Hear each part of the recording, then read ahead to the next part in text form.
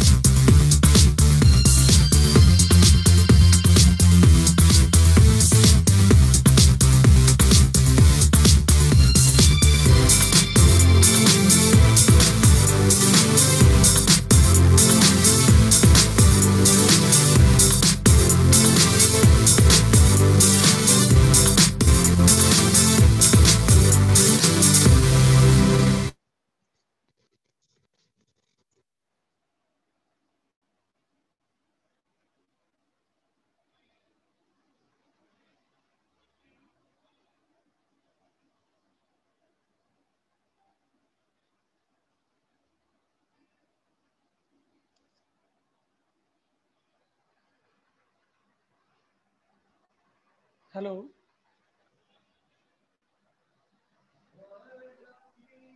Hello,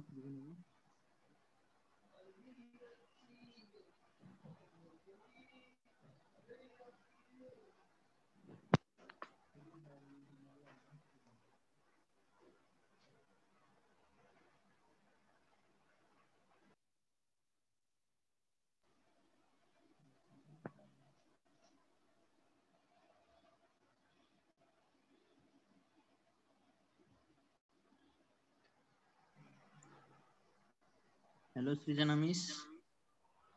Please unmute your mic and start.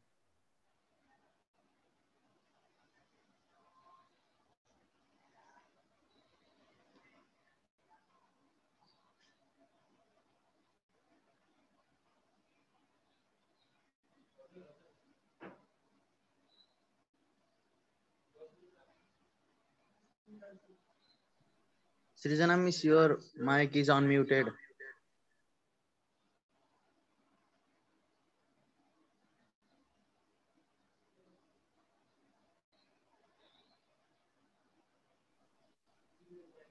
Samir sir, please follow her. Hello. Srijana Miss.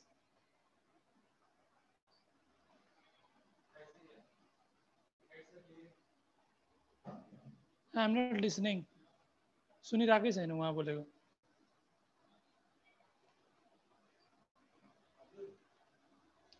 Mic off छ हजुरको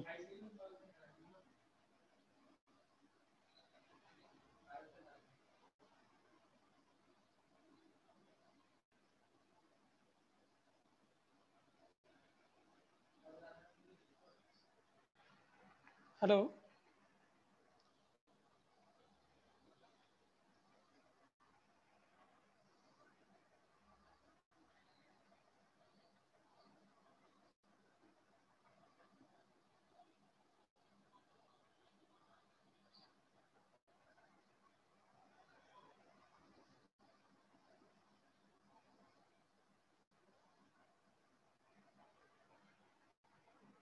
hello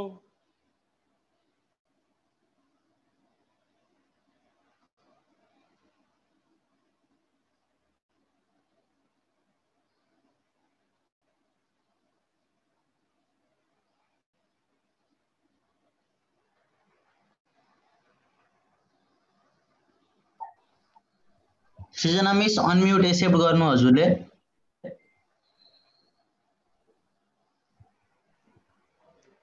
होस्टबाट हजुरलाई अनम्युटको request आएको छ हजुरले accept गर्नु।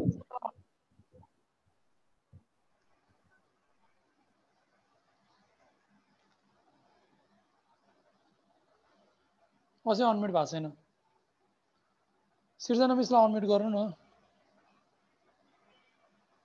होइन यताबाट अनम्युट भएको छ उहाँले एक्सेप्ट गर्नुपर्छ क्या ए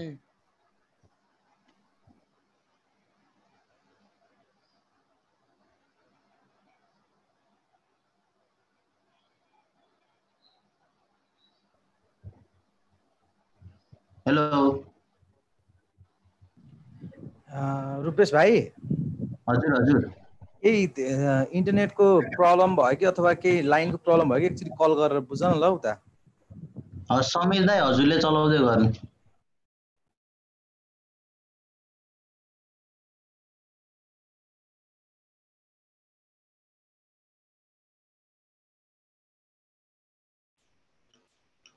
Hello. Hello. Uh, is my voice audible? Yeah, now it's audible.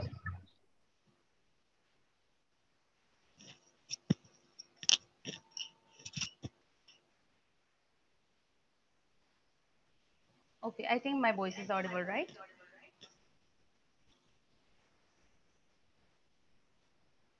Uh, मेरो आवाज सुन्नुभएको छ हजुर हजुर को होस्ट बाहेक अरू को होस्टको सबैजनाले आफ्नो माइक्रोफोन अनम्युट ए, म्युट गरिदिनु होला सिर्जना मिस बाहेक Okay, thank you so much, everyone. I'm I'm al- I'm also really very sorry for the technical issues that uh, occurred just now. Uh, well, let's start this. Uh, well, I was uh, going to start from the very uh, one quotation. Uh, let me start. Uh, Don't let the world change your smile. Let your smile change the world. With this, I would like to welcome all of you to the grand webinar series of careers after plus two in Nepal. Uh, this is me Srijana Tamrakar with my co-host Samir Chapagai and we would like to welcome you all to the grand webinar series. आजको यो grand webinar series के बारेमा रहेको छ के के हुनेछ आजको यो सेसनमा भन्ने बारेमा हामी अ, पक्कै पनि डिस्कस गर्ने नै छौँ। र फर्स्टमा त हिजो भर्खर एसईको रिजल्ट आएको छ so first I want congratulate to each and every SEE graduates जसले चाहिँ एसई पास गर्नुभएको छ राम्रो जिपिए ल्याउनु भएको छ या जति पनि जिपिए ल्याउनु भएको छ उहाँहरू सम्पूर्णको लागि चाहिँ धेरै धेरै धेरै बधाई दिन चाहन्छु। र एउटा कस्तो छ भन्दाखेरि स्टुडेन्ट लाइफ भनिसकेपछि चाहिँ गोल्डन लाइफ भनेर हामीले चिन्ह गर्छौँ। गोल्डन लाइफ भनेर चाहिँ हाम्रो एक्सपर्टहरूले हाम्रो फ्यामिली मेम्बर्सहरूमा जताततै student life is a golden life भनेर कुरा गरिन्छ। तर स्टुडेन्ट लाइफलाई गोल्डन कसरी बनाउने त? स्टुडेन्ट लाइफमा यति धेरै कन्फ्युजन यति धेरै क्वेसनहरू आउँछ। द्याट वी ओन्ली फेस होइन? हामी त स्टुडेन्ट भइसकेपछि बल्ल थाहा भइरहेको हुन्छ कि हामीले कस्तो कस्तो अब्स्ट्याकल फेस गर्नुपर्छ। हामीले कस्तो खालको कन्फ्युजन हाम्रो लाइफमा आइपर्छ भन्ने कुरा त हामीले स्टुडेन्ट लाइफमै थाहा पाउँछौँ। So student life golden life त छ तर स्टुडेन्ट लाइफमा स्टुडेन्ट लाइफलाई गोल्डन लाइफ बनाउनको लागि हामीले कस्तो कस्तो अब्स्ट्याकल्सहरू फेस गर्नुपर्छ भन्ने कुरा त हामी आफैले सिक्नुपर्ने हुन्छ हामी आफैले थाहा पाउनुपर्ने हुन्छ। नाउ सो हियर डिफ्रेन्ट खालको क्वेसन्सहरू रहेको हुन्छ हामीले करियर्सको रिलेटेड करियर हाम्रो के हुनेछ? मैले एसई पास गरेँ तर मेरो करियर के हुनेछ? मैले के कुन सब्जेक्ट चुज गर्नु होला? मैले साइन्स चुज गरौँ कि म्यानेजमेन्ट चुज गरौँ कि या कुनै ह्युम्यानिटिज चुज गरौँ कि मैले प्लस टू पास गरेँ। सो हामी यहाँ एसई मात्र नभइकन एसई ग्रेजुएट मात्र नभइकन प्लस टू ग्रेजुएटहरू पनि हुनुहुन्छ। प्लस टू पनि okay so plus two pass pass गरेर बस्नुभएको स्टुडेन्ट्सहरू हुनुहुन्छ प्लस टू पढ्दै गर्नुभएको स्टुडेन्ट्सहरू हुनुहुन्छ र साथै ब्याचलरको पनि स्टुडेन्टहरू हुनुहुन्छ। यहाँ हर लेभलको स्टुडेन्टहरू आज वेबिनार सिरिजमा हाम्रो युट्युब लाइभ तथा फेसबुक लाइभ र जुमबाट पनि हामीलाई हामीसँग जोडिनु भएको छ यो लाइभ वेबिनार सिरिजमा आज हामी डे वानमा रहेका छौँ। डे वानमा हामीले के कस्तो बारेमा कुराकानी गर्नेछौँ भनेर हामी ढिला नगरिकन स्टार्ट गर्नेछौँ। र पक्कै पनि हामीले कस्तो खालको करियर डेभलप गर्न सक्छौँ त? हाम्रो जब स्यालेरी के होला? हाम्रो जब के होला? हामीले कति स्यालेरी पाउन सक्छौँ? मैले कुन चाहिँ सब्जेक्ट लिने होला? प्लस टू पछि मैले साइन्स त लिएँ तर साइन्स पछिको अर्को फर्दर सब्जेक्टहरू के हुन सक्ला? मेरो म्यानेजमेन्ट छ। मैले म्यानेजमेन्ट पछिको फर्दर एकाडेमिक स्टडिज मैले के गर्न सकौँला? मैले मास्टर्समा कुन सब्जेक्ट पढ्ने? मैले ब्याचलरमा कुन सब्जेक्ट पढ्ने? ओहो कति धेरै क्वेसनहरू छ। यो सबै क्वेसनहरूको एन्सर दिने काम गर्नेछौँ हामी यो वेबिनार सिरिजबाट यस आजको यो ग्रान्ड वेबिनार सिरिजमा हामीसँग गेस्ट स्पिकर्सहरू विभिन्न विधामा रहेर आफ्नो प्रोफेसनल दायरामा एकदमै एक्सपर्ट भएर अगाडि बढ्नुभएका प्रोफेसनल्सहरू हाम्रो अगाडि हाम्रो साथमा आजको यो जुम मिटिङमा हुनुहुन्छ। र यो जुम मिटिङमा तपाईँहरूले पनि क्वेसन एन्सर राउन्ड पनि रहनेछ तपाईँले आफ्नो क्वेसन आफ्नो मनमा लागेको क्वेसनलाई चाहिँ अगाडि फरवार्ड गर्न सक्नुहुनेछ। हाम्रो एक्सपर्टहरूसँग सोल्युसन लिन सक्नुहुनेछ। हाम्रो एक्सपर्टहरूसँग काउन्सिलिङ लिन सक्नुहुन्छ। तपाईँले एसी लिन एसी दिएर बस्नुभएको छ प्लस टू दिएर बस्नुभएको छ ब्याचलरको एक्जाम दिएर बस्नुभएको छ ब्याचलर रनिङ हुनुहुन्छ। सबै खालको क्वेसनको एन्सरहरू हामी यो वेबिनार सिरिज मार्फतबाट दिने कोसिस गर्नेछौँ। र पक्कै पनि as a webinar grand webinar सिरिजको day one रहेको छ। आज हामी इन्जिनियरिङको बारेमा कुराकानी गर्नेछौँ। इन्जिनियरिङ फिल्डको स्कोप के कस्तो छ नेपालमा? इन्जिनियरिङ फिल्डको करियर के छ नेपालमा? हामीले इन्जिनियरिङ फिल्ड कसरी पढ्न सक्छौँ? इन्जिनियरिङको ओभरअल कभरेज अझै भन्नुपर्दाखेरि मैले इन्जिनियरिङको फिल्डको specially computer engineering electrical engineering BSc CSIT BCA BIM BIT civil engineering. Okay मैले यो सबै क्याटेगोरीहरू भन्दाखेरि त ओहो मेरो पनि सब्जेक्ट मैले सोचेको सब्जेक्ट पनि यहाँ भन्नुभयो दिदीले भन्नुभयो सोच्नु भएको छ भने यस यो राइट यहाँ इन्जिनियरिङको ओभरअल कभरेज हुनेछ आजको यो वेबिनार ग्रान्ड वेबिनार सिरिजमा यदि तपाईँलाई कुनै पनि क्वेसनहरू सोध्न मन लागेको छ आजको यो ग्रान्ड वेबिनार सिरिजमा पनि यु क्यान इजिली आस्क र हाम्रो टेन मिनट्स गेस्ट स्पिकरको सेसन पछि हाम्रो टेन मिनट्स क्युएनए सेसन रहनेछ जहाँ तपाईँलाई युट्युबमादेखि फेसबुकमा र साथै यही आफ्नो ह्यान्ड रेज गरेर पनि आफ्नो क्वेसन्सहरू अगाडि राख्न सक्नुहुनेछ। Well without further delay let's start the today's webinar series of grand webinar series of careers after plus two in Nepal र अब भने म ढिला नगरिकन हाम्रो यस कार्यक्रमको अर्गनाइजर हाम्रो यस वेबिनारको अर्गनाइजर एकदमै एक्टिभ एकदमै ड्यासिङ युथ मिस्टर रुपेश अर्यालाई यस फ्लोरमा निम्त्याउन चाहन्छु। उहाँ BE in engineering BE computer engineering at UTech कलेजमा उहाँले इन्जिनियरिङ पढ्दै हुनुहुन्छ। र थुप्रै युथ एक्टिभिटिजहरूमा पनि उहाँ अगाडि बढ्नुभएको छ. So let's welcome the organiser of our grand webinar series mister Rupesh Saral Rupeshji the room is yours thank you Srijana miss नमस्कार म रूपेश सरयाल आजको यस कार्यक्रमको अर्गनाइजरको रूपमा प्रस्तुत हुन पाएको छु र साथसाथै म विभिन्न सामाजिक क्रियाकलापमा पनि लागिरहेको छु सर्वप्रथम त आज यस कार्यक्रममा आफ्नो सिप र ज्ञानलाई विद्यार्थीसम्म प्रस्तुत गर्नुहुने स्पिकर्स एक्सपर्ट्सहरूलाई म हार्दिक आभारका साथ यस कार्यक्रममा स्वागत गर्न चाहन्छु। यसका साथसाथै हामीलाई यस कार्यक्रममा सञ्चा कार्यक्रम सञ्चालनमा सहयोग गर्नुहुने होस्टहरू टेक्निकल टिम र विद्यार्थी सम्पूर्णलाई पनि म यस कार्यक्रममा स्वागत गर्न चाहन्छु र साथसाथै मेरो यो कार्यक्रममा सहयोग गर्नुहुने सेन्ट जेभियर इन्स्टिच्युट र एनएसयु गैडाको टुलाई पनि म अहिले सम्झिन चाहन्छु। What after plus two what after plus two webinar series चाहिँ हाम्रो छवटा विधामा रहेको छ। त्यो छ दिनको हरेक डिफ्रेन्ट डिफ्रेन्ट विधामा प्रोग्राम रहनेछ। त्यसमध्येको आजको पहिलो चरणको कार्यक्रम चाहिँ हामी इन्जिनियरिङ र आइटी रिलेटेड फिल्डमा गर्न गइरहेका छौँ। र मैले देखिरहेको हुन्छु प्लस टू पछि अधिकांश विद्यार्थीहरू अधिकांश विद्यार्थीहरू आफ्नो भविष्यको डिसिजन गर्न गाह्रो मान्छन्। कुन सब्जेक्ट पढ्ने कुन कलेज पढ्ने अब कसरी अगाडि बढ्ने कुरामा एकदमै दोधारमा पर्छन् उनीहरू र एकदम आफ्नो इन्ट्रेस्टलाई नबुझी एकदम डिटेलमा इन्फर्मेसन नबुझिकन विद्यार्थी साथीभाइको लैलैमा लाएर पारिवारिक दबावमा परेर सब्जेक्टहरू रोज्ने गर्छन्। जुन कुराले गर्दा उहाँहरूलाई एकदमै पछि एफेक्ट गर्ने गर्दछ। आफ्नो इन्ट्रेस्ट बिनाको सब्जेक्ट पढेपछि पढाइमा पनि गाह्रो हुने स्किल्सहरू डेभलप गर्न गाह्रो हुने जबमा पनि राम्रो पर्फर्मेन्स नहुने गर्छ त्यसले उहाँहरूलाई एकदमै हानि पुऱ्याउँछ। त्यस कारणले आजको यस कार्यक्रममा हामीले एससी दिएर बस्नुभएका प्लस टू पढिरहनुभएका भाइ बहिनीहरूलाई टार्गेट गरेर यस प्रोग्राम गरेका हौँ। किनकि उहाँहरूले सबै सब्जेक्टको डिटेल इन्फर्मेसन बुझ्नुभयो भने डिटेल गाइडेन्स पाउनुभयो भने इन्ट्रान्स प्रोसिड्युर पछिको करियर ल चार वर्षमा के के कन्टेन्टहरू पढ्नुपर्छ त यसको यस्तो टाइपको कन्टेन्टहरू उहाँहरूले जान्नुभयो भने उहाँहरूले आफ्नो इन्ट्रेस्ट भेटाउनुहुन्छ। मलाई केमा इन्ट्रेस्ट छ त म केमा गर्न सक्छु त? यस्तो कुराहरू उहाँहरूले थाहा पाइसकेपछि उहाँहरू निर्धक्कका साथ प्लस टू पछि ब्याचलर जोइन गर्न सक्नुहुन्छ भन्ने मूल उद्देश्यकै साथ मैले यो प्रोग्राम अर्गनाइज गरेको हुँ। मलाई लाग्छ पक्कै पनि यो इफेक्टिभ हुने नै छ विद्यार्थीहरूले नलेज पाउनु हुनेछ। र अन्तिममा यस कार्यक्रममा जोडिनु भएका सबैलाई आफ्नो ठाउँबाट आफ्नो कर्तव्य पुरा गर्दै यस कार्यक्रमलाई शानदार रूपमा प्रस्तुत गरिदिनु हुनुको लागि म सबैलाई अनुरोध गर्दछु। हस् धन्यवाद।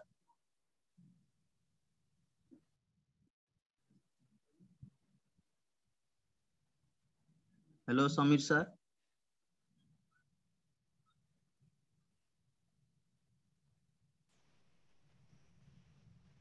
Okay, thank you so much, uh, हाम्रो young र very. Rupesh Aryalji. उहाँले आफ्नो जुन भिजन लिएर अगाडि बढ्नु भएको छ स्टुडेन्ट्सहरू नेपालको जति पनि स्टुडेन्ट्सहरू हुनुहुन्छ उहाँहरूको करियर भविष्य कस्तो हुन्छ कसरी हामी अगाडि बढ्न सक्छौँ भन्ने खालको उद्देश्य लिएर जुन यो वेबिनार सिरिज अर्गनाइज गर्नुभएको छ यो वेबिनार सिरिज तथा यो भिजन निकै नै सराहनीय छ। We really appreciate your work र अब भने म आफ्नो को होस्ट समीर चापागालाई यो रुममा बोलाउन चाहन्छु र Sameerji.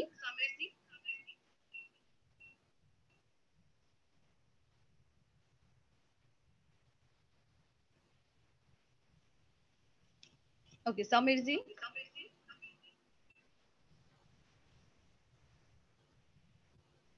okay I think हाम्रो को होस्ट समीर चापा चापागाईजीको सायद नेटवर्कमा केही प्रब्लम इस्युज आएको छ होला सायद हजुरले यो कुरा त बुझ्नु नै भएको छ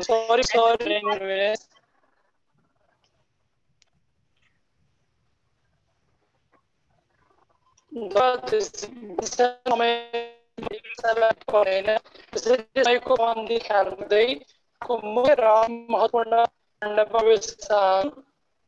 the question of facts हाम्रो गेस्ट स्पिकरको हामी जनाहरू छौँ र त्यहाँ शुभकामनाहरू विक्रम दीक्षा गरी अब केही समय हुन्छ without for delay just like mind boarding के चाहन्छु silent the year to execute pus examinations, that's pus on six now measures.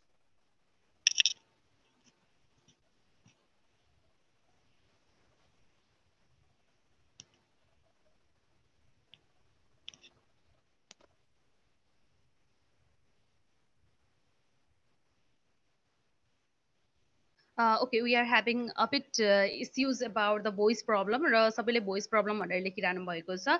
अलिकति टेक्निकल प्रब्लम हुन्छ र यो प्रब्लमलाई चाहिँ सबैजनाले सबैजना हाम्रो पार्टिसिपेन्ट्सहरूले एक्सेप्ट गरिदिनु हुनको लागि पनि म अनुरोध गर्न चाहन्छु। Well let me call upon without further delay let me call upon the guest speaker for today's programme र आज इन्जिनियरिङको बारेमा हामीले जान्नेछौँ है?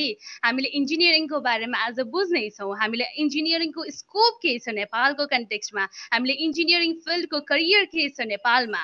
यो सबै बारेमा हामीले इन्जिनियरिङको ओभरअल कभरेज गर्नेछौँ भनेर हामीले जुन वेबिनारको बारेमा पब्लिस पनि गरेको थियौँ सायद हजुरले सबै पिक्चर्सहरू पोस्टर्सहरू पनि हेरिसक्नु भएको छ होला।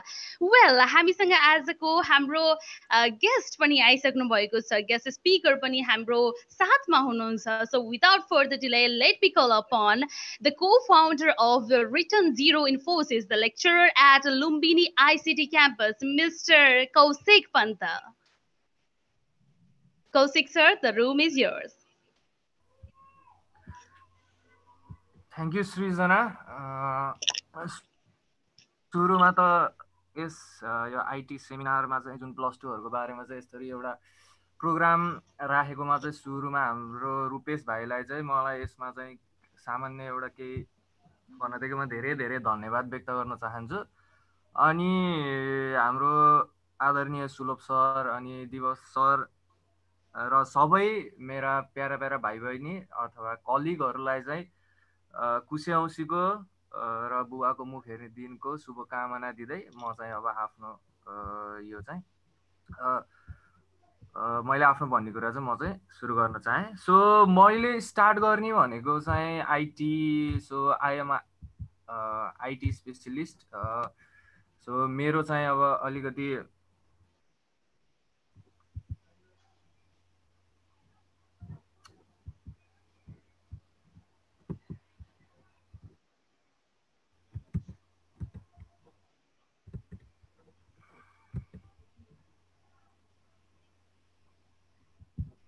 स्क्रिन आएको छ कि नै?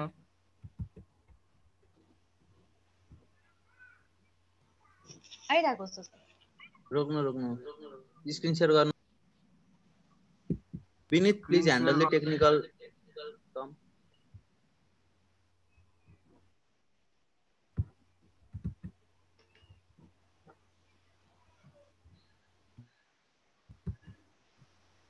Please check all the coast and remove the one who is disturbing here.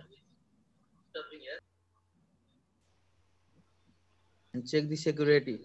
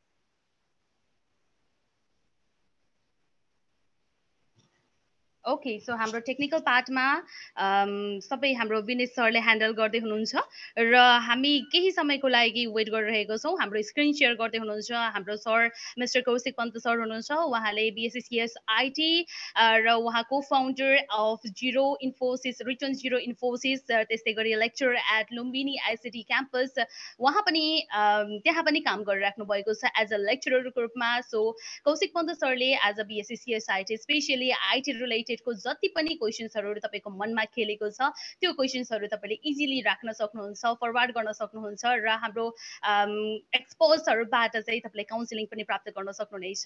र फाइनली हाम्रो स्क्रिन सेयर भइसकेको छ so let me let me hand over this mike to mister Kaushik Pant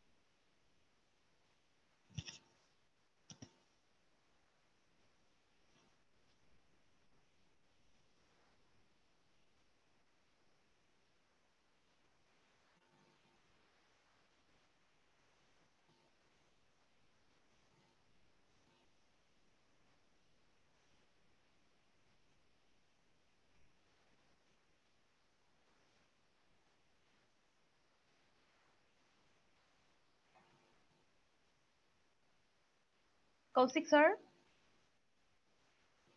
are you there?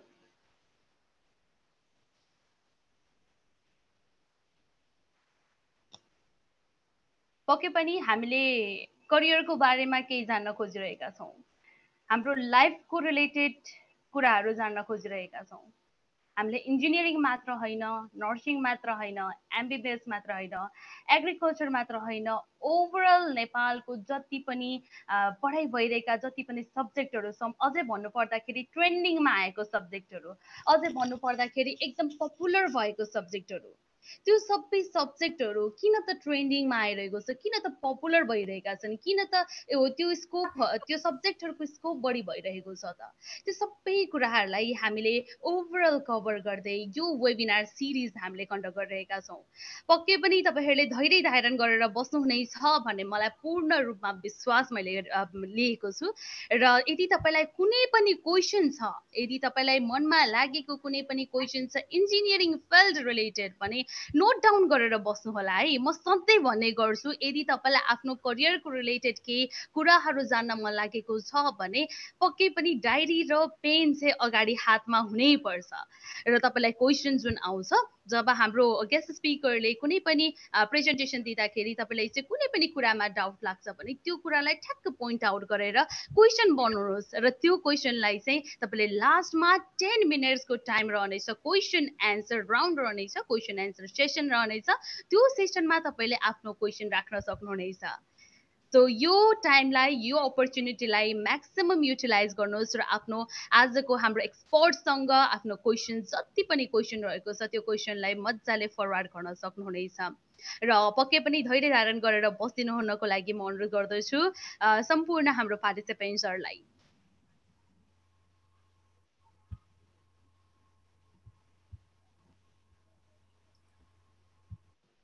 okay let's talk about IT IT अहिलेको लागि चाहिँ हाम्रो चाहिँ के भइरहेको छ त? सो आइटी आइटीको लागि चाहिँ अब हामीसँग चाहिँ आइटी फिल्डमा चाहिँ दुइटा कुरा हुन्छ। एउटा हुन्छ कम्प्युटर साइन्स एन्ड एउटा हुन्छ information technology so computer science totally goes for the core computer theoretical part भनेर आइटी भनेको चाहिँ अहिलेको लागि हाम्रो चाहिँ इमर्जिङ पार्ट हो। सो आइटी नै किन त अहिलेको लागि आइटी नै किन त भन्दाखेरि इट्स द फ्युचर हो। Every one is talking about अथवा कस्तो हुन्छ त भन्दाखेरि कोही न कोही मान्छे कुनै न कुनै तरिकाले चाहिँ कुनै न कुनै एउटा आइटी फिल्डसँग चाहिँ रिलेटेड भएको हुन्छ। सो टकिङ एबाउट मेरो आफ्नै घरमा चाहिँ कुरा गर्दाखेरि म त अब आइटीको भइहालेँ so my mom is not an IT उहाँले चाहिँ अब फेसबुक चलाउनुहुन्छ इन्टरनेट चलाउनुहुन्छ युट्युबमा भिडियोहरू हेर्नुहुन्छ हो टिकटकहरू यताउति हेर्नुहुन्छ।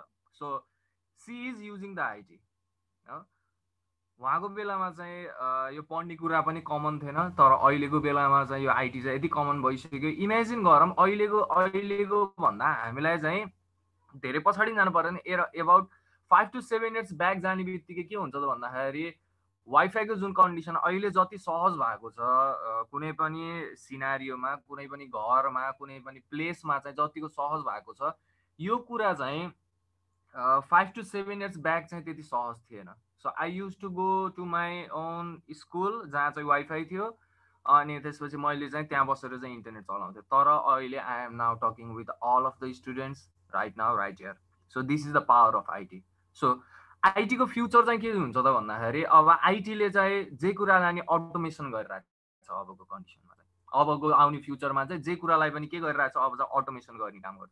So IT is the future अब चाहिँ हाम्रो चाहिँ यो चाहिँ मेरो Maslow's hierarchy of the needs छ। So Maslow hierarchy of the निड्समा चाहिँ यो राइट साइडमा मैले देख्न सक्छु। Self actualisation social acceptance esteem safe safety and security physical यिनीहरू चाहिँ मेरो चाहिँ पहिलाको थियो भने अब चाहिँ एउटा के जोडिसक्यो त वाइफाई जोडिसक्यो अथवा इन्टरनेट भन्ने कुरो चाहिँ अब हाम्रो हाइरेर्की अफ निड्समा चाहिँ जोडिसक्यो।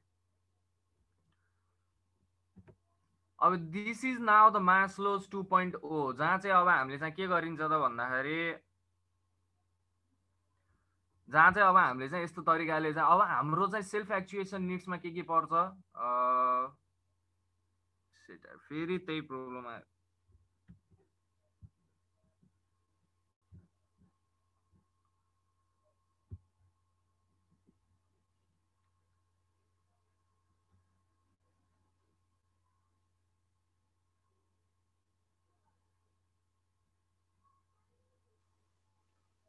IT expert Kaushik sir will explain more about IT र आजको हाम्रो आइटीका जिज्ञासाका साथीहरू अझ भनौँ विद्यार्थी साथीहरूलाई पक्कै पनि आज आइटीको बारेमा धेरै कुरा ज्ञान हुनेछ। हामीले त्यो विश्वास पनि लिएका छौँ। र अघिको प्राविधिक कठिनाइको लागि म क्षमा प्रार्थी छु। र आजको कार्यक्रम ग्रान्ड वेबिनार सिरिज भनिरहेका छौँ र पक्कै पनि विद्यार्थीहरूको उच्चतम सहभागिताको कारणले गर्दाखेरि आजको प्रोग्राम ग्रान्ड हुनेमा हामी पूर्ण आशावादी छौँ। र इन्फर्मेसन टेक्नोलोजी हुन त अहिलेको जमाना भनौँ न विश्व नै एउटा साँगुरो गाउँ बनिरहेको छ। हामी डेभलपमेन्ट यति धेरै भइराखेको छ टेक्नोलोजीको डेभलपमेन्ट छ साइन्स पनि त्यही अनुसारको डेभलपमेन्ट भइरहेको छ। यो क्षणमा आइटी आवश्यकता महसुस गर्न सकिन्छ। आइटी एकदमै चाहिने चिज पनि हो र आइटी अहिलेको यो साइन्टिफिक वर्ल्डलाई चाहिने चिज हो र अब भने हामी फेरि पनि कौशिक पन्त सरलाई नै जोड्न चाहन्छौँ।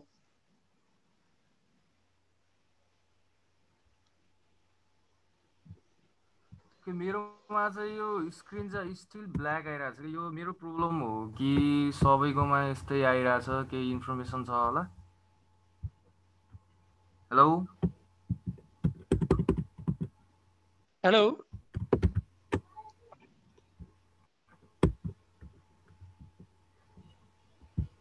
मेरो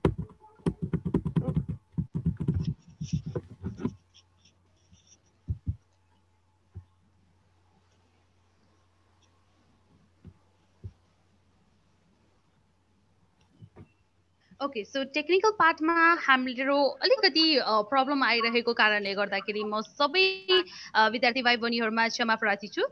तर त्यो होइन कि हाम्रो टेक्निकल पार्ट एकदमै स्ट्रङ तरिकाले हामी जानुपर्ने हुन्छ। हामी मात्र नभइकन हामी सबैजना विद्यार्थी भाइ बहिनीहरूले यो टेक्निकल इस्युजलाई त सपोर्ट गर्नै पर्छ जस्तो लाग्छ। हामी नेपाल जस्तो देशमा छौँ एउटा नेपाल एउटा डेभलपिङ कन्ट्री हो र पक्कै पनि हाम्रो कनेक्सन र इस्यु यो कम्युनिकेसनको केसमा हामी अलिकति डेभलपिङ स्टेजमै छौँ र यो डेभलपिङ स्टेजमा हामीले एकअर्कालाई सपोर्ट गरेर अगाडि जानै पर्ने हुन्छ। र मैले यहाँ देखेको छु कि हाम्रो पार्टिसिपेन्ट्स ओभरअल हन्ड्रेड एबोभ भइसकेको कारणले गर्दाखेरि जति पनि तपाईँको साथीहरू हुनुहुन्छ तपाईँको फ्रेन्ड सर्कल जति पनि हुनुहुन्छ यदि उहाँहरू पनि जोइन गर्न चाहनुहुन्छ भने फेरि पनि इन्फर्म गर्दैछु। हाम्रो फेसबुक पनि लाइभ गइरहेको छ। हाम्रो त्यस्तै गरी युट्युबबाट पनि लाइभ गइरहेको छ। करियर टक सृजना ताम्रकारबाट युट्युब लाइभ लाइभ गइरहेको छ भने फेसबुकमा करियर्स आफ्टर प्लस टू भन्नेबाट ग्रुपबाट चाहिँ हाम्रो लाइभ भिडियो गइरहेको छ। सो तपाईँलाई कुनै पनि डाउट रहेको छ भने मैले यहाँ च्याट बक्समा पनि देखिरहेको छु। थुप्रै क्वेसन्सहरू राखिरहनु भएको छ। अहिलेबाट नै मैले अघि नै पनि भने एउटा डायरी लिएर बस्नु होला। किनकि त्यो डायरी लिएर बस्नुभयो भने तपाईँलाई पनि सजिलो हुन्छ। च्याट त कति माथि पुगिसक्छ। अहिले पछि टेन मिनट्सको सेसन राख्दाखेरि। सो तपाईँले आफ्नो डायरी लिएर चाहिँ त्यसमा नोट डाउन गरेर क्वेसन नोट डाउन गरेर राख्नु होला। र आई थिङ्क हाम्रो फ्युज ह्यान्डल भइसकेको छ। सो लेट मी ह्यान्ड हेर न यार मेरो यो स्क्रिन नै ब्ल्याङ्क भएर यार यहाँ दिमाग खराब भयो। के भयो कि के भयो?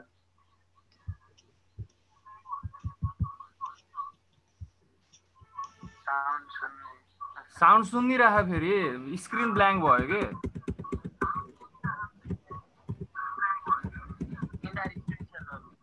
इन्टायर स्क्रिन केही पनि स्क्रिन नै ब्ल्याङ्क भइरहेको पुरै।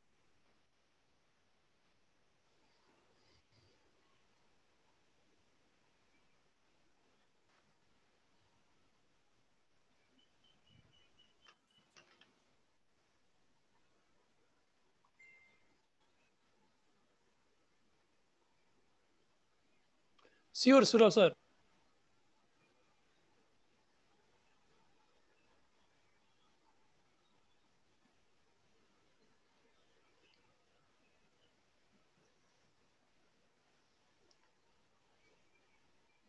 पक्कै पनि हाम्रो कौशिक सरले अहिले आइटीको बारेमा धेरै कुरा जानकारी दिनुहुनेछ हामी यसमा पूर्ण आशादी छौँ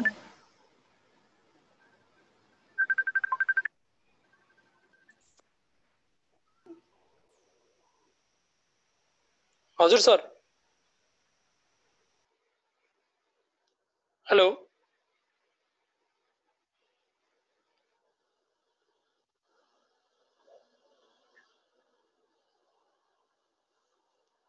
सृजना मिस? हजुर। हाम्रो करियर टक सिरिज पक्कै पनि ग्रान्ड हाम्रो करियर टक सिरिज पक्कै पनि ग्रान्ड हुँदैछ। पक्कै पनि एकदमै ग्रान्ड हुने नै छ। किनकि यो एउटा मात्रै करियरको होइन एउटा मात्रै स्टुडेन्टको होइन तपाईँको होइन मेरो होइन यहाँ सबै स्टुडेन्टको भविष्यको सवाल छ। सबै स्टुडेन्टले जान्नै पर्ने कुरा रहेको छ। टेक्निकल इस्युज त हरेक फिल्डमा आउँछ। हरेक फिल्डमा केही न केही अब्सट्याकल्सहरू त आउँछ। तर त्यो अब्सट्याकल्सहरूलाई हामीले पार गर्दै अगाडि बढ्नुपर्ने हामी स्टुडेन्ट्सको पनि दायित्व हो। चाहे हामी एसई ग्रेजुएट हौँ चाहे हामी प्लस टू ग्रेजुएट हौँ चाहे हामी ब्याचलर पढिरहेका हौँ तर हाम्रो मेन उद्देश्य भनेको लर्निङ हो। जहाँ गए पनि हामी लर्निङ र टिचिङमा हामी अगाडि बढ्दै जान्छौँ। हामी टिचिङ र लर्निङलाई जब हामीले अगाडि बढाउँदै लान्छौँ तब मात्र हाम्रो लाइफ सक्सेसतिर जानेछ जस्तो मलाई लाग्छ। र यहाँ थुप्रै भाइ बहिनीहरूले यहाँ पार्टिसिपेन्ट्सहरूले यो च्याट बक्समा च्याटिङ गरिराख्नु भएको छ मेसेज पठाइराख्नु भएको छ। सो पक्कै पनि हामीले यो इस्युज तपाईँले मात्र होइन हामी सबैले फेस गरिरहेका छौँ। सो लेट्स वेट र हामीले यो सेसनलाई चाहिँ कसरी अझै पनि इफेक्टिभ बनाउन सक्छौँ भन्ने कुरामा चाहिँ तपाईँहरूको पार्टिसिपेसनले पनि एकदमै महत्त्वपूर्ण भूमिका खेलेको हुन्छ। तपाईँले पार्टिसिपेसन गर्नुभएको छ पार्टिसिपेट हुनुभएको छ and we are really thankful for that तर त्यति मात्र होइन तपाईँको क्वेसन पनि के छ? तपाईँको सोच के छ? तपाईँले करियर केमा आफ्नो करियर केमा डेभलप गर्ने सोच्नु भएको छ? कस्तो होला तपाईँको करियर तपाईँको जब के होला? तपाईँले कति स्यालेरी पाउन सक्नुहोला? के सोच्नु भएको छ यो बारेमा?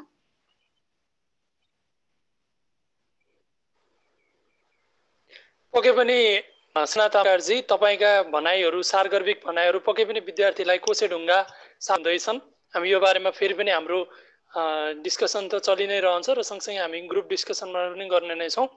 र अहिले भने हामी कौशिक सरलाई एकैछिन गरेर हामी इन्जिनियर सुलभ अधिकारी सरतर्फ लाग्ने हो कि?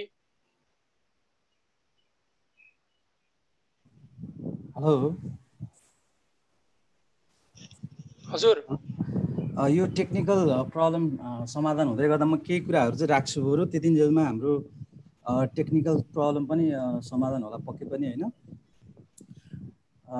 सबैभन्दा पहिला म स्टार्ट गर्छु। अलिकति आज हामी प्रेजेन्टेसनमा करियर काउन्सिलिङमा चाहिँ हामी के के कुराहरू गर्छौँ त्यसको बारेमा विद्यार्थी भाइ बहिनीहरूलाई जानकारी दिन्छौँ। सबैभन्दा पहिला मैले आफ्नो परिचयबाट सुरु गरेँ। मेरो नाम चाहिँ सुलभ अधिकारी र म मेरो ब्याकग्राउन्ड चाहिँ म इन्जिनियरिङ ब्याकग्राउन्ड हो। हामीले आज तिनवटा प्लेटफर्ममा तिनवटा सेक्टरमा एउटा चाहिँ इन्फर्मेसन टेक्नोलोजी आइटीमा करियर बनाउने स्टुडेन्टहरूको लागि विद्यार्थी भाइ बहिनीहरूको लागि चाहिँ कसरी अगाडि बढ्नुपर्छ होइन? र हामीले यो लकडाउनको जुन यो अहिले पेन्डेमिक सिचुएसन भइरहेको छ अहिले हामी घर घरमा छौँ पक्कै पनि यो सेसन चाहिँ हामीले अझ अगाडि गर्न गर्न पाएको भए विद्यार्थी भाइ बहिनीहरूले त्यही अनुसार तयारी गर्नुहुन्थ्यो। किनभने प्लस टूको परीक्षा रोकिएको छ अहिले हुन सकिरहेको छैन। र हामी कुनै पनि विषय पढ्दै गर्दाखेरिमा पछि हामीले जुन फिल्डमा जानु पर्दाखेरि पनि कम्पिटिसन अभियसली छ र राम्रो युनिभर्सिटीमा राम्रो फ्याकल्टीमा हामीले इनरोल हुनको लागि चाहिँ इन्ट्रान्स हामीले पार गर्नुपर्ने हुन्छ। इन्ट्रा इन्ट्रान्स इक्जामलाई हामीले क्र्याक गर्नुपर्ने हुन्छ होइन?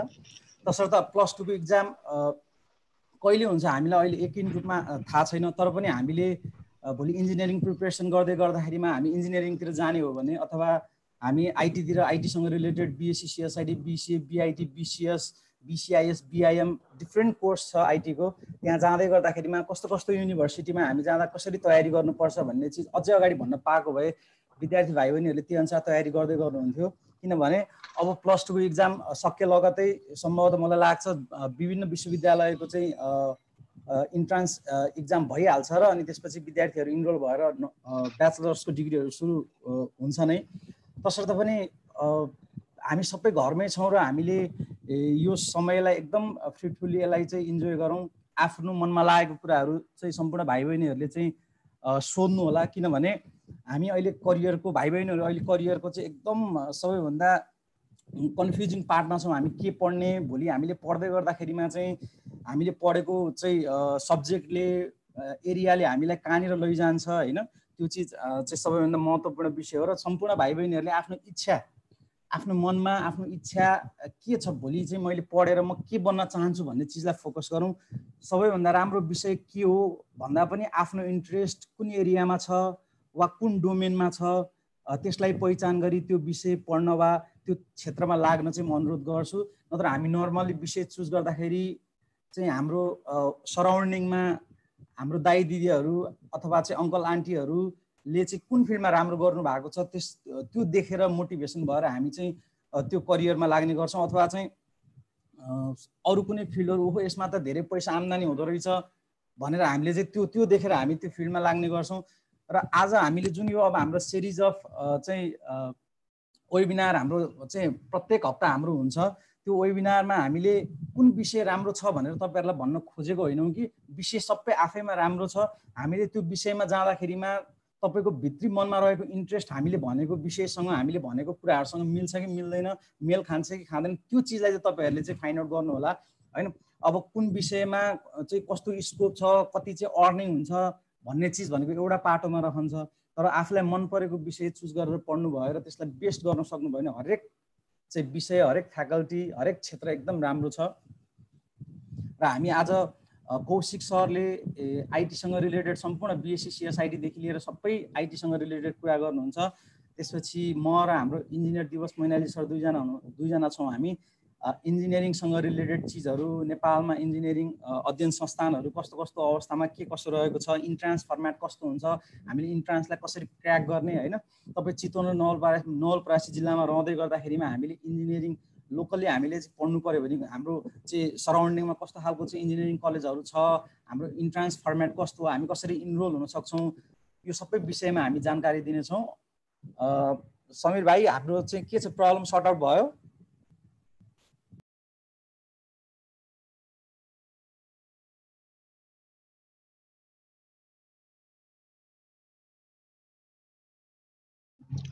सुलभ सर हजुरले इन्जिनियरिङको सेसन दिँदा हुन्छ अहिले। ओके त्यस हुन्छ ल। म म इन्जिनियरिङको स्टार्ट गर्छु है त त्यस भए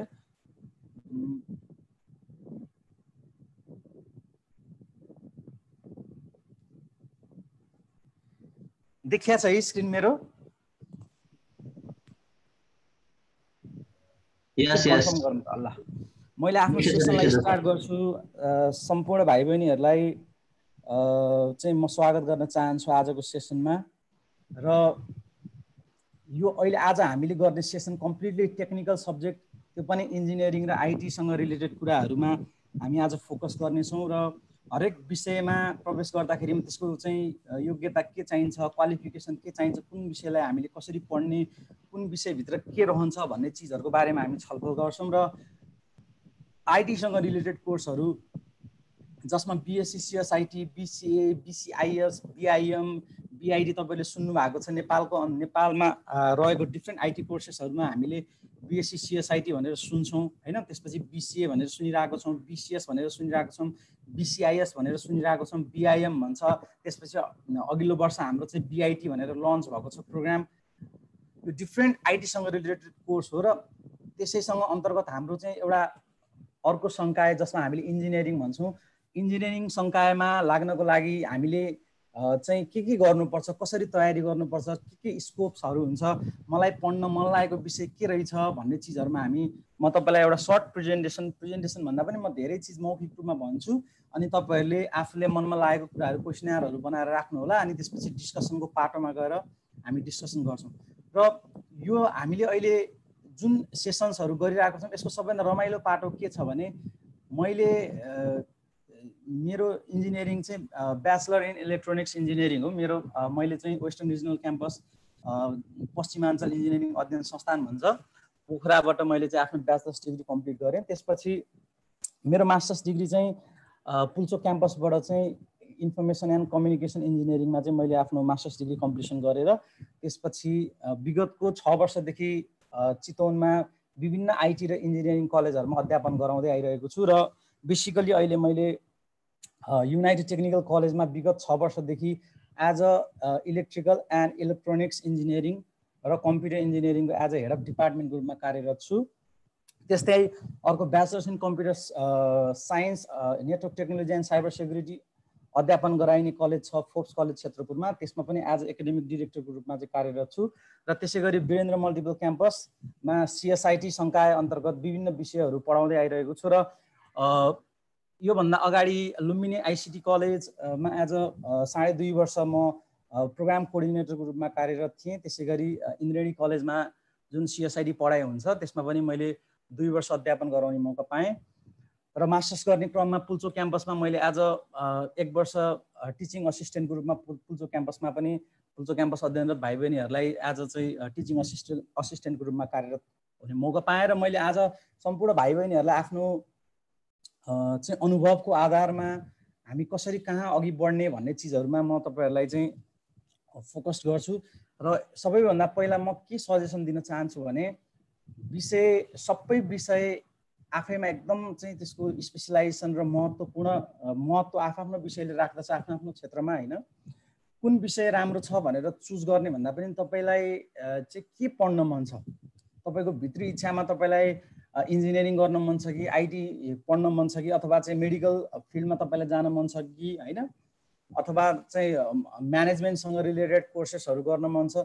त्यो आफ्नो इच्छा अनुसारको विषयहरू चुज गर्न अनुरोध गर्न चाहन्छु र इन्जिनियरिङ हामीले जेनरली सानैदेखि के बन्ने भन्दाखेरिमा इन्जिनियर पढ्ने इन्जिनियर पढ्ने भन्छौँ। तर इन्जिनियरिङ भनेको यति ठुलो एरिया छ यति ठुलो डोमेन छ त्यहाँभित्र चाहिँ प्रत्येकको आफ्नो आफ्नो एउटा स्पेसलाइज क्षेत्रहरू छ।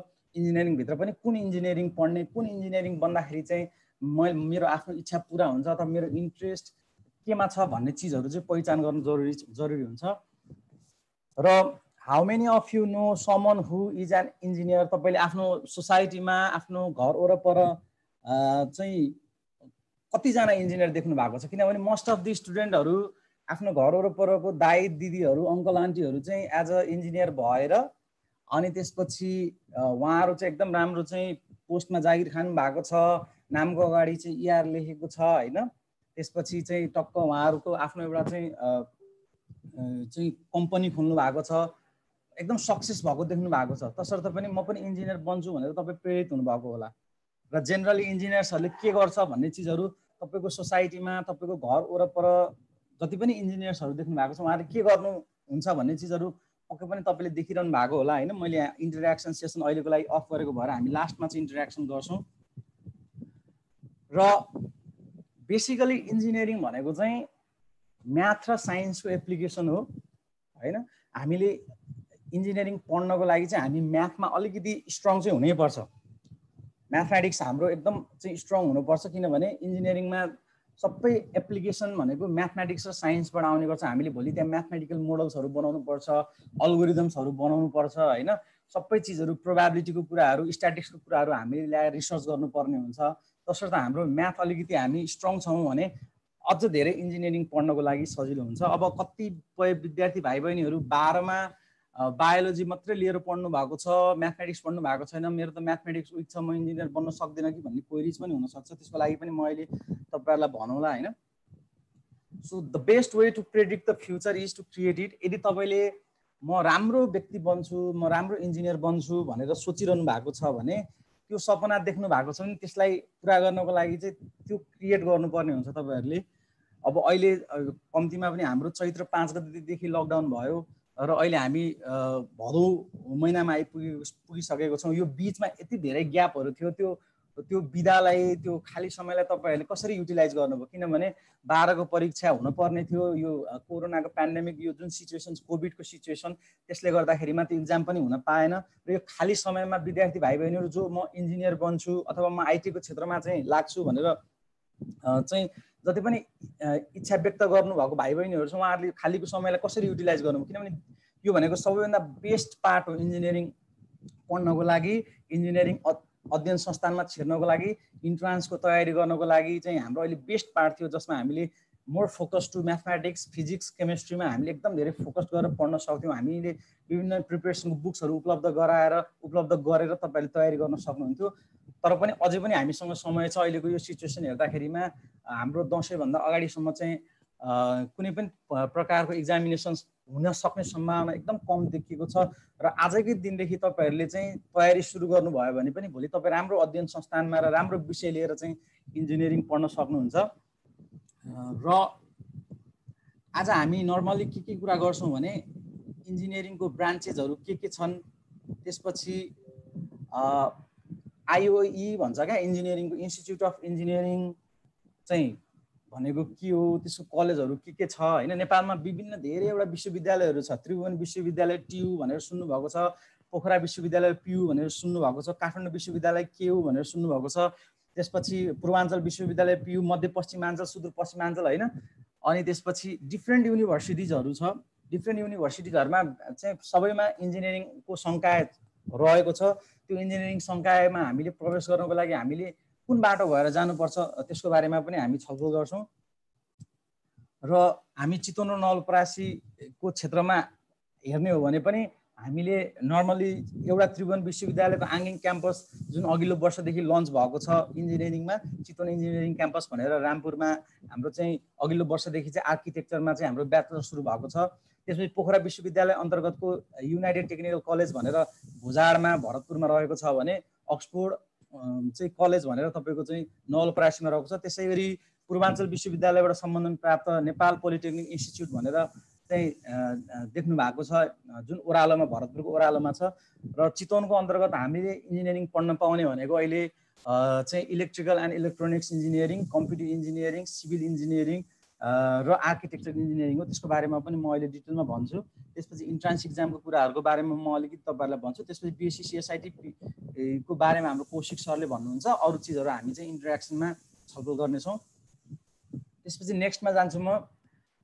इन्जिनियरिङ एज अ करियर कसै धेरैजना विद्यार्थीहरू सबैले म इन्जिनियर बन्न चाहन्छु भनेर आफ्नो करियर स्टार्ट गर्न खोज्दै हुनुहुन्छ भने त्योभन्दा पहिला सबैभन्दा पहिला तपाईँले के के चाहिँ क्वेसनर गर्नु पऱ्यो आफैले आफैलाई भने what is your goal in life तपाईँको चाहिँ गोल के हो आफ्नो लाइफमा त्यो फाइन्ड आउट गर्नु पऱ्यो र रियल सिनेरियोमा आफ्नो भित्री मनलाई सोध्नु पऱ्यो कि म इन्जिनियरिङ किन जोइन हुन खोज्दैछु? इन्जिनियरिङको पनि डिफ्रेन्ट चाहिँ पार्ट्समा जस्तै सिभिल हुनसक्छ इलेक्ट्रोनिक्स हुनसक्छ कम्प्युटर हुनसक्छ म किन त्यही विषयलाई चुज गर्दैछु? त्यो चिजलाई जस्टिफाई गर्नु पऱ्यो तपाईँले सेल्फ र यदि तपाईँले रियल इन्ट्रेस्ट आफ्नो प्यासेन्स आफ्नो प्यासन्स बोकेर चाहिँ इन्जिनियरिङ गर्न खोज्दै हुनुहुन्छ भने अभियसली तपाईँ लाइफमा चाहिँ सफल हुनु हुनुहुनेछ। र हाम्रो अहिलेको सिनियरीमा मैले चाहिँ आफ्नो एक्सपिरियन्समा यो जति पनि चाहिँ छ वर्षको अन्तरालमा चाहिँ महसुस गरेको चिजहरू जसमा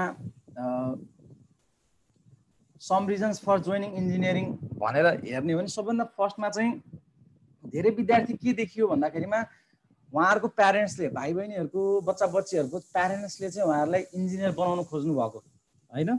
तसर्थ अब चाहिँ बच्चा बच्चीको इन्ट्रेस्ट अर्कैमा छ प्लस टू सकिसकेपछि उहाँहरू डिफ्रेन्ट फिल्डमा जान चाहिँ चाहनुहुन्थ्यो तर चाहिँ रियल सिनियरीमा के भइदियो भन्दाखेरि प्यारेन्ट्सलाई चाहिँ जसरी पनि इन्जिनियर बनाउनु थियो त्यही भएर चाहिँ मलाई त घरबाट चाहिँ प्यारेन्ट्सले इन्जिनियर बन्नै पर्छ भनेर ल्याउनु भएको भएर सर म त पढ्न आएको भन्ने खालको विद्यार्थी पनि हाम्रो चाहिँ भेटियो होइन? सो हाम्रो नेपाली समाजमा कस्तो छ? एसएलसीमा राम्रो पर्सेन्ट आयो भने साइन्स नै पढ्नु पर्ने अनि साइन्स पढिसकेपछि आइदर इन्जिनियरिङ पढ्नु पर्ने अथवा एमबिबिएस पढ्नु पर्ने त्योभन्दा अरू चिजमा हाम्रो डिबिट हुनै नपाइने अथवा भयो भने चाहिँ सोसाइटीमा ओहो साइन्स पढेर पनि अरू फिल्डमा गयो भन्ने खालको जुन हाम्रो चाहिँ चलन चल्दैछ त्यसले गर्दाखेरि पनि स्टुडेन्टमा भएको रियल इन्ट्रेस्टको आधारमा भाइ बहिनीहरूले चाहिँ पढ्न पाइरहनु भएको छैन। त्यसपछि नेक्स्टमा अरू धेरै विद्यार्थी भाइ बहिनीहरू चाहिँ के कुराले मोटिभेट भएर इन्जिनियरिङ पढ्न आउनु भएको छ भने म इन्जिनियर भएँ भने अगाडिपट्टि चाहिँ इआर भन्ने ट्याग लाग्छ होइन? इआर भन्ने ट्याग लाग्छ ओहो यही नै मेरो लागि चाहिँ सबभन्दा ठुलो सक्सेस हो। किनभने इन्जिनियर भइसकेपछि त सब नामको अगाडि इआर भन्ने ट्याग जुन लाग्छ त्यो नै चाहिँ वास्तवमा एउटा के हो त भन्दाखेरि इन्जिनियरिङको एउटा राम्रो पक्ष पनि हो। इआर लेख्दाखेरिमा चाहिँ रिनाउन्ड सोसाइटीमा चाहिँ त्यो मान्छे रिनाउन्ड हो भन्ने अथवा चाहिँ यो एउटा प्रोफेसन चिनाउने एउटा चाहिँ हाम्रो जुन ट्याग छ त्यो लगाउन पाइन्छ भनेर पनि कति भाइ बहिनीहरू चाहिँ पढ्ने गर्नुहुन्छ। त्यसपछि नो अल्टरनेटिभ कतिपय अवस्थामा चाहिँ एमबिबिएस प्रिपेरेसन गर्नुहुन्छ त्यसपछि एग्रिकल्चर प्रिपेरेसन गर्नुहुन्छ अनि त्यसपछि अन्तिममा चाहिँ एग्रिकल्चरमा अथवा चाहिँ एमबिबिएसमा अथवा अरू कुनै पनि फर्मेटको इन्ट्रान्समा नाम निस्किँदैन। अनि के गर्ने भन्दाखेरि विकल्पको रूपमा इन्जिनियरिङ चाहिँ पढ पढ्ने भाइ बहिनीहरू पनि धेरै देखिएको छ। त्यस्तो गल्ती कहिले पनि नगर्नु होला। आफ्नो इन्ट्रेस्टको आधारमा चाहिँ फिल्डहरू चुज गर्नु होला होइन? त्यसपछि अर्को भनेको इन्जिनियरिङ भनेको चाहिँ एउटा प्रेस्टिज हो एउटा लाइफ स्टाइल हो। इन्जिनियरिङ भइसकेपछि आफ्नो लेभलै फरक हुन्छ। भन्ने चाहिँ पर्सपेक्टिभबाट चाहिँ चाहिँ इन्जिनियरिङ पढ्न आउने भाइ बहिनीहरू पनि धेरै हुनुहुन्छ। त्यसपछि म एकदम ठुलो टेक्निकल कम्पनीमा जब गर्न चाहन्छु अथवा म आफ्नै एउटा छुट्टै म एन्टरप्रिनियर बन्छु म आफ्नै बिजनेस स्टार्ट गर्छु तर म चाहिँ इन्जिनियरिङ इन्जिनियरिङसँग रिलेटेड आइटी कम्पनी हुनसक्छ अथवा चाहिँ होइन कन्स्ट्रक्सन कम्पनी हुनसक्छ अथवा चाहिँ डिफ्रेन्ट सर्भिसेस रिलेटेड कम्पनीजहरू हुनसक्छ म त्यो स्टार्ट गर्छु भनेर पनि चाहिँ म आज इन्टरप्रिनियर बन्छु चाहिँ इन्जिनियरिङ रिलेटेड भनेर पनि जोइन गर्नुहुन्छ भने कोही चाहिँ यसमा पैसा छ घुम्न पाइन्छ स्ट्याटस एकदम राम्रो हुन्छ भन्ने चाहिँ तरिकाले पनि उहाँहरू चाहिँ जोइन हुनुभएको देखिएको छ भने कोही चाहिँ एकदम च्यालेन्ज एक्सेप्ट गर्ने अनि क्युरियोसिटी एक्सपाइ एक्साइटमेन्ट र सपना कसै कसैको चाहिँ सानैदेखिको सपना म चाहिँ इन्जिनियर बन्छु भन्ने सपना यो चिजहरूले गर्दाखेरि डोरा डोराएर चाहिँ हाम्रो अहिलेको सिनियरीमा नेपालमा चाहिँ धेरै भाइ बहिनीहरू इन्जिनियरिङमा चाहिँ जोइन हुनुभएको छ। र यदि हामीले इन्जिनियर बन्ने सपना देख्छौँ भने इन्जिनियरिङभित्र यति धेरै फिल्ड छ forty different types of engineering डिग्रिजहरू छ त्यो सबै नेपालमा अभाइलेबल त छैन होइन? सो हामीसँग नेपालमा के के छ त्यसको बारेमा पनि कुरा गरौँला। अब जस्तै तपाईँले सुन्नु भएको छ सिभिल इन्जिनियरिङ भनेर electronics and communication engineering mechanical engineering computer engineering electrical engineering होइन?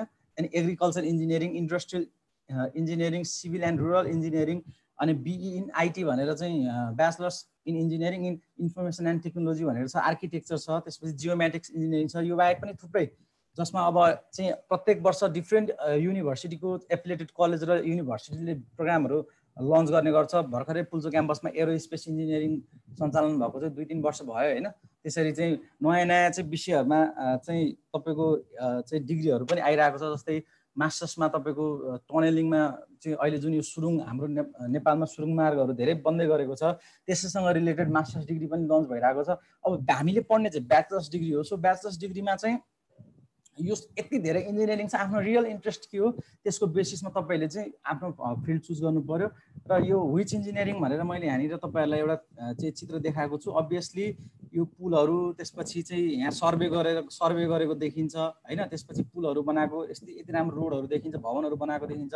अभियसली हामीले हेर्ने बित्तिकै थाहा पाइसक्यौँ यो चाहिँ सिभिल इन्जिनियरिङसँग रिलेटेड हो र सिभिल इन्जिनियरिङ पढ्दै गर्दा के कसो गर्नुपर्छ के के छ यसको चाहिँ फ्युचर स्कोप्सहरू भन्ने चिज हाम्रो नेक्स्ट सेसनमा चाहिँ तपाईँको जियोमेटिक्स त्यसपछि सिभिल इन्जिनियरिङ र आर्किटेक्चर इन्जिनियरिङको बारेमा हाम्रो इन्जिनियर दिवस महिनाले सरले तपाईँहरूलाई क्लियर बनाउनु हुनेछ सो नेक्स्टमा हाम्रो यो जति पनि चाहिँ तपाईँले देख्नु भएको छ चाहिँ इलेक्ट्रिकलसँग रिलेटेड यो चाहिँ स्टेसन सब स्टेसन्सहरू देख्नु भएको छ होइन? यो चाहिँ पावर ग्रिडहरू चाहिँ यो ट्रान्समिसन डिस्ट्रिब्युसनको कुराहरू देख्नु भएको छ। सबै रिलेटेड चिजहरू भनेको इलेक्ट्रिकलसँग रिलेटेड इलेक्ट्रिक इलेक्ट्रिकलसँग रिलेटेड चिजहरू। यदि तपाईँलाई इलेक्ट्रिकल इन्जिनियर बन्छु भन्ने इच्छा छ भने तपाईँले नेपालमा रहेर विभिन्न विश्वविद्यालयबाट सम्बन्धन प्राप्त कलेजमा अथवा युनिभर्सिटिजहरू नै छन् होइन? जसमा तपाईँले इलेक्ट्रिकल इन्जिनियरिङ पढ्न सक्नुहुन्छ र त्रिभुवन विश्वविद्यालय अन्तर्गत म चाहिँ इलेक्ट्रिकल इन्जिनियरिङ पढ्छु भन्नुभयो भने कोर्सको नाम नै इलेक्ट्रिकल इन्जिनियरिङ भनेर छ त्यसमा पढ्न पाउनुहुन्छ।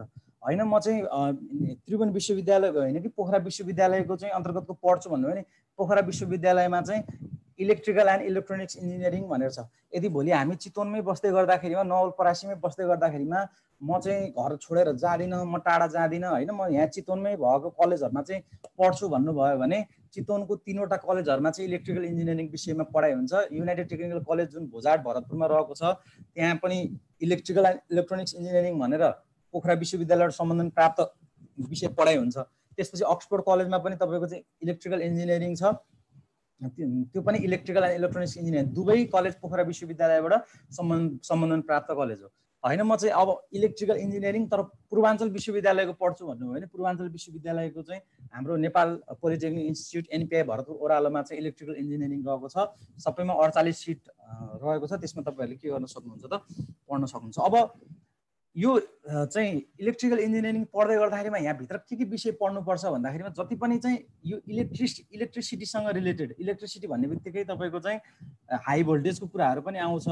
तपाईँको जुन हाम्रो नेपाल विद्युत प्राधिकरण भनेर सुन्नु भएको छ नि भोलि तपाईँ इलेक्ट्रिकल इन्जिनियरिङ बनिसके बनिसकेपछि भोलि लोकसेवा लडेर अथवा चाहिँ संस्थानको चाहिँ चाहिँ इन्ट्रान्स हुन्छ तयारी के अरे इन्ट्रान्स हुन्छ त्यसमा लडेर तपाईँहरूले चाहिँ त्यस्तो संस्थानहरूमा जागिर खान पाउनुहुन्छ जहाँ चाहिँ यही चाहिँ ट्रान्समिसन डिस्ट्रिब्युसनको कुराहरू इलेक्ट्रिकल मेन्टेनेन्सको कुराहरूदेखि लिएर इलेक्ट्रोनिक्सको पार्टहरूमा पनि चाहिँ काम गर्नुहुन्छ तपाईँले। यदि तपाईँलाई इलेक्ट्रिकलसँग इलेक्ट्रिसिटीसँग रिलेटेड कुराहरू र इलेक्ट्रोनिक्ससँग रिलेटेड कुराहरू चाहिँ मा इन्ट्रेस्ट छ भने तपाईँले इलेक्ट्रिकल इन्जिनियरिङ पढ्न सक्नुहुन्छ है। र हामीले इलेक्ट्रिकल इन्जिनियर भइसकेपछि हाम्रो टार्गेट के हो त भन्दाखेरिमा नेपालमा जस्तै कुलमान घिसिङ भनेर सुन्नु भएको छ होइन? अहिले चाहिँ हामी यति धेरै लोड सेडिङबाट ग्रसित थियौँ। अहिले हाम्रो लोड सेडिङ एकदम न्यून भइसकेको छ र नेपाल जस्तो चाहिँ विकसित भइरहेको मुलुकहरूको लागि चाहिँ यो इलेक्ट्रिसिटीको र हाइड्रो पावरको जुन फिल्ड छ यसमा जहिले पनि अपर्च्युनिटी रहेको छ।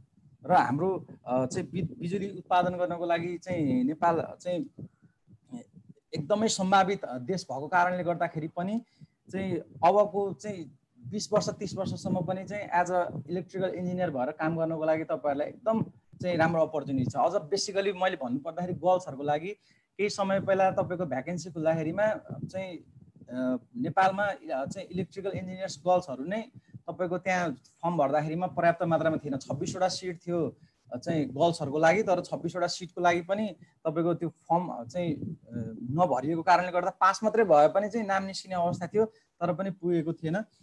भनेपछि सरकारी जागिर खानको लागि जस्तै त चौथो त पाँचौँ त छैटौँ त सातौँ तमा एकदम चाहिँ गभर्मेन्ट जबको लागि एकदम अपर्च्युनिटी छ पढ्नको लागि। त्यसपछि एनजिओ आइएनजिओजहरूमा हाइड्रो पावरहरूमा एज अ प्रोजेक्ट म्यानेजर भएर काम गर्न सक्नुहुन्छ।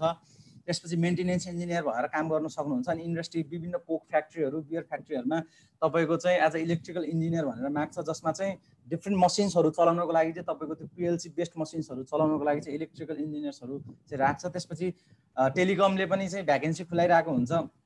दूरसञ्चार दूरसञ्चारले पनि त्यसमा पनि एज अ इलेक्ट्रिकल इन्जिनियर भनेर माग्छ। अनि अर्को प्रोफेसन तपाईँ एज अ लेक्चरर टिचर भएर चाहिँ इन्जिनियर्सहरूलाई पनि पढाउन सक्नुहुन्छ। होइन म चाहिँ ब्याचलर सक्यो। म अब चाहिँ एउटा कम्पनी खोल्छु सर्भिस रिलेटेड। त्यसमा म एउटा चाहिँ एप्लिकेसन्स बनाउँछु। त्यसपछि इलेक्ट्रिकलसँग रिलेटेड जति पनि चिजहरू छ कामहरू छ त्यो कामहरूको सर्भिसेस दिनको लागि चाहिँ म एज अ चाहिँ आफ्नो एउटा चाहिँ सेल्फ बिजनेस स्टार्ट गर्छु भनेर पनि तपाईँहरूले आफ्नो करियर स्टार्ट गर्न सक्नुहुन्छ।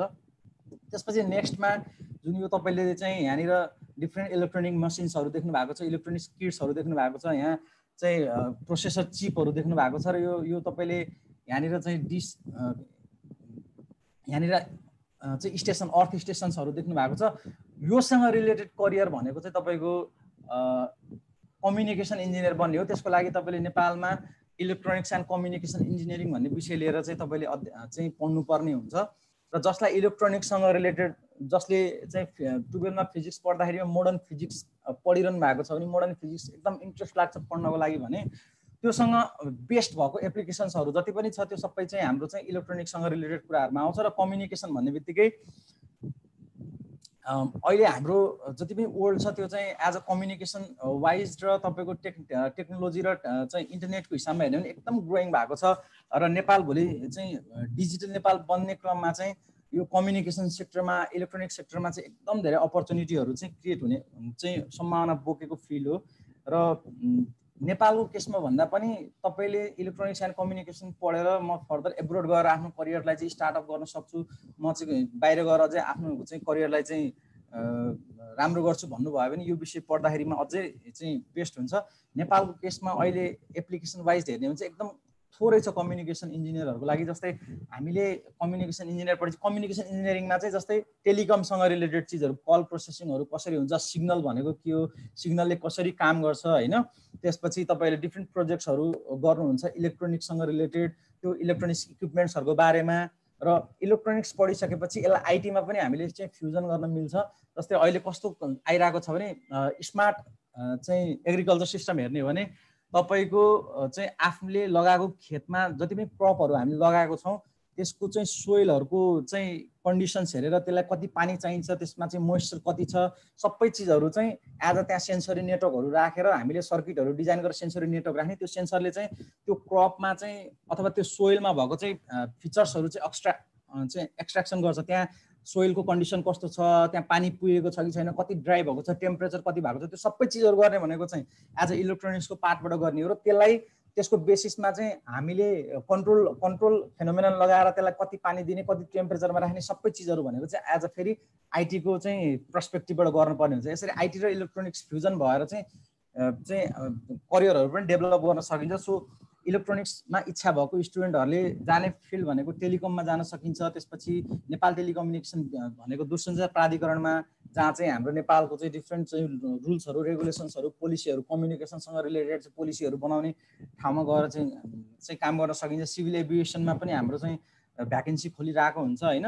अनि इलेक्ट्रोनिक्स रिलेटेड बिजनेस म आफै चाहिँ एउटा कम्पनी खोल्छु अनि इलेक्ट्रोनिक्ससँग रिलेटेड जस्तै चाहिँ केही समय पहिलासम्म जस्तै ठुलो ठुलो होटेल्सहरूमा घरहरूमा चाहिँ पानी भरियो पानी भरि के अरे मोटर चलाउनुहुन्छ तपाईँको चाहिँ मोटरबाट चाहिँ ट्याङ्कीमा पानी भरिसक्यो पानी भरिसकेपछि फर्दर तपाईँको पानी चाहिँ पोखिरहेको थियो भने अब एज अ इलेक्ट्रोनिक्स इन्जिनियर भयो भने तपाईँले यस्तो खालको चाहिँ एउटा प्रोडक्ट बनाउनुहुन्छ। त्यो प्रोडक्टले चाहिँ पानीलाई त्यो लेभललाई मे मेजरमेन्ट गरेर यदि त्यो ट्याङ्की भरिएको छ भने अटोमेटिकली तपाईँको मोटर चाहिँ के हुनु पऱ्यो त्यो अफ हुनु पऱ्यो भनेपछि त्यस्तो खालको इलेक्ट्रोनिक बिजनेसेसहरू तपाईँले आफैले प्रडक्टहरू बनाएर चाहिँ त्यो चाहिँ बेच्न सक्नुहुन्छ। जस्तै अहिले स्मार्ट होम सेक्युरिटीको कुराहरू आइरहेको छ इन्टरनेट अफ थिङ्स आइओटी चाहिँ डिभाइसहरू बनाउने कुराहरू आइरहेको छ होइन?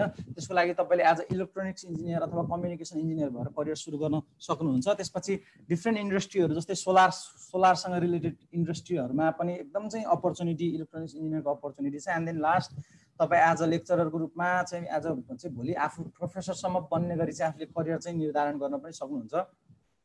अब यो चिज मैले जुन देखाएँ यो जियोमेट्रिक्स इन्जिनियरिङको यो सर्वेसँग रिलेटेड यो हाम्रो अहिले सिभिलको पाटोमा इन्जिनियर दिवस मैनाली सरले भनिहाल्नुहुन्छ। त्यसपछि अर्को एउटा चाहिँ हाम्रो चाहिँ फिल्ड छ यसमा यहाँ फर्स्ट फिगरमा तपाईँको प्रोग्रामिङ गरेको देखाइरहेको छ सेकेन्डमा वेब डिजाइनको फिगर छ थर्डमा डेटा सेन्टरमा चाहिँ राउटर स्विचहरूलाई चाहिँ म्यानेज गरेको गरेको देखाइरहेको छ भने अर्कोमा यहाँ सर्टिफाइड इथिकल ह्याकर भनेर देखाएको छ। यो these all are related to the computer engineering यो चाहिँ कम्प्युटर इन्जिनियरिङसँग रिलेटेड फिल्ड हो। र कतिपय कुराहरू हामीले आइटी पढेर पनि हामी यो चिजमा जान सक्छौँ। अहिले म तपाईँहरूलाई आइटी र कम्प्युटर इन्जिनियरिङको डिफ्रेन्सेस के छ भन्ने चिजहरू पनि भन्छु। र करि करियर स्कोप कम्प्युटर इन्जिनियरिङ यति धेरै ठुलो फिल्ड हो कि यहाँभित्र पनि तपाईँको चाहिँ डिफ्रेन्ट चाहिँ एरियामा जान सक्नुहुन्छ। होइन कम्प्युटर इन्जिनियरिङ पढ्नुभयो म नेटवर्कसँग रिलेटेड जुन तपाईँले घरमा अहिले इन्टरनेट चलाउनु भएको छ नि त्यो इन्टरनेटलाई कसरी म्यानेज गर्ने त्यो इन्टरनेट कसरी आइरहेको छ त्यो इन्टरनेटमा डेटाहरू कसरी फ्लो भइरहेको छ त्योलाई कसरी सेक्योर गर्ने? अहिले जस्तै फर इक्जाम्पल हामी चाहिँ यो जुममा चाहिँ हामीले चाहिँ यसरी चाहिँ कम्युनिकेट गरिरहेको छौँ। तर पनि यहाँ एकदम अनइन्टेन्डेड डिभाइसहरू होइन? अनइथिकल पर्सन्सहरूले चाहिँ यो स्क्रिनमा हेर्नु त यसरी जुन कोरिरहेको छ नि यो भनेको कम्प्लिटली अनइथिकल पर्सन्स हो नि त होइन? अब यस्तो पर्सन्सहरूलाई हामीले कसरी एलिमिनेट गर्ने कसरी जोगाउने होइन? यस्तो अनइथिकल पर्सन्सहरूलाई यस्तो अनइन्टेड इन्टेन्डेड पर्सन्सहरूलाई हामीले कसरी चाहिँ भोलि चाहिँ चाहिँ के अरे ट्र्याक गर्ने भन्ने चिजहरू सबै चिजहरू भनेको चाहिँ नेटवर्क रिलेटेड स्कोप्स हो र भोलि तपाईँ एज अ सर्टिफाइड इथिकल ह्याकरसम्म चाहिँ बनेर चाहिँ आफ्नो करियरलाई चाहिँ पुरा गर्न सक्नुहुन्छ। त्यो बाहेक अरू धेरै स्टुडेन्टहरूको इन्ट्रेस्ट भनेको वेब एन्ड एप्लिकेसन रिलेटेड म चाहिँ एप्लिकेसन बनाउँछु गेम बनाउँछु वेबसाइटहरू एकदम राम्रो वेबसाइटहरू डिजाइन गर्छु भन्नु नि वेबसँग वेबसँग रिलेटेड एप्लिकेसनसँग रिलेटेड करियरलाई पनि तपाईँले चाहिँ फोकस गरेर अगाडि बढ्न सक्नुहुन्छ।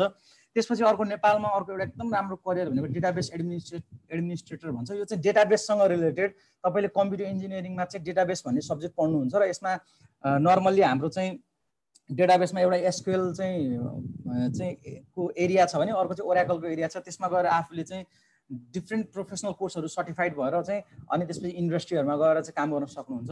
त्यसपछि अहिले नयाँ एउटा चाहिँ करियर अगाडि देखा परेको छ। Normally cyber security security audit अनि इन्टरनेट अफ थिङ्स भन्छ होइन? अबको फ्युचर चाहिँ साइबर सेक्युरिटी र इन्टरनेट अफ थिङ्सतिर गइरहेको छ भन्छ सबैजनाले। अबको बिस वर्ष अबको तिस वर्षसम्म चाहिँ हाम्रो जुन नेटवर्क छ त्यसलाई कसरी सेक्युर बनाउने र भोलि नेपाल यदि चाहिँ डेभलप हुँदै गएर कम्प्लिटली डिजिटल नेपाल बन्दै गर्छ भने हाम्रो भोलि पान पसलले पनि सेक्युरिटी अडिट गर्नुपर्छ। उसको चाहिँ पसलमा चाहिँ एज अ आइटीको पर्सपेक्टिभबाट चाहिँ त्यो कम्पनी अथवा त्यो पसल चाहिँ कतिको सेक्योर छ भनेर चाहिँ प्रत्येक वर्ष अडिट गर्नुपर्ने हुन्छ। त्यो करियरलाई पनि अगाडि लिएर बढ्न सकिन्छ। अनि डिफ्रेन्ट प्रोजेक्ट प्रोजेक्टहरू एनजिओ आइएनजिओजहरूमा काम गर्न सक्नुहुन्छ तपाईँहरूले।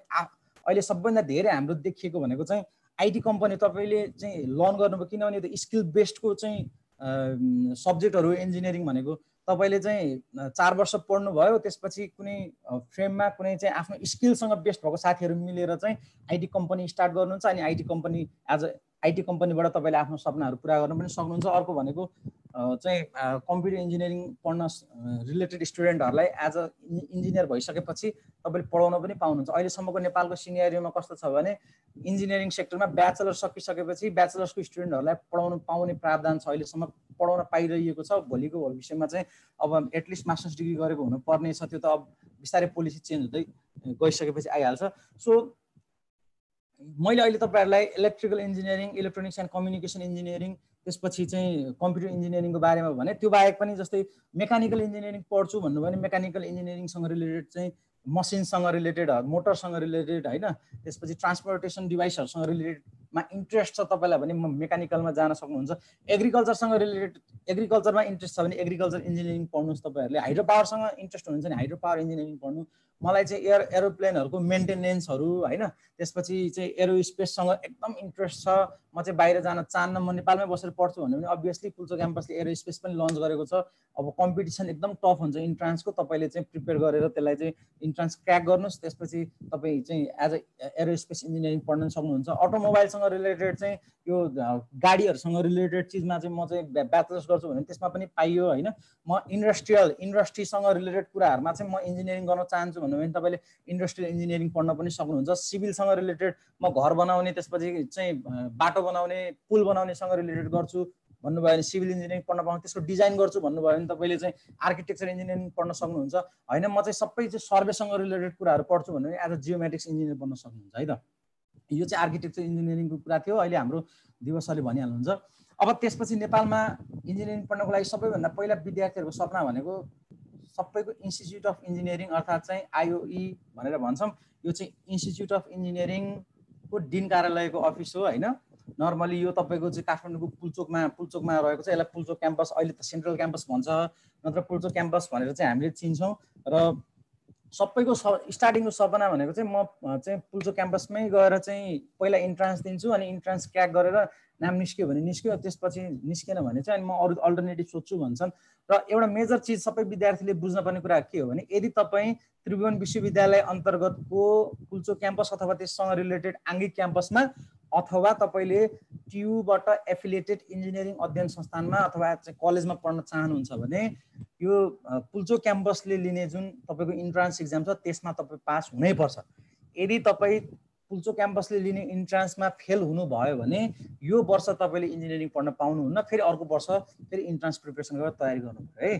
तसर्थ फेरि पनि बुझ्नु जुनैसुकै तपाईँ काठमाडौँमा भएको अथवा चाहिँ चितवनको यो जुन चितवन इन्जिनियरिङ क्याम्पस जुनैसुकै त्रिभुवन विश्वविद्यालय अन्तर्गतका इन्जिनियरिङ क्याम्पसमा तपाईँलाई पढ्न इच्छा छ इन्जिनियरिङ भने तपाईँले यो पुल्चो क्याम्पसले इनिसिएट गरेको लिएको चाहिँ तपाईँको यो परीक्षामा चाहिँ इन्ट्रान्स इक्जामिनेसन परीक्षामा तपाईँ पास हुनैपर्छ पास भएपछि मात्रै पढ्न पाइन्छ। र त्रिभुवन विश्वविद्यालयको हकमा तपाईँले चाहिँ एघार बाह्रमा कम्प्लिटली म्याथ पढेकै हुनुपर्छ भन्ने छ भने पोखरा विश्वविद्यालयको हकमा तपाईँले बाह्र कक्षामा गएर यदि म्याथमेटिक्स लिनु भएको छैन प्योर बायो मात्रै लिएर पढ्नु भएको छ भने पनि तपाईँले चाहिँ इन्जिनियरिङ पढ्न पाउनुहुन्छ। है त? यो पुल्चो क्याम्पस भयो। हामीले सबैभन्दा पहिला सबै विद्यार्थीलाई चाहिँ अनुरोध हो तपाईँहरू चाहिँ अहिले खाली समय हुनुहुन्छ इन्ट्रान्स मजाले प्रिपेयर गरेर सबभन्दा पहिला पुल्चो क्याम्पसमै नाम निकाल्नको लागि कोसिस गर्नुहोस् होइन? हामी सबैको नेपालमा बसिसकेपछि हाम्रो स्टुडेन्टहरूको चाहिँ इन्ट्रेस्ट भनेको पुल्चो क्याम्पस हुन्छ। त्यो बाहेक अर्को हाम्रो चाहिँ काठमाडौँ युनिभर्सिटी चाहिँ केयु चाहिँ पनि छ। त्यसको आफ्नै चाहिँ इन्ट्रान्स फर्मेटहरूदेखि लिएर चाहिँ त्यसको युनिभर्सिटीमा मात्रै चाहिँ इन्जिनियरिङ पढायो भने अरू त्यसको एफिलिएटेड कलेजहरू एन्ड क्याम्पसहरू छैन इन्जिनियरिङसँग सम्बन्धित। तसर्थ त्यसको लागि बुझ्नु पऱ्यो भने तपाईँ त्यसैको साइटमा गएर चाहिँ एकचोटि हेर्नु होला होइन? त्यो काठमाडौँ युनिभर्सिटीले पनि लगभग पुल्चो क्याम्पसले लिने भन्दा केही समय अगाडि चाहिँ अलि अगाडि उसले आफ्नो इन्ट्रान्स इक्जाम लिन्छ। त्यसपछि जस्तै पुल्चो क्याम्पसमा हामीले चाहिँ इन्ट्रान्स दियौँ। अब अब त्रिभुवन विश्वविद्यालय अन्तर्गतको कुनै पनि कलेजमा पढ्न फेरि हामीले इन्ट्रान्स दिन पर्दैन। त्यसपछि यसका आङ्गिक क्याम्पसहरू किन आगे आङ्गिक क्याम्पस हामीले फोकस गर्ने सबभन्दा पहिला भने अरू प्राइभेट संस्थानभन्दा आङ्गिक क्याम्पसहरूमा फी स्ट्रक्चर सस्तो हुन्छ। जस्तै पुल्चो क्याम्पसमा र प्राइभेट संस्थानमा पढ्दाखेरिमा त्यसको फी स्ट्रक्चर चाहिँ हाम्रो के हुन्छ त भन्दाखेरिमा अलिकति फरक हुन्छ। तपाईँको चाहिँ फी स्ट्रक्चरमा प्लस स्कलरसिपहरू पनि हाम्रो चाहिँ प्रोभाइड गरेको हुन्छ। प्रत्येक चाहिँ सरकारी चाहिँ हाम्रो यो आङ्गी आङ्गी क्याम्पसहरूले अब पुल्चो क्याम्पसमा चाहिँ हाम्रो निस्किएन नाम भने हामीले कहाँ कोसिस गर्न सक्छौँ भने हामीले ल्याएको मार्क्सको आधारमा पास त हुनै पऱ्यो त्यो पास भइसकेपछि हामीले पोखरामा चाहिँ western regional campus Paschimanchal engineering अध्ययन संस्थान भनेर भनेर छ। त्यहाँ विभिन्न ब्याचलरको विषयमा र अनि मास्टर्सको विषयमा पढाइ हुन्छ होइन।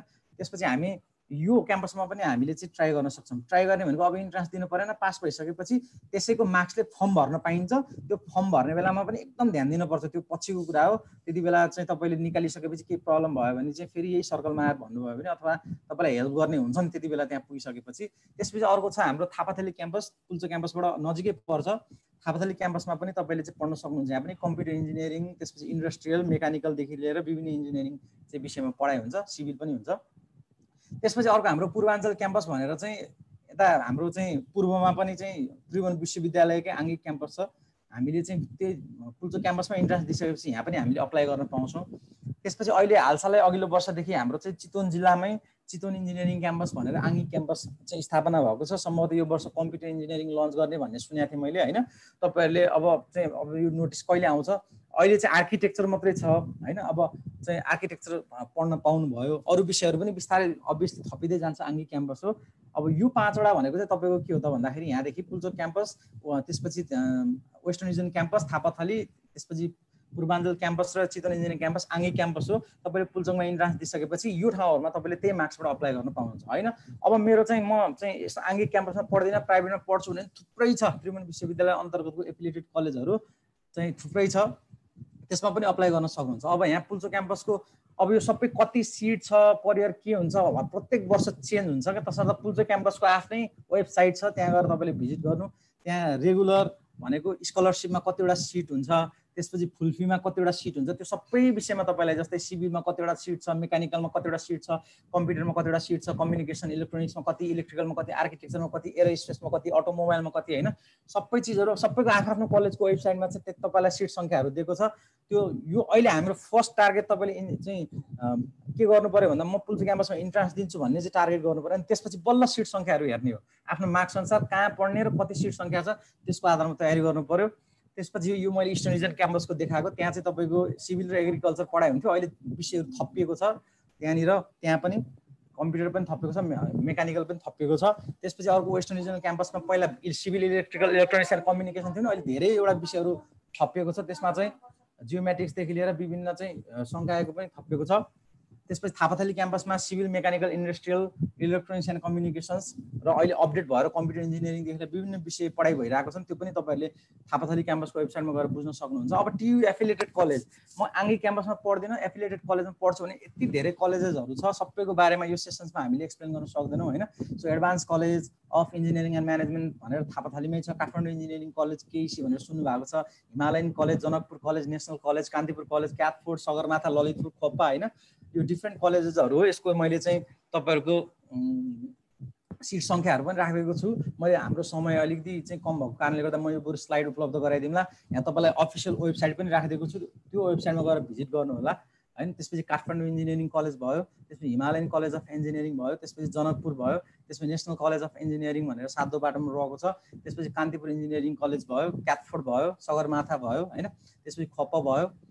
र चाहिँ इन्स्टिच्युट अफ इन्जिनियरिङले चाहिँ धेरैवटा civil electronics electrical computer mechanical architecture geomatics industrial agriculture aerospace यो धेरैवटा विषयहरूको चाहिँ के गरेको छ भन्दाखेरिमा चाहिँ विषयमा पढाइ भएको छ र हरेक वर्ष चाहिँ एफिलिएसन्सहरू दिइरहेको हुन्छ चाहिँ आइओले तसर्थ त्यो चेन्ज भइरहेको हुन्छ। आफ्नो इन्ट्रेस्ट अनुसार कलेजहरू चाहिँ विद्यार्थीले खोज्नु पऱ्यो र समस्या भयो भने हामी अहिले चाहिँ कन्ट्याक्ट चाहिँ नम्बर्सहरू दिइहाल्छौँ। तपाईँलाई भोलि पासआउट भइसकेपछि प्लस टू सकिसकेपछि के गर्ने कहाँ जाने कसरी चाहिँ हामीले चाहिँ पढ्ने भन्ने विषयमा पनि हामी तपाईँलाई गाइड गरिहाल्छौँ।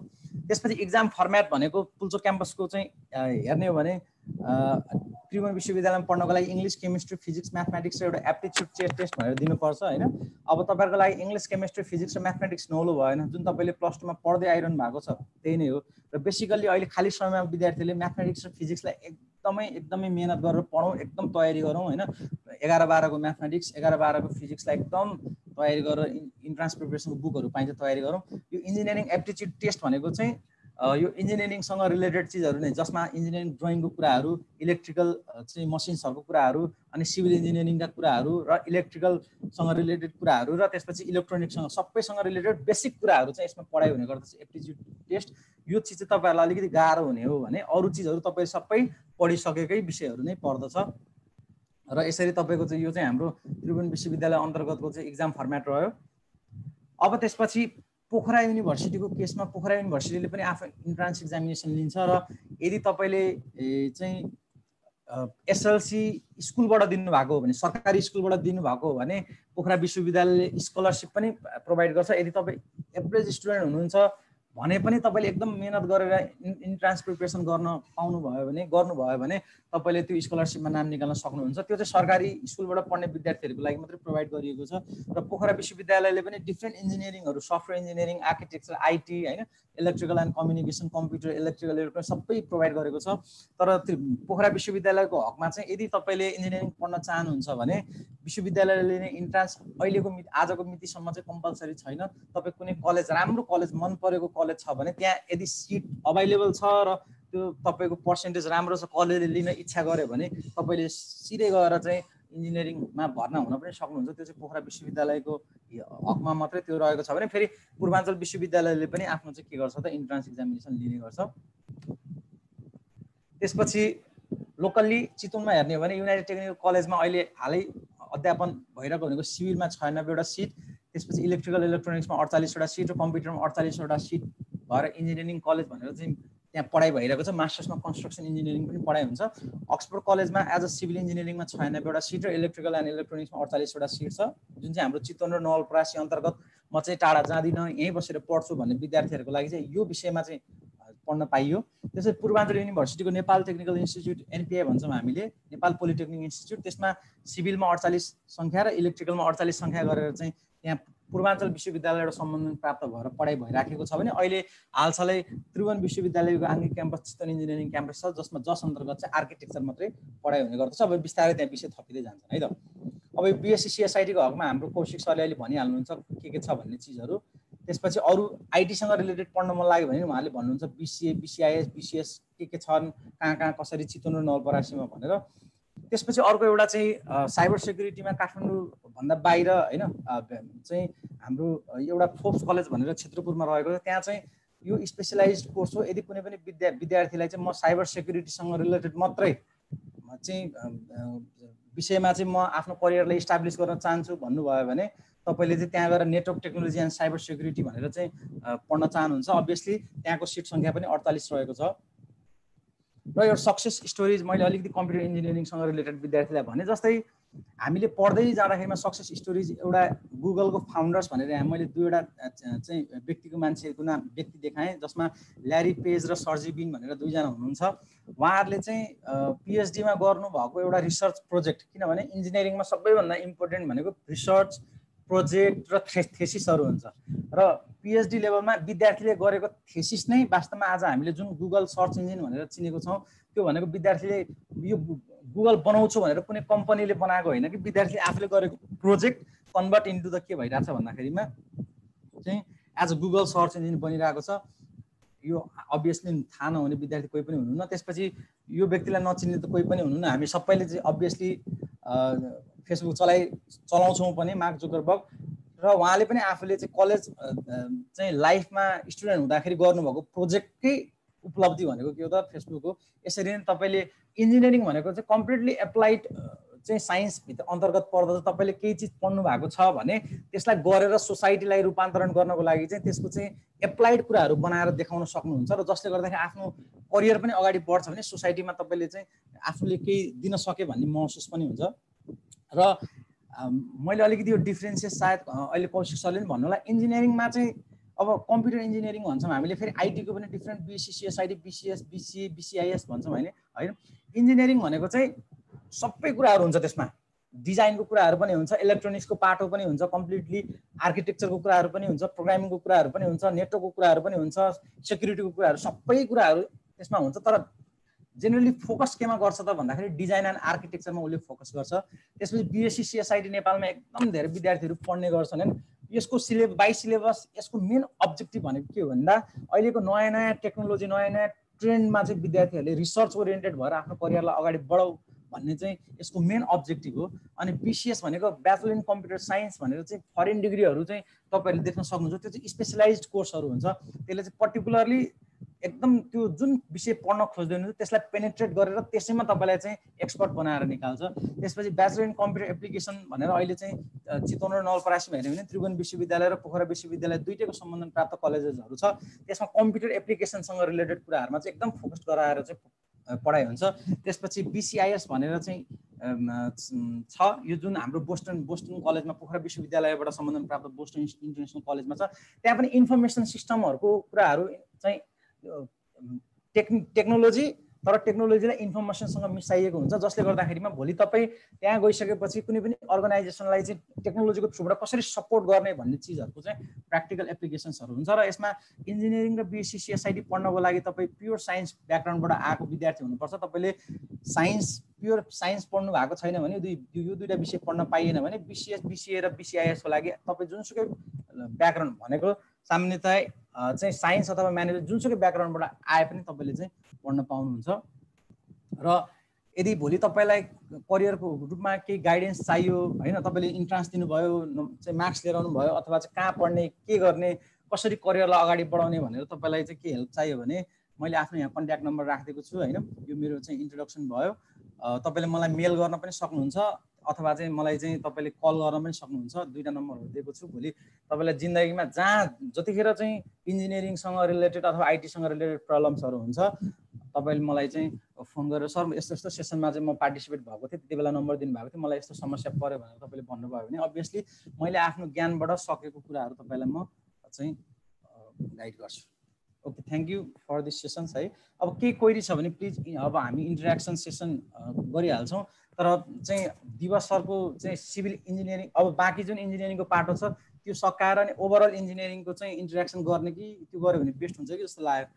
के छ समीर सर र सृजना म्याम कसरी जाने अब अगाडि?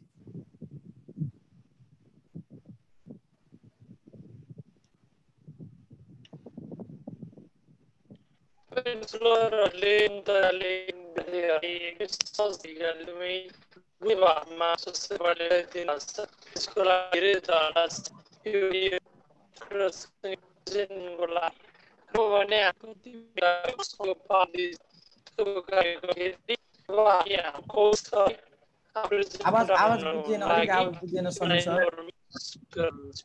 मिस हजुरले क्याचअप गर्नु सृजना मिस अब दिवस सरको सेसन पनि गरेर अनि त्यसपछि ओभरअलमा इन्जिनियरिङको चाहिँ इन्ट्रेक्सन गरौँ है त्यो भयो भने इफेक्टिभ हुन्छ जस्तो लाग्यो कि?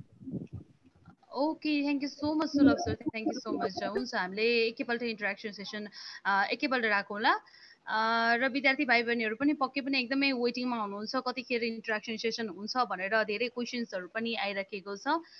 र जुन हाम्रो आइटी रिलेटेड त्यस्तै गरी इन्जिनियरिङ फिल्डको रिलेटेड ओभरअल कभरेज जुन गर्नुभएको छ सुलभ सरलाई उहाँलाई धेरै धेरै धन्यवाद दिन चाहन्छौँ हामी सबैजना। र विद्यार्थी भाइ बहिनीहरूको तर्फबाट पनि म आफैले धन्यवाद दिन चाहन्छु।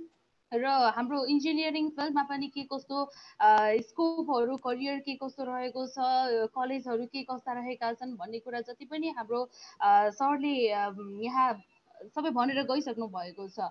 अब भने हामी फेरि पनि कार्यक्रमलाई अगाडि नै बढाइन बढाउ बढाउँदैछौँ र हाम्रो चाहिँ नेक्स्ट सेसन रहेको छ।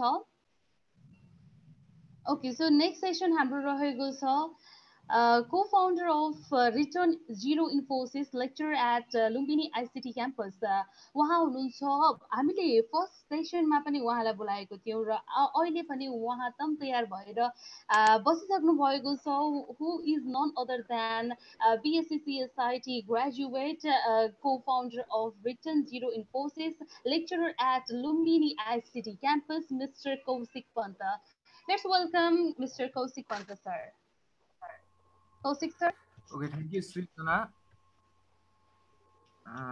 अघि पनि मैले चाहिँ स्टार्ट गरेको थिएँ अलिकति इन्टरनेटको प्रब्लमले चाहिँ अलिकति गाह्रो गर्यो सो मैले चाहिँ त्यसैलाई कन्टिन्यू कन्टिन्यू गर्न चाहेँ अहिलेको लागि मेरो पाटोमा चाहिँ आइटी परेको छ सो आइटी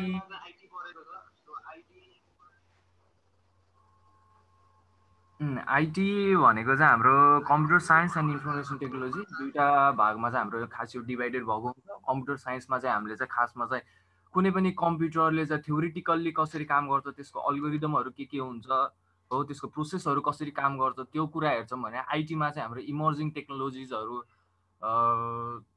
को बारेमा चाहिँ हामीले चाहिँ हेरिन्छ। हो सो हामी चाहिँ आइटी नै किन त आइटी किन त भन्दाखेरि अबको चाहिँ फ्युचर के हो त भन्दाखेरि आइटी मान्छे कस्तो भइसक्यो त भन्दाखेरि मान्छे अब अल्छी भइसक्यो कि।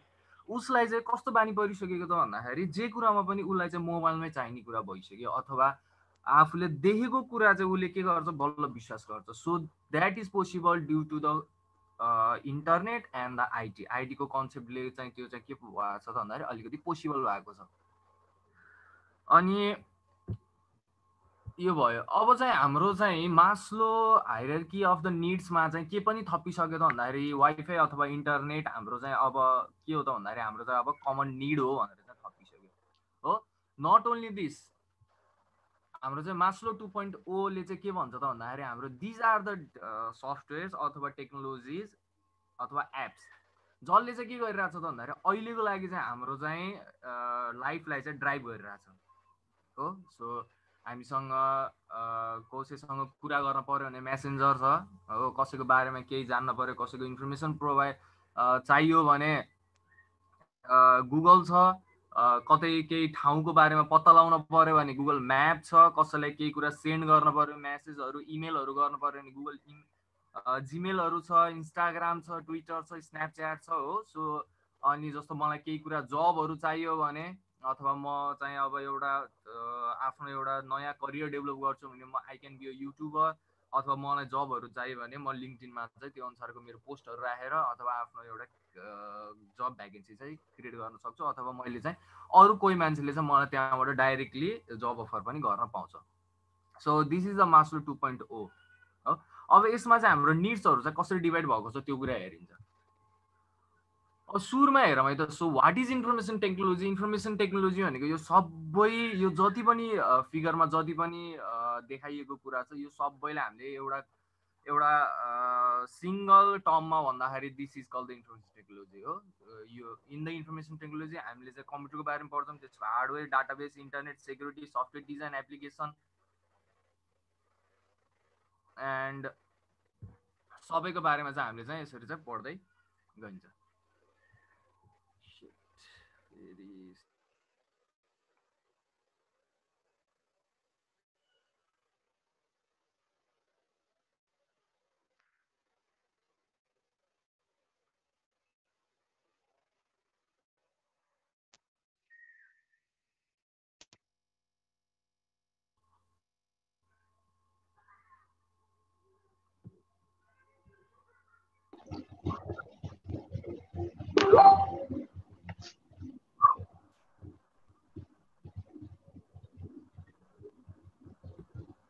Hello. Kaushik sir. Hazur. Uh, is everything okay? Your screen very blank boy. Uh, okay. Now, viewers are So can we move to viewers sir now? Question for sir. Okay, okay. Okay.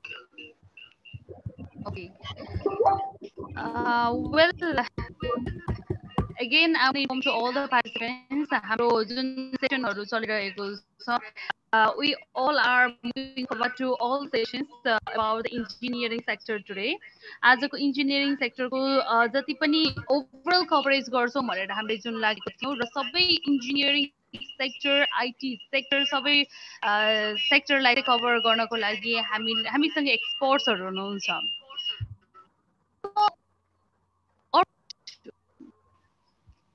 हाम्रो अर्को सेसनमा आफ्नो valuable वर्ड्सहरू राख्न आफ्नो career यो engineering सेक्टरको field कस्तो छ specially civil इन्जिनियरिङदेखि लिएर overall इन्जिनियरिङको नेपालमा करियर स्कोप के कस्तो रहेको छ भन्ने बारेमा जानकारी दिनुहुनको लागि म Ruma Florman Sahanju, the Vice Principal of Forbes College, the lecturer at Civil Department at United Technical College, MBA and BE Civil Engineering, Engineer Divas Mainali. Divas sir, I would like to hand over this mic to you.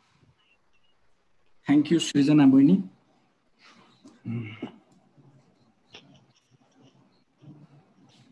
You हामी फिजिसिस्टहरूलाई चाहिँ अथवा physics पढेको भाइ बहिनीहरूलाई सोध्यौँ भने सबैभन्दा छिटो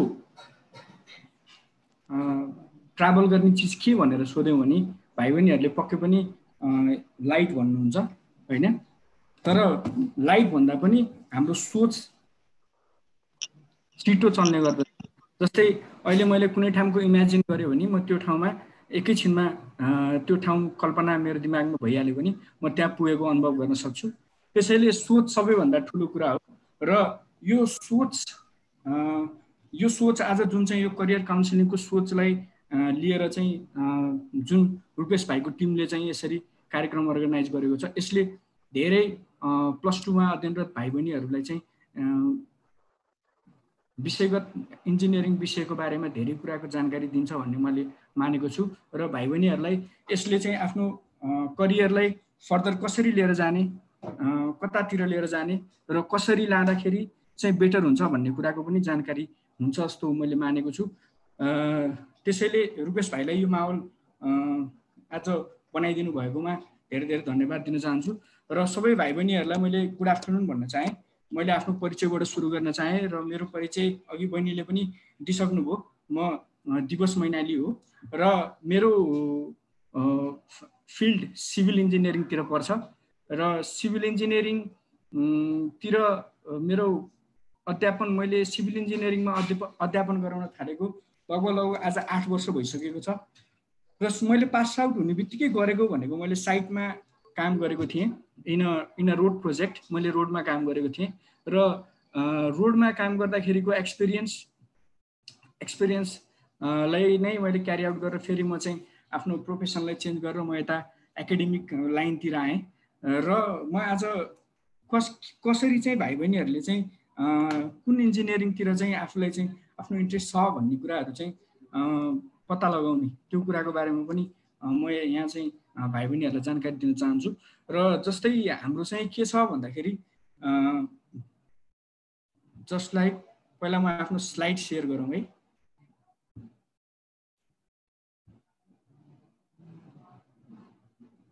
स्लाइड देखिया छ मेरो?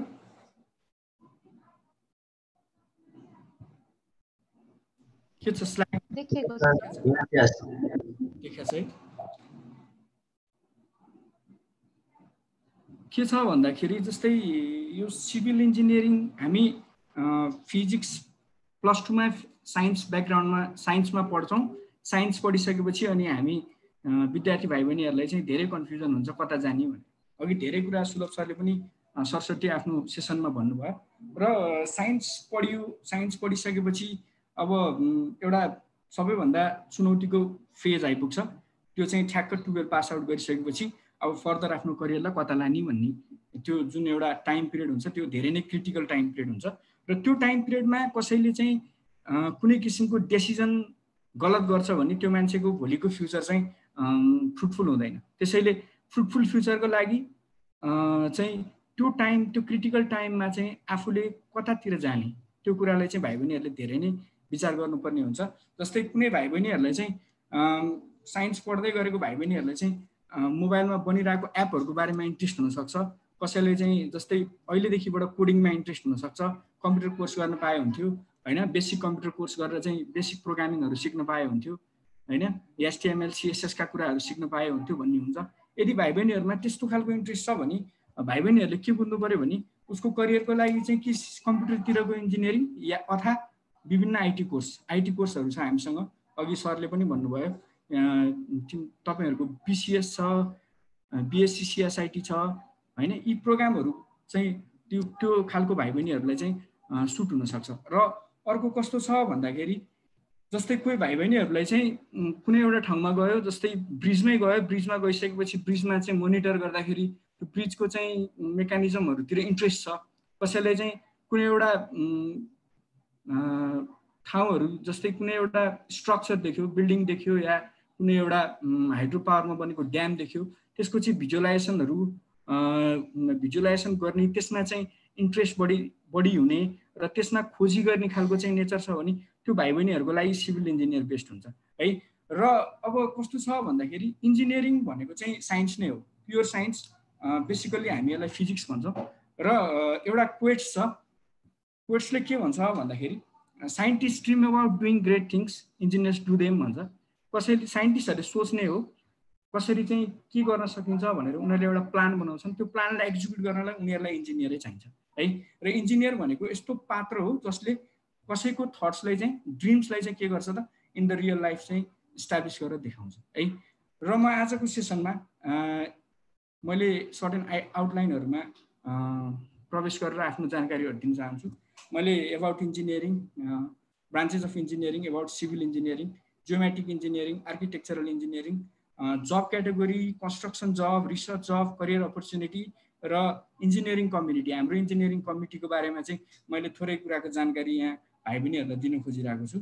जस्तै अब इन्जिनियरिङ भने के भन्ने कुरा अघि सरस्वती सरले पनि भन्नुभयो। नर्मली यो चाहिँ combination of art and science हो है साइन्स हो with material and power of nature होइन नेचरको नेचरको पावर र मेटेरियललाई चाहिँ युज गरेर त्यसलाई म्यानकाइन्डलाई युजफुल हुने गरी हामी चाहिँ कुनै चिज बनाउँछौँ भने द्याट इज इन्जिनियरिङ है combination of art and science भन्छ है र normally engineering is a lifestyle है यो हाम्रो चाहिँ लाइफ स्टाइल हो। हाम्रो युजल लाइफमा हामीले जे गरिरहेको छौँ द्याट इज इन्जिनियरिङ होइन? हामी चाहिँ इभन सेल्टरको कुरा हामी घरमा बस्छौँ त्यो घर भवन पनि आफै इन्जिनियरिङ हो त्यहाँ युज हुने सानो सानो पार्टहरू सबै इन्जिनियरिङ हो। जस्तै हामी ढोका खोल्छौँ that is also there is also some engineering है? सबै चिजमा इन्जिनियरिङ छ त्यसैले engineering is a life style भन्न रुचाउँछु म। र के छ भन्दाखेरि जस्तै इन्जिनियरिङको ब्रान्चेसहरूको बारेमा अघि सरले पनि धेरै कुराहरू भन्नुभयो। जस्तै civil engineering architectural engineering geomatics engineering aerospace aeronautical chemical electrical mechanical computer अरू विभिन्न किसिमका इन्जिनियरहरू इन्जिनियरिङहरू छन् र तीमध्येमा आज चाहिँ बेसिकली फोकस सिभिल आर्किटेक्ट र जियोमेटिकमा गर्छु र सिभिल इन्जिनियरिङ भनेको चाहिँ जस्तै this is one of the oldest firm of engineering है। इन्जिनियरिङको सुरुवातै सिभिल इन्जिनियरिङबाट भएको हो है। अघि इन्ट्रेस्टिङ कुरा छोटो सेसनमा भए पनि हाम्रो कौशिक सरले भन्नुभएको थियो मास्लो हायर्कीको कुरा गर्नुभएको थियो। मास्लो हायर्कीमा वान पोइन्ट जेरो र two point zero two point zero was quite interesting for me because मैले अहिलेसम्म सुनेको थिइनँ र it was quite interesting to see that है? र अर्को कुरा के छ भन्दाखेरि जस्तै वान पोइन्ट जिरो मा मास्लोको रियल हार्कीमा के छ भने फर्स्ट लेभलमा चाहिँ मान्छेको बेसिक निड पर्छ। बेसिक निड भनेको घाँस बाँस र कबास पर्छ र त्यहाँ बाँस भन्ने चिज छ। त्यो बाँस भन्ने चिज चाहिँ इन्जिनियरिङको सुरुवात हो कि? बाँस भनेकै इन्जिनियरिङको सुरुवात हो।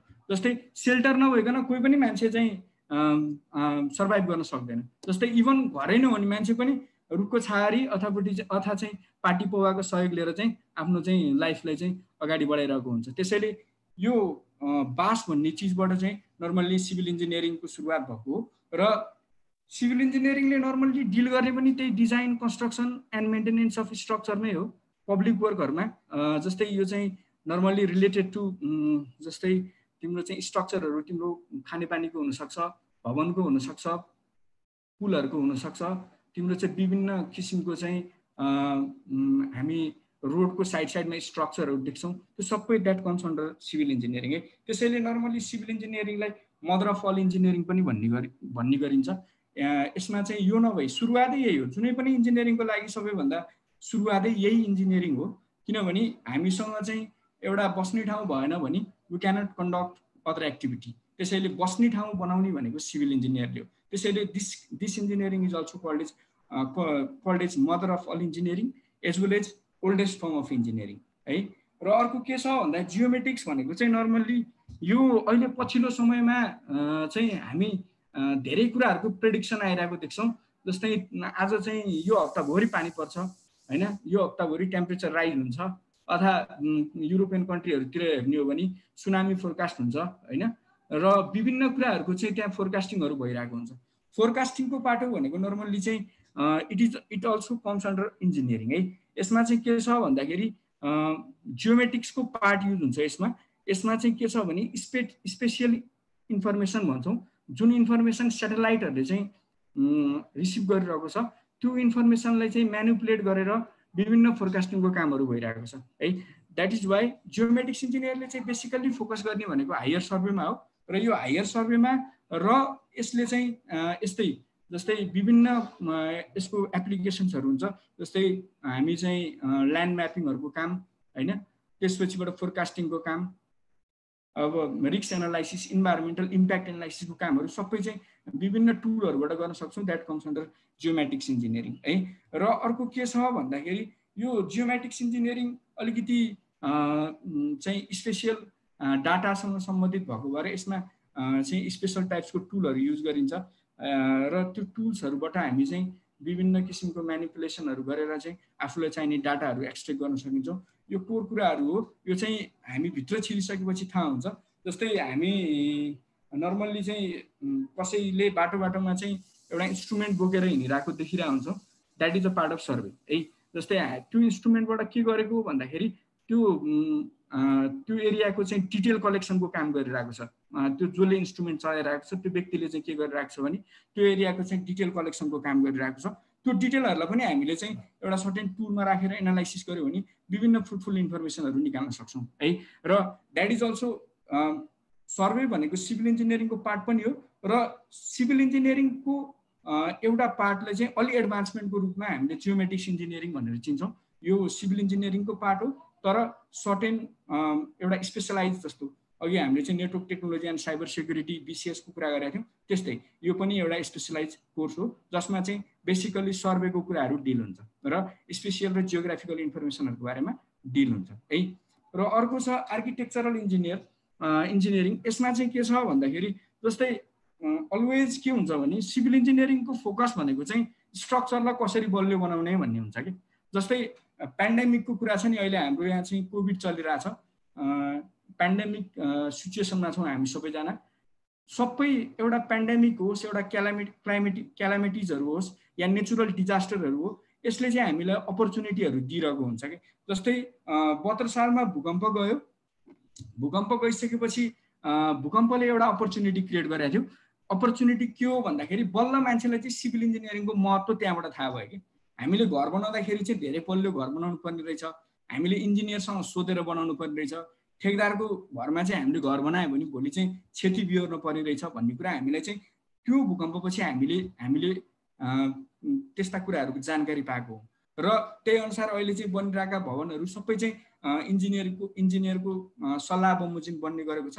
त्यसैले चाहिँ अब अहिले बन्ने घरहरू धेरै जसो चाहिँ सर्टेन लेभलको अर्थक्वेकले चाहिँ रेसिस्ट गर्न सक्छ। है त्यस्तै के छ भन्दाखेरि अब यो कोभिडको बेलामा अहिले यो पेन्डेमिकको बेलामा धेरैले चाहिँ टेक अवे सर्भिस सुरु गरे। रेस्टुरेन्टमा तिमी अर्डर गर तिम्रो चाहिँ अर्डर घरमा आइपुग्छ।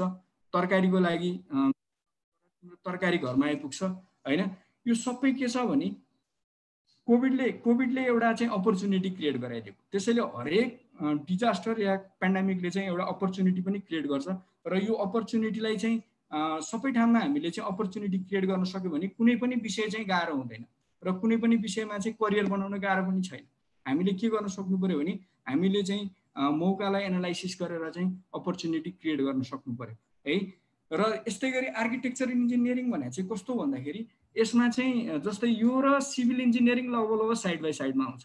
है जस्तै डिजाइनमा फोकस्ड आर्किटेक्ट इन्जिनियरहरू हुन्छ र सिभिल इन्जिनियरिङ भनेको स्ट्रक्चरमा फोकस हुन्छ। कसरी चाहिँ बनेको संरचनाहरू बलियो बनाउने भन्ने कुरामा फोकस सिभिल इन्जिनियर हुन्छ र आर्किटेक्ट भनेको चाहिँ कस्तो भन्दाखेरि देख्दा राम्रो हुनु पऱ्यो बलियो मात्र भएर भएन हामीले देख्दाखेरि चाहिँ आई प्लिजिङ हुनु पऱ्यो त्यो खालको सोचाइ चाहिँ कसको हुन्छ त? आर्किटेक्ट इन्जिनियरको हुन्छ। है र त्यसैले के भन्ने गरिन्छ भन्दाखेरि architect engineer and civil engineers come side by side डिजाइनरले गर्छ त्यो डिजाइनको आधारमा हामी त्यसलाई चाहिँ स्ट्रक्चरल एनालाइसिस गर्छौँ र त्यसबाट चाहिँ हामी चाहिँ हाम्रो स्ट्रक्चरलाई देख्दा पनि राम्रो र बलियो पनि बनाउन प्रयत्न गर्छौँ। है यो कुरा चाहिँ आर्किटेक्ट इन्जिनियरिङको भयो र जस्तै अब सिभिल इन्जिनियरिङमा बेसिकली अलिक बढी सिभिल इन्जिनियरिङतिर बढी फोकस गर्छु र सिभिल इन्जिनियरिङमा जब्सहरू ब्रोडली दुईवटा क्याटेगोरीमा चाहिँ डिभाइड गरेको हुन्छ। एउटा कन्स्ट्रक्सन अनि एउटा डिजाइन एन्ड रिसर्च भन्छ कन्स्ट्रक्सन एकदमै धेरै देख्छौँ हामी होइन? बाटो बाटोमा रोड बनेको देख्छौँ भवनहरू बनेको देख्छौँ पुलहरू बनेको देख्छौँ द्याट कम्स अन्डर कन्स्ट्रक्सन तर के छ डिजाइन एन्ड रिसर्चको पाटोमा हाम्रो देशमा खासै कामै भएको छैन भन्दा नि भयो हाम्रो देशमा रिसर्च भन्ने नै अहिलेसम्म स्टार्ट भएको छैन। We are very backward in terms of design in terms of research बरु डिजाइन डिजाइन हाम्रोमा चाहिँ भइरहेको छ तर रिसर्चहरूमा हामी धेरै नै पछाडि छौँ है? र डिजाइन एन्ड रिसर्च भनेको जबको केसमा हाइपेड हाइपेड जबमा पर्छ है? र कन्स्ट्रक्सनमा नि पे त हुन्छ तर डिजाइन एन्ड रिसर्चमा अझै बेसी बढी बढी पे हुन्छ है? र अर्को कन्स्ट्रक्सन जबमा नर्मल्ली दुई किसिमको हुन्छ। एउटा सुपरभिजन मेन्टेनेन्स होइन खालको साइट इन्जिनियरिङको काम हुन्छ होइन? अर्को एउटा हुन्छ अफिस बेस्ड वर्क हुन्छ त्यो चाहिँ डिजाइन एनालाइसिस इन्जिनियर भन्छ। मोस्टली तिनीहरूले चाहिँ के गर्छ क्याट स्याप स्टार्ट प्रोहरू युज गरेर चाहिँ स्ट्रक्चर डिजाइन गर्नेदेखि लिएर तिनीहरूको चाहिँ स्ट्रेन्थलाई एनालाइसिस गर्ने काम गरिरहेको हुन्छ है?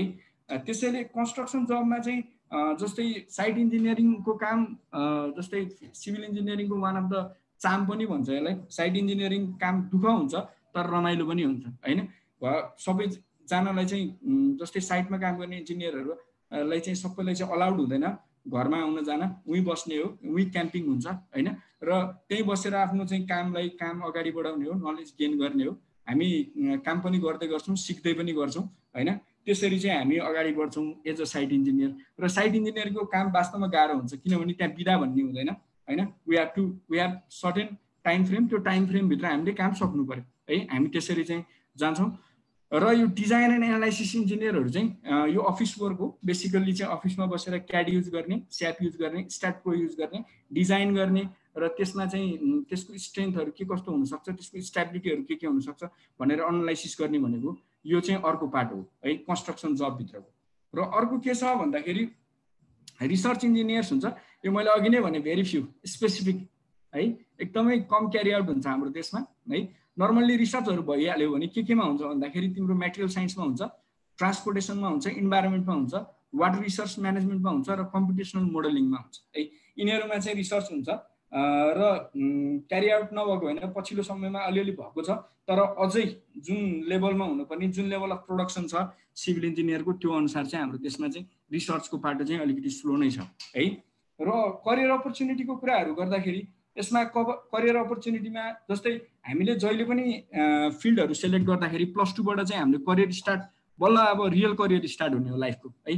त्यो स्टार्ट गर्ने बेलामा चाहिँ हामीले के सोच्नुपर्छ भने हामीले छानेको सब्जेक्टले भोलि हामीलाई चाहिँ हाम्रो करियर भनेको हामी जब चाहिँ हाम्रो वर्किङ लाइफमा जान्छौँ त्यतिखेर हामीलाई जब पाउन कतिको सजिलो हुन्छ? त्यो कुरा सोच्नुपर्ने हुन्छ। र सिभिल इन्जिनियरिङको हिसाबमा अहिलेसम्मलाई हेर्दाखेरि चाहिँ जबको लागि खासै धेरै गाह्रो छैन है? र अरू इन्जिनियरिङमा नि त्यो छैन त्यो गाह्रो छ भन्न खोजेको होइन। अरू इन्जिनियरिङहरूमा चाहिँ जस्तै मैले भनिहालेँ अपर्च्युनिटी क्रिएट गर्न सक्नु पऱ्यो सोच नयाँ ल्याउन सक्नु पऱ्यो सबै ठाउँमा चाहिँ सक्सेस त अभियसली भइन्छ। तर सिभिल इन्जिनियरिङको हिसाबमा चाहिँ है जस्तै हाम्रो कन्ट्री डेभलोपिङ छ डेभलोपिङ भएको भएर स्ट्रक्चरहरू निरन्तर रूपमा बनिरहेको छ। त्यसैले चाहिँ त्यो कार्यक्रमहरू यहाँ यो देशमा भइरहेको भएर चाहिँ जबको लागि अथवा करियरको लागि आफ्नो अगाडि बढाउनको लागि गाह्रो छैन भन्नु खोजेको जस्तै जब अपर्च्युनिटी करियर अपर्च्युनिटीमा हामीसँग चाहिँ दुईवटा सेक्टर छ। एउटा गभर्मेन्ट सेक्टर र एउटा प्राइभेट सेक्टर छ। गभर्मेन्ट सेक्टरमा हामीले चाहिँ लोकसेवाको अन्तर्गतबाट चाहिँ बिल्डिङको बिल्डिङ मा पनि लड्न सक्छौँ या रोडमा लड्न सक्छौँ या सिभिल एभिएसन अथोरिटी उड्डेन भन्छ त्यसलाई। उड्डेनमा नै लड्न सक्छौँ। डिपार्टमेन्ट अफ वाटर रिसर्च इरिगेसनमा लड्न सक्छौँ। Nepal telecom Nepal electricity authority यो सबैमा चाहिँ हामीले चाहिँ यिनीहरूको चाहिँ वर्ष वर्ष या कहिले चाहिँ वर्ष वर्षमा हुँदैन। यिनीहरूको चाहिँ आवेदन खुलिरहेको हुन्छ। त्यसमा हामीले चाहिँ अप्लाई गरेर चाहिँ हामीले आफ्नो जबलाई सेक्योर गर्न सक्छौँ। र अर्को प्राइभेट सेक्टर भनेको अघि मैले भनिहालेँ consultees consultancies and construction companies हो। कन्सल्टेन्सी भनेको चाहिँ जस्तै हामी धेरै देख्छौँ कन्सल्टेन्सीहरू जस्तै नगरपालिकामा सबै नगरपालिकामा अहिले चाहिँ तिम्रो चाहिँ घर नक्सा पास गर्नुपर्छ। घर नक्सा पास गर्नलाई चाहिँ कुनै एउटा पर्टिकुलर कन्सल्टेन्सीको सहारा चाहिन्छ हामीलाई। र यो हामी विभिन्न ठाउँमा चाहिँ यो कन्सल्टेन्सीहरू देख्न सक्छौँ। र यो सुरुमा सबैभन्दा धेरै चाहिँ स्टार्टिङमा जस्ट जब हामी चाहिँ इन्जिनियरिङ सेक्टरमा पास आउट भएर निस्किन्छौँ त्यतिखेर सबैले धेरै जस्तो गर्ने काम चाहिँ कन्सल्टेन्सीको हो। यो सजिलो छ र यो काम गर्न त गाह्रै छ तर यो कामलाई स्टार्टअप गर्न सजिलो छ है। त्यसैले कन्सल्टेन्सीको कामहरू सुरुमा धेरैले सुरु गर्छन्। र अर्को छ कन्स्ट्रक्सन कम्पनीजहरू र कन्सल्टेन्सीले गर्ने भनेको डिजाइन डेभलपमेन्ट र साथसाथै भ्यालुएसनको कामहरू पनि कन्सल्टेन्सीहरूबाट हुन्छ। र अर्को छ कन्स्ट्रक्सन कम्पनीज कन्स्ट्रक्सन कम्पनीज भनेको नेपालमा ठुला ठुला कन्स्ट्रक्सन कम्पनीजहरू पनि छन् है। र यिनीहरूले ठुला ठुला प्रोजेक्टहरू क्यारी आउट गरिरहेको हुन्छ। त्यो प्रोजेक्टको लागि प्रोजेक्ट क्यारी आउट गराउने यिनीहरूलाई नम्बर अफ इन्जिनियर्सहरू चाहिन्छ। त्यो त्यो अवसर मिलेको बेलामा हामीले अप्लाई गऱ्यौँ भने त्यहाँ पनि चाहिँ हामीले आफ्नो चाहिँ फ्युचरलाई चाहिँ सिक्योर गर्न सक्छौँ। र कन्स्ट्रक्सन कम्पनीमा लङ टर्म काम गर्दै गयो भने हामीलाई धेरै प्यारामिटर्सहरू थाहा हुन्छ। र इन्जिनियरिङ एउटा यस्तो डिसिप्लिन हो कि यसमा हामी नम्बर अफ सब्जेक्ट पढ्ने भएको भएर हामी के पनि के पनि भन्ने चलन छ भने a engineer is itself a good manager भन्ने चलन छ। र यो कारणले गर्दाखेरि हामी चाहिँ भोलि एउटा इन्टरप्रिनियर भएर निस्किने सम्भावना पनि सम्भावना पनि हुन्छ। कन्स्ट्रक्सनमा कन्सल्टेन्सीमा हामी लङ टाइम काम गऱ्यो भने we can lot of knowledge with the help of that knowledge we can start out one business है so there is a chance of being an entrepreneur त्यसपछि अर्को के छ भने अब इन्जिनियरिङ कमिटीको कम्युनिटीको कुरा गरौँ। जस्तै नेपालमा मैले यो सरस्वती सबै डाटाहरू नेपाल इन्जिनियरिङ काउन्सिलको साइटबाट लिएको हो है? हाम्रो around total number of engineers around चालिस हजार thirty nine thousand eight hundred ninety five engineers रहेछ हामीसँग। त्यसमा सबैभन्दा धेरै इन्जिनियर प्रो इन्जिनियर भनेको चाहिँ कम्प्युटर इन्जिनियर के अरे सिभिल इन्जिनियर छ। सिभिल इन्जिनियर बाइस हजार छ सयजना हुनुहुन्छ र त्यसपछि computer engineer mechanical engineer electrical engineer electronics इन्जिनियरहरू हुनुहुन्छ। बाइस हजार छ सयजना भनेपछि यो नम्बरबाटै हामीले क्लियर के हुनु पऱ्यो भने अपर्च्युनिटी त्यहाँ धेरै भएको भएर चाहिँ म्याक्सिमम् विद्यार्थीहरूको चोइस चाहिँ सिभिल इन्जिनियरिङ हुनु हुने गर्छ। तर यसले अहिले अलिकति प्रब्लम पनि क्रिएट गरेको छ। नम्बर धेरै छ। हाम्रो चाहिँ त्यसलाई खपत गर्ने क्षेत्र चाहिँ कम भएको कारणले गर्दाखेरि चाहिँ अहिले पछिल्लो समयमा अलिकति चाहिँ हाम्रो यो सिभिल इन्जिनियरिङ सेक्टरमा चाहिँ थोरै जबको प्रब्लमहरू पनि भएको छ। तर देयर इज भेरियस फिल्ड हामी धेरै कुराहरू क्लियर गर्न सक्छौँ। सिभिल इन्जिनियरिङ पढिसकेपछि हामीले धेरै कुराहरूलाई स्टार्टअप गर्न सक्छौँ। त्यसले चाहिँ हाम्रो हाम्रो फ्युचरलाई चाहिँ धेरै अगाडि लान मद्दत पनि गर्छ है? र हाम्रो के छ भन्दाखेरि इन्जिनियरिङको लागि अहिले पछिल्लो समयमा नेपाल इन्जिनियरिङ काउन्सिलले अलिकति गाह्रो छ। पहिला जस्तो अलिकति सजिलो भएन। पहिला पहिला अघि सुलभ सरले सरस्वती पनि भन्नुभएको थियो यो कुराहरू जस्तै धेरैजना चाहिँ प्यारेन्ट्सको करले पढ्ने होइन? धेरैजना चाहिँ जस्तै इन्फ्लुएन्समा पढ्ने होइन? त्यस्तो कुराहरू धेरै छ हाम्रो यो सोसाइटीमा। जस्तै मैले आठ वर्षको अन्तरालमा विद्यार्थीहरूसँग कन्टिन्युस यो संवादहरू गर्दाखेरि धेरै विद्यार्थीहरूले चाहिँ यस्तो कुराहरू चाहिँ गर्नुहुन्छ र विद्यार्थीहरूले यस्तो कुराहरू राख्दै गर्दा मैले चाहिँ कहिलेकाहीँ क्लासमा यसै फोर फोर्थ फिफ्थ सेममा पुगिसकेपछि विद्यार्थी भाइ बहिनीहरूसँग क्वेसन सोध्ने गर्छु। के छ अवस्था अहिलेसम्म सबै सब्जेक्टहरू क्लियर छ भन्दाखेरि युज नम्बर अफ स्टुडेन्टले चाहिँ मेरो यति यति ब्याग छ उति ब्याग छ भन्छन् होइन? त्यो भनेको चाहिँ जब कोहीलाई चाहिँ पर्सनल्ली इन्ट्रेस्ट छैन र जबरजस्ती कुनै एउटा चिजलाई क्यारी आउट गर्न लगाइयो भने त्यो रिजल्टहरू आउँछ। त्यसैले चाहिँ यो पढ्ने क्रममा चाहिँ सकेसम्म आफ्नो एबिलिटी र आफ्नो इच्छालाई लिएर अगाडि बढ्ने हो। सबै सब्जेक्ट अहिलेसम्म सरहरूले भन्नुभएको सबै सब्जेक्टहरू राम्रा छन् र त्यसमा पर्टिकुलर सब्जेक्टमा इन्ट्रेस्ट छ भने पर्टिकुलर सब्जेक्टलाई नै कन्टिन्यू गर्ने हो। भोलि चाहिँ पर्टिकुलर सब्जेक्टलाई कन्टिन्यू नगरेर अर्को सब्जेक्ट लै लैमा लागेर गरियो भने त्यसले चाहिँ भोलि हामीलाई धेरै नै फ्युचरमा दुःख दिन्छ। त्यसैले चाहिँ हामीले सब्जेक्ट चुज गर्दाखेरि धेरै वाइजली चुज गर्नुपर्छ। हामीले सब्जेक्टलाई चाहिँ हाम्रो भोलिको फ्युचरलाई सेक्योर हुने हुने टाइपले चुज गर्दाखेरि चाहिँ बेटर हुन्छ र इन्जिनियरिङमा पहिला जस्तो चाहिँ मैले अघि भन्न खोजेको कुरा चाहिँ के हो भन्दाखेरि चाहिँ जस्तै पहिला चाहिँ इन्टेक सजिलो थियो इन्टेक के अरे इन्टेक हुन्थ्यो। इन्टेक भइसकेपछि विद्यार्थी चार वर्ष पढ्थे र चार वर्ष पढिसकेपछि उनीहरूले चाहिँ सिधै यहाँ नेपाल इन्जिनियरिङ काउन्सिलमा अप्लाई गरेर चाहिँ उनीहरूले नेपाल इन्जिनियरिङ काउन्सिलको सर्टिफिकेट लिइसकिसकेपछि बल्ल चाहिँ नेपालमा चाहिँ इन्जिनियरिङ जब स्टार्ट गर्न पाइन्छ। हामीले काउन्सिलबाट चाहिँ सर्टिफिकेट लिन नलिकन कुनै पनि हामीलाई काउन्सिलले अथोरिटी दिँदैन कुनै पनि जब स्टार्टअप गर्नलाई। त्यसैले चाहिँ के छ भन्दाखेरि पहिला सजिलै पाइन्थ्यो। अहिले चाहिँ काउन्सिलले नयाँ प्रावधान राखेको छ। भोलि चाहिँ तिमीहरूले चार वर्ष पास आउट मात्र गरेर भएन चार वर्ष पास आउट गरिसकेपछि तिमीहरूले नेपाल इन्जिनियरिङ काउन्सिलको एक्जामिनेसन पनि दिनुपर्छ। र त्यो एक्जामिनेसन पास आउट भइसकेपछि बल्ल you're liable to conduct any kinds of engineering activities त्यो भन्छ अहिलेको इन्जिनियरिङ काउन्सिलले त्यसैले हामीले यो इन्जिनियरिङमा अन्तिमसम्म मिहिनेत गरेर चाहिँ हाम्रो चाहिँ बल्ल चाहिँ हामी चाहिँ एउटा लाइबल इन्जिनियर भएर निस्किन सक्छौँ।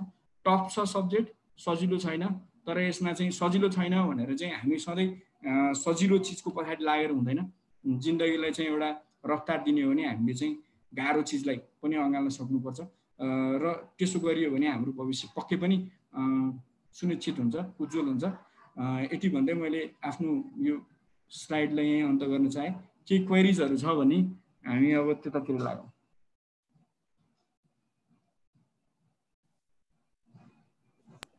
Hello Srijana miss.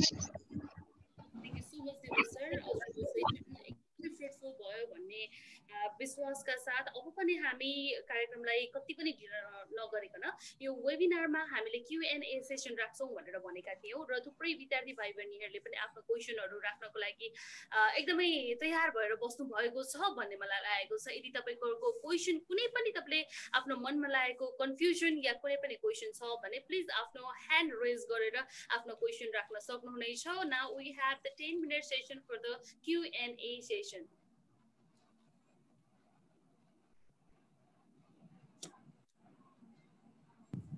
Hello सृजनाजी यहाँ एउटा क्वेरी मैले अघि हेरेको थिएँ जस्तै मैले अघि प्रेजेन्टेसन दिँदाखेरिमा चाहिँ त्यो इन्ट्रान्स फर्मेटको कुरा भाइ बहिनीहरूले गर्नुभएको थियो। दुई हजार छत्तर सालसम्मको इन्ट्रान्स फर्मेटमा एप्टिच्युड टेस्ट पनि थियो होइन? सो मैले प्रेजेन्टेसनमा एप्टिच्युड टेस्टको कुरा पनि गरेको थिएँ। अहिले चाहिँ एउटा नोटिस चाहिँ निस्किया छ तपाईँको दुई हजार छत्तर पुसमा जसमा चाहिँ अब यसपालिदेखिको इन्ट्रान्स इक्जामिनेसनमा चाहिँ एप्टिच्युड टेस्टको सँग रिलेटेड कन्टेन्टहरू चाहिँ नसोध्ने बाँकी इङ्ग्लिस केमिस्ट्री फिजिक्स र म्याथबाट मात्रै सोध्ने भनेको छ। तर त्यसको मार्किङ स्किम चाहिँ मैले त्यो वेबसाइटमा कलेजको अफिसियल वेबसाइटमा भेटिनँ होइन। सो त्यो नोटिसको आधारमा भन्ने हो भने चाहिँ यसपालिदेखि चाहिँ एप्टिच्युड टेस्टसँग रिलेटेड क्वेसन्सहरू चाहिँ इन्ट्रान्स इक्जामिनेसनमा आउँदैन। सो विद्यार्थी भाइ बहिनीहरूले त्यही अनुसारको चाहिँ फिजिक्स केमिस्ट्री म्याथ र इङ्ग्लिसबाट तयारी गर्नुपर्ने हुन्छ है त। एउटा यो एउटा यो क्वेरी चाहिँ मैले भने अब अरू केही छ विद्यार्थी भाइ बहिनीहरूको पनि। प्लिज भन्नु होला हामी एन्सर दिने कोसिस पुरै नोट डाउन गरेको थिएँ हाम्रो भाइ बहिनीहरूले चाहिँ केही क्वेसनहरू राखिरहनु भएको थियो च्याट बक्समा यदि तपाईँलाई आफैलाई क्वेसन सोध्न मन लागेको छ भने ह्यान्ड रेज गर्न सक्नुहुन्छ र ह्यान्ड रेज गरेपछि हामीले अनम्युट गरेर तपाईँले आफ्नो क्वेसन राख्न सक्नुहुनेछ। ओके यो भन्दै म अब भने एउटा क्वेसनतर्फ लाग्दैछु जुन चाहिँ हाम्रो विवेक शाहजीले सोध्नु भएको छ। नाइन्टी पर्सेन्ट प्र्याक्टिकली ओरिएन्टेड राम्रो कोर्स कुन रहेको छ कम्प्युटर फिल्डमा भनेर सोध्दै हुनुहुन्छ। सो यो क्वेसनको एन्सर चाहिँ please Sulabh sir Kaushik sir Dev sir any one normally technical सब्जेक्टहरू सबै प्र्याक्टिकल ओरिएन्टेड नै हुन्छ। अब कुनै पनि विद्यार्थीले जस्तै आइटी पढ्ने भनेर आइटी पढ्ने भन्दैमा हुँदैन कि उहाँको इन्ट्रेस्ट केमा हुन्छ त्यो अनुसारको चाहिँ फिल्ड चुज गर्नुपर्ने हुन्छ कि। जस्तै कुनै पनि विद्यार्थीलाई चाहिँ डिजाइनसँग रिलेटेड कुराहरू त्यसको आर्किटेक्चरसँग रिलेटेड कुराहरू होइन। कोर कम्प्युटरको चाहिँ रिसर्चको पाटोमा तपाईँलाई इन्ट्रेस्ट छ भने कम्प्युटर इन्जिनियरिङमा पढ्नु पऱ्यो जसमा कम्प्युटर इन्जिनियरिङमा नट ओन्ली कम्प्युटरको कुराहरू मात्रै हुँदैन कि त्यसमा इलेक्ट्रोनिक्ससँग रिलेटेड कुराहरू पनि मिसिएको हुन्छ। सबै मिसिएको भएर तपाईँको चाहिँ माइन्डलाई एकदम डाइनामिक बनाउँछ। जसले गर्दाखेरि हरेक चाहिँ फिल्डमा तपाईँ चाहिँ त्यहाँ पेनेट्रेट गरेर त्यहाँ चाहिँ प्रवेश गरेर तपाईँ त्यहाँबाट चाहिँ नयाँ कुराहरू लिन सक्नुहुन्छ। म चाहिँ कम्प्युटर एप्लिकेसनसँग मात्र रिलेटेड रिलेटेड भएर चाहिँ आफ्नो करियर अगाडि बढाउँछु भन्यो भने फेरि त्यसको छुट्टै अब चाहिँ कम्प्युटर एप्लिकेसन्सतिर गएर अगाडि बढ्न सक्नुहुन्छ। म रिसर्च ओरिएन्टेड अहिलेको करेन्ट सिनियरीको चाहिँ आर्टिफिसियल इन्टेलिजेन्सहरू मसिन लर्निङहरूदेखि लिएर चाहिँ कोर कम्प्युटरका चाहिँ कम्प्यु कम्पाइलरसँग रिलेटेड कुराहरूमा चाहिँ म अध्ययन गर्न चाहन्छु भन्नुभयो भने सिएसआइटी पढ्नु पऱ्यो होइन। म साइबर सेक्युरिटीतिर जान्छु भन्नुभयो भने तपाईँले bachelor in computer science cyber सेक्युरिटीकै bachelors degree पढ्नु पऱ्यो त्यो चाहिँ प्र्याक्टिकल सबै टेक्निकल सब्जेक्ट भनेको प्र्याक्टिकल ओरिएन्टेड नै हुन्छ। कसैमा नाइन्टी पर्सेन्ट कसैमा सिक्सटी पर्सेन्ट भन्ने नै हुँदैन होइन। तपाईँको थ्योरिटिकल भनेको त त्यो प्र्याक्टिकललाई सपोर्ट गर्ने चिजहरू जहाँ पनि पढाइ हुनैपर्छ र पढ पढाइ भइहाल्छ। त्यो बाहेकको चिजमा जस्तै जस्तै एप्लिकेसन बनाउन मन लाग्ला अरे कुनै पनि विद्यार्थीलाई एप्लिकेसन कसरी बनाउने भन्ने चिज चाहिँ कुनै पनि चाहिँ हाम्रो युनिभर्सिटीको चाहिँ सिलेबसमा एप्लिकेसन बनाउन सिकाउने चिज चाहिँ हुँदैन। तर एप्लिकेसन बनाउनको लागि तपाईँलाई चाहिने सपोर्टिभ चिजहरू जुन प्रोग्रामिङको कुराहरू चाहिँ फन्डामेन्टल सीबाटै तपाईँहरूलाई चाहिँ त्यो चाहिँ लजिकल चाहिँ कन्सेप्टहरू दिँदै दिँदै लिएर जाने हो। नत्र हरेक दिन तपाईँको चाहिँ प्रोग्रामिङ ल्याङ्ग्वेजहरू चेन्ज भइरहेको छ। मैले चाहिँ ब्याचलर पढ्ने बेलामा पाइथन प्रोग्रामिङ भनेको भर्खर सुनिएको पनि थिएन त्यति बेला पाइथन प्रोग्रामिङ भनेको। अहिले चाहिँ अहिले अबको फ्युचर भनेको सबै पाइथन प्रोग्रामिङमा गर्ने हो भनेर भन्छन् ए आर्टिफिसियल इन्टेलिजेन्स मसिन लर्निङको कुराहरू त त्यति बेला हामीले गर्दै गर्थेनौँ भने अहिले जति पनि चिजहरू छ आर्टिफिसियल इन्टेलिजेन्समा न्युरल नेटवर्कमा त्यसपछि न्युरल नेटवर्क्सहरू होइन यसको यसको कुराहरू छ। अब इन्टरनेट अफ थिङ्सहरू साइबर सेक्युरिटी त्यति बेला सुन्दै सुनिन्थेन। अब अहिले चाहिँ फेरि अबको फ्युचर भनेको चाहिँ इन्टरनेट अफ थिङ्सहरू साइबर सेक्युरिटीहरू भनेर आइरहेको छ भनेपछि प्र्याक्टिकल एस्पेक्टमा एकदम मिहिनेत चाहिँ विद्यार्थीले गर्नुपर्ने हुन्छ। तर सबै कलेजहरूमा भएको जुन विषय तपाईँले पढ्नुहुन्छ त्यसमा त्यो सिलेबसको अब्जेक्टिभ अनुसार नलेज चाहिँ सबै कलेजले आफ्नो तर्फबाट दिने गर्दछ त्यसरी बुझौँ है त। अनि त्यो बाहेक पनि ब्रिजिङको लागि डिफ्रेन्ट कम्पनीजहरू हुन्छ जसले चाहिँ तपाईँलाई प्रोफेसनल ट्रेनिङहरू यसको डिफ्रेन्ट सर्टिफिकेसन कोर्सेसहरू हुन्छ। नेटवर्कमा जाने स्टुडेन्टहरूले चाहिँ नेटवर्कसँग रिलेटेड सिसिएनए सिसिएनपी सिसिआईहरूदेखि लिएर होइन त्यसमा सेक्युरिटीसँग रिलेटेड चाहिँ सर्टिफाई इथिकल ह्याकिङसँग त्यस्तो सर्टिफिकेसन्सहरू हुन्छ। त्यो सर्टिफिकेसन्सहरू गरेर चाहिँ आफ्नो थ्योरिटिकल प्लस प्र्याक्टिकल कलेजको सिलेबसले दिने नलेज प्लस इन्डस्ट्रीमा भएको निर्णय चाहिँ त्यस्तो प्रोफेसनल कोर्सहरू गरेर हामी भोलि चाहिँ इन्डस्ट्री ओरिएन्टेड भएर अथवा अपर्च्युनिटी चाहिँ ग्राप गर्नको लागि एकदम रेडी हुनुपर्ने हुन्छ कि हस् thank you so much sir okay next question पनि रहेको छ र मैले यहाँहरू सम्पूर्ण पार्टिसिपेन्ट्सहरूलाई पनि जानकारी गराउँदछु। हाम्रो यहाँ जुमबाट मात्र नभइकन युट्युब र फेसबुकबाट पनि लाइभ चलिरहेको छ। हाम्रो फेसबुकमा पनि जति पनि सा साथीहरूले जति पनि पार्टिसिपेन्ट्सहरूले जो जुममा पार्टिसिपेट हुन पाउनु भएको छैन उहाँले कमेन्ट पनि गर्नुभएको छ। कमेन्ट पनि म पढ्न गइरहेको छु र हाम्रो युट्युबमा पनि कोरिया टक विथ सृजना ताम्रकारबाट पनि लाइभ प्रिमियर भइरहेको छ। र त्यहाँ पनि क्वेसनहरू सोधिराख्नु भएको छ। यो क्वेसन पनि मैले राख्न चाहेँ सर। र एउटा क्वेसन रहेको छ मेकानिकल इन्जिनियरिङको बारेमा पनि केही भनिदिनुहोस् भनेर पनि कुरा आइरहेको छ सर।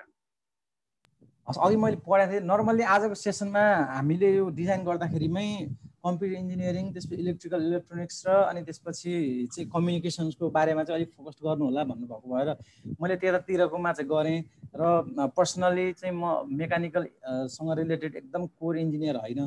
तर पनि नेपालको कन् कन्टेक्स्टमा अहिले हेर्ने हो भने चाहिँ मेकानिकल इन्जिनियरिङको चाहिँ अपर्च्युनिटीहरूदेखि लिएर चाहिँ त्यसको स्कोप एकदम बढ्दै गइरहेको छ र तपाईँले मेकानिकल इन्जिनियरिङ पढिसकेपछि कन्ट्रोलसँग रिलेटेड भोलि हामी कन्ट्रोल फेनोमेनमा चाहिँ कुनै चाहिँ डिभाइसहरूलाई कन्ट्रोल गर्नु पऱ्यो भने मसिनसँग रिलेटेड भनौँ न स्पेसियली मसिनसँग रिलेटेड कुराहरूमा तपाईँलाई एकदम इच्छा छ जुन तपाईँले चाहिँ के अरे मोटर जेनेरेटरहरूदेखि लिएर चाहिँ अरू लेथ मेसिनहरू डिफ्रेन्ट मसिन्सको पार्टमा चाहिँ तपाईँलाई इन्ट्रेस्टेड छ भने तपाईँले मेकानिकल पढ्न सक्नुहुन्छ र पहिला त मेकानिकल एकदम चाहिँ थोरै मात्रामा थियो नेपालमा चाहिँ सिट सङ्ख्या किनभने मेकानिकल इन्जिनियरिङको लागि तपाईँको धेरै रिसोर्सेसहरू चाहिन्थ्यो र पुल्चो क्याम्पसमा मात्र थियो भने अहिले धेरै चाहिँ कलेजेसहरूले चाहिँ चाहिँ मेकानिकल पढाउन सुरु गरेको छ र पुल्चो क्याम्पसको हकमा भन्ने हो भने अहिलेको केसमा मेकानिकल इन्जिनियरिङ र एरो स्पेस इन्जिनियरिङको फ्याकल्टी दुइटै एउटै एउटै सेक्स सेसन सेक्सनमा छ र चाहिँ फ्याकल्टी नै aerospace plus mechanical engineering भएर एरो स्पेस प्लस चाहिँ मेकानिकल इन्जिनियरिङ चाहिँ चलिरहेको छ। मेकानिकल मा चाहिँ धेरै चाहिँ मसिन्सहरूको पाटोमा चाहिँ काम गर्नुपर्ने हुन्छ। अब यदि पर्टिकुलरली धेरैजना इन्ट्रेस्टेड हुनुहुन्छ भने यसको छुट्टै सेसन्स मेकानिकल इन्जिनियरिङ एक्सपर्ट्सको थ्रुबाट नै गर्नुपर्छ हामीले। ओके म यहाँ देख्न सक्छु मेहुल शाहजीले चाहिँ ह्यान्ड रेज गर्नुभएको छ। सो हाम्रो टेक्निकल टिम हाम्रो विनित सरलाई मैले उहाँलाई चाहिँ अनम्युट गर्नको लागि अनुरोध गर्दछु। मेहुल शाहजीलाई। त्यस्तै गरी यदि तपाईँले पनि आफ्नो क्वेसन राख्न चाहनुहुन्छ जति पनि पार्टिसिपेन्ट्सहरू हुनुहुन्छ इन्जिनियरिङ त्यस्तै गरी आइटी रिलेटेड कुनै पनि क्वेसन तपाईँले राख्न खोज्नु भएको छ भने प्लिज आफ्नो ह्यान्ड रेज गर्न सक्नुहुन्छ okay now the mic is over to Mehul Shah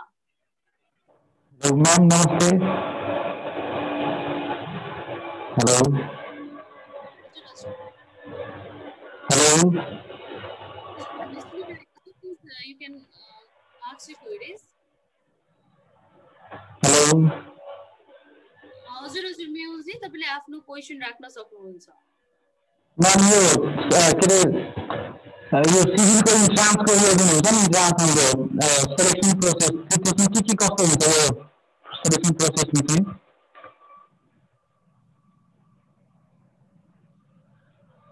तपाईँको साउन्ड अलिक क्लियर आएको छैन। मेहुलजी हजुरले उहाँले उहाँले सोध्नु भएको क्वेसन चाहिँ के हो भने इन्ट्रान्सको सेलेक्सन प्रोसेसमा मलाई सिभिल पढ्न इच्छा छ। सिभिलको लागि त्रिभुवन विश्वविद्यालयमा पढ्नको लागि चाहिँ सेलेक्सन गर्नको लागि के के पढ्नुपर्छ भनेर सोध्नु भएको उहाँको क्वेसन चाहिँ। दिवस सर हजुर भन्नुहुन्छ कि म भनौँ यसको एन्सर अघि सरस्वती भन्नुभएको थियो त्यही नै कुरा हो एकचोटि भनिदिनु सर त्यही कुरा। त्यही त किनभने इन्ट्रान्स इक्जामिनेसन कुनै पनि पर्टिकुलर फ्याकल्टीको लागि भनेर फरक हुने भन्ने हुँदैन। सिभिल इन्जिनियरिङको लागि फरक मेकानिकलको लागि फरक इलेक्ट्रोनिक्सको लागि फरक भन्ने हुँदैन। अघि मैले देखाएँ अनुसारको तपाईँको तपाईँले पढ्नु भएको इलेभेन टुवेल्भसँग रिलेटेड चाहिँ इङ्ग्लिसको म्याथमेटिक्सको केमिस्ट्रीको र फिजिक्सकोबाट तपाईँलाई इन्ट्रान्स इक्जाममा क्वेसन्सहरू आउँछ र त्यो त्यसमा तपाईँले जति मार्क्स लिएर आउनुहुन्छ पास भइसकेपछि त्यसको आधारमा अनि तपाईँले फर्म हुन्छ त्रिभुवन विश्वविद्यालयले प्रदान गर्ने फर्म त्यसमा तपाईँले भर्नुपर्ने हुन्छ। फुल फीमा भर्ने कि रेगुलरमा भर्ने कि त्यहाँ सबै विषयको लागि हुन्छ नि तपाईँले आफ्नो मार्क्स जति आउँछ त्यसको आधारमा मैले केमा पाउन सम्भावना छ? जस्तै सिभिलमा पाउन सक्छु कि इलेक्ट्रिकलमा पाउन सक्छु कि कम्प्युटरमा पाउन सक्छु केमा पाउन सक्छु भनेर गर्ने हो? नत्र नर्मली जुनसुकै इन्जिनियरिङ पढ्ने विद्यार्थीको लागि पनि इन्ट्र इन्ट्रान्सको फर्मेट र सोधिने क्वेसन्सहरू क्वेसन्सहरू चाहिँ सबैलाई एउटै हुन्छ तर त्रिभुवन विश्वविद्यालय हकमा इक्जाम कम्प्युटर कम्प्युटराइज सिस्टमबाट हुने भएको भएर पुल बनाएको हुन्छ क्वेसनको पुलहरू बनाएको हुन्छ। ऱ्यान्डमली तपाईँहरूले कुन सेसनमा त्यो इक्जाम दिनुहुन्छ त्यसको बेसिसमा अनलाइनमा के अरे कम्प्युटरमा तपाईँको क्वेसन्सहरू चाहिँ आउँछ है त? You so much, sir. Uh, so next question रहेको छ एनाको सो उहाँले चाहिँ क्वेसन सोध्नु भएको छ सफ्टवेयर इन्जिनियरिङमा स्कोप कस्तो छ नेपालको कन्टेक्स्टमा भनेर? कौशिक सर? यो सफ्टवेयर इन्जिनियरिङ पनि म भनिदिइहाल्छु भन्न चाहिँ नेपालमा सफ्टवेयर इन्जिनियरिङको ब्याचलर पढायो भने कलेज एकदम कम छ है। र मलाई थाहा भए अनुसार पोखरा विश्वविद्यालयबाट सम्मान प्राप्त भएर चाहिँ ब्याचलर इन सफ्टवेयर इन्जिनियरिङको क्लास हुन्छ। र जसमध्ये चाहिँ पोखराको चाहिँ Gandaki boarding Gandaki college of engineering भन्ने छ त्यहाँ चाहिँ ब्याचलर्स इन सफ्टवेयर इन्जिनियरिङ पढाइ भएको चाहिँ मलाई थाहा छ होइन? अब अरू चाहिँ कहाँ कहाँ पढाइ हुन्छ त्यो चाहिँ खोज्नुपर्छ। सफ्टवेयर इन्जिनियरिङकोमा चाहिँ स्पेसिफिकली सफ्टवेयरसँग रिलेटेड त्यसको डेभलपमेन्ट लाइफ साइकलहरू र त्यसैसँग ओरिएन्टेड भएको कुराहरू पढाइ हुन्छ र नर्मली सबै विद्यार्थीले के बुझ्नु पऱ्यो भने सुरुको एक वर्ष दुईवटा सेमेस्टर चाहिँ सबै जुनसुकै इन्जिनियरिङमा गए पनि कमन चिजहरू नै पढ्छौँ हामीले। फिजिक्स म्याथ त्यसपछि प्रोग्रामिङको सब्जेक्टहरू इलेक्ट्रिकल इलेक्ट्रोनिक्सको सब्जेक्टहरू एक वर्षसम्म चाहिँ सबै जुनसुकै युनिभर्सिटीमा पनि कमन जस्तै हुन्छ सिलेबस फरक फरक भयो भने कन्टेन्ट चाहिँ त्यही हुन्छ। अनि बल्ल थर्ड सेमेस्टरभन्दा माथि चाहिँ अनि बल्ल स्पेसलाइज हुँदै जुन जुन सेमेस्टर जुन जुन फ्याकल्टीमा पढ सिभिल छ भने सिभिलको विषय हुन्छ त्यहाँ इलेक्ट्रोनिक्स भयो त्यसमा इलेक्ट्रिक इलेक्ट्रोनिक्सको इलेक्ट्रिकल भयो इलेक्ट्रिकको त्यसरी चाहिँ चेन्ज हुँदै जाने हो है त। Thank you so much, sir. Now we have just five more minutes for question answer round. र अहिले पनि मैले ह्यान्ड रेज गर्नुभएको छ अनिसजीले सो उहाँलाई अनमिट गरिदिनुको लागि विनिजीलाई म अनुरोध गर्न चाहन्छु र हाम्रै टेक्निकली विनिश सरले उहाँलाई पनि धेरै धेरै धन्यवाद दिनै पर्ने हुन्छ टेक्निकली उहाँले धेरै सपोर्ट गर्दै म्यानेजमेन्ट लिएको स्टुडेन्टले कुन कुन इन्जिनियरिङ एप्लाई गर्न पाउँछ म्यानेजमेन्ट म्यानेजमेन्ट चाहिँ विषय पढेर अगाडि बढ्नु भएको छ भने इन्जिनियरिङ पढ्नै पाइएन है।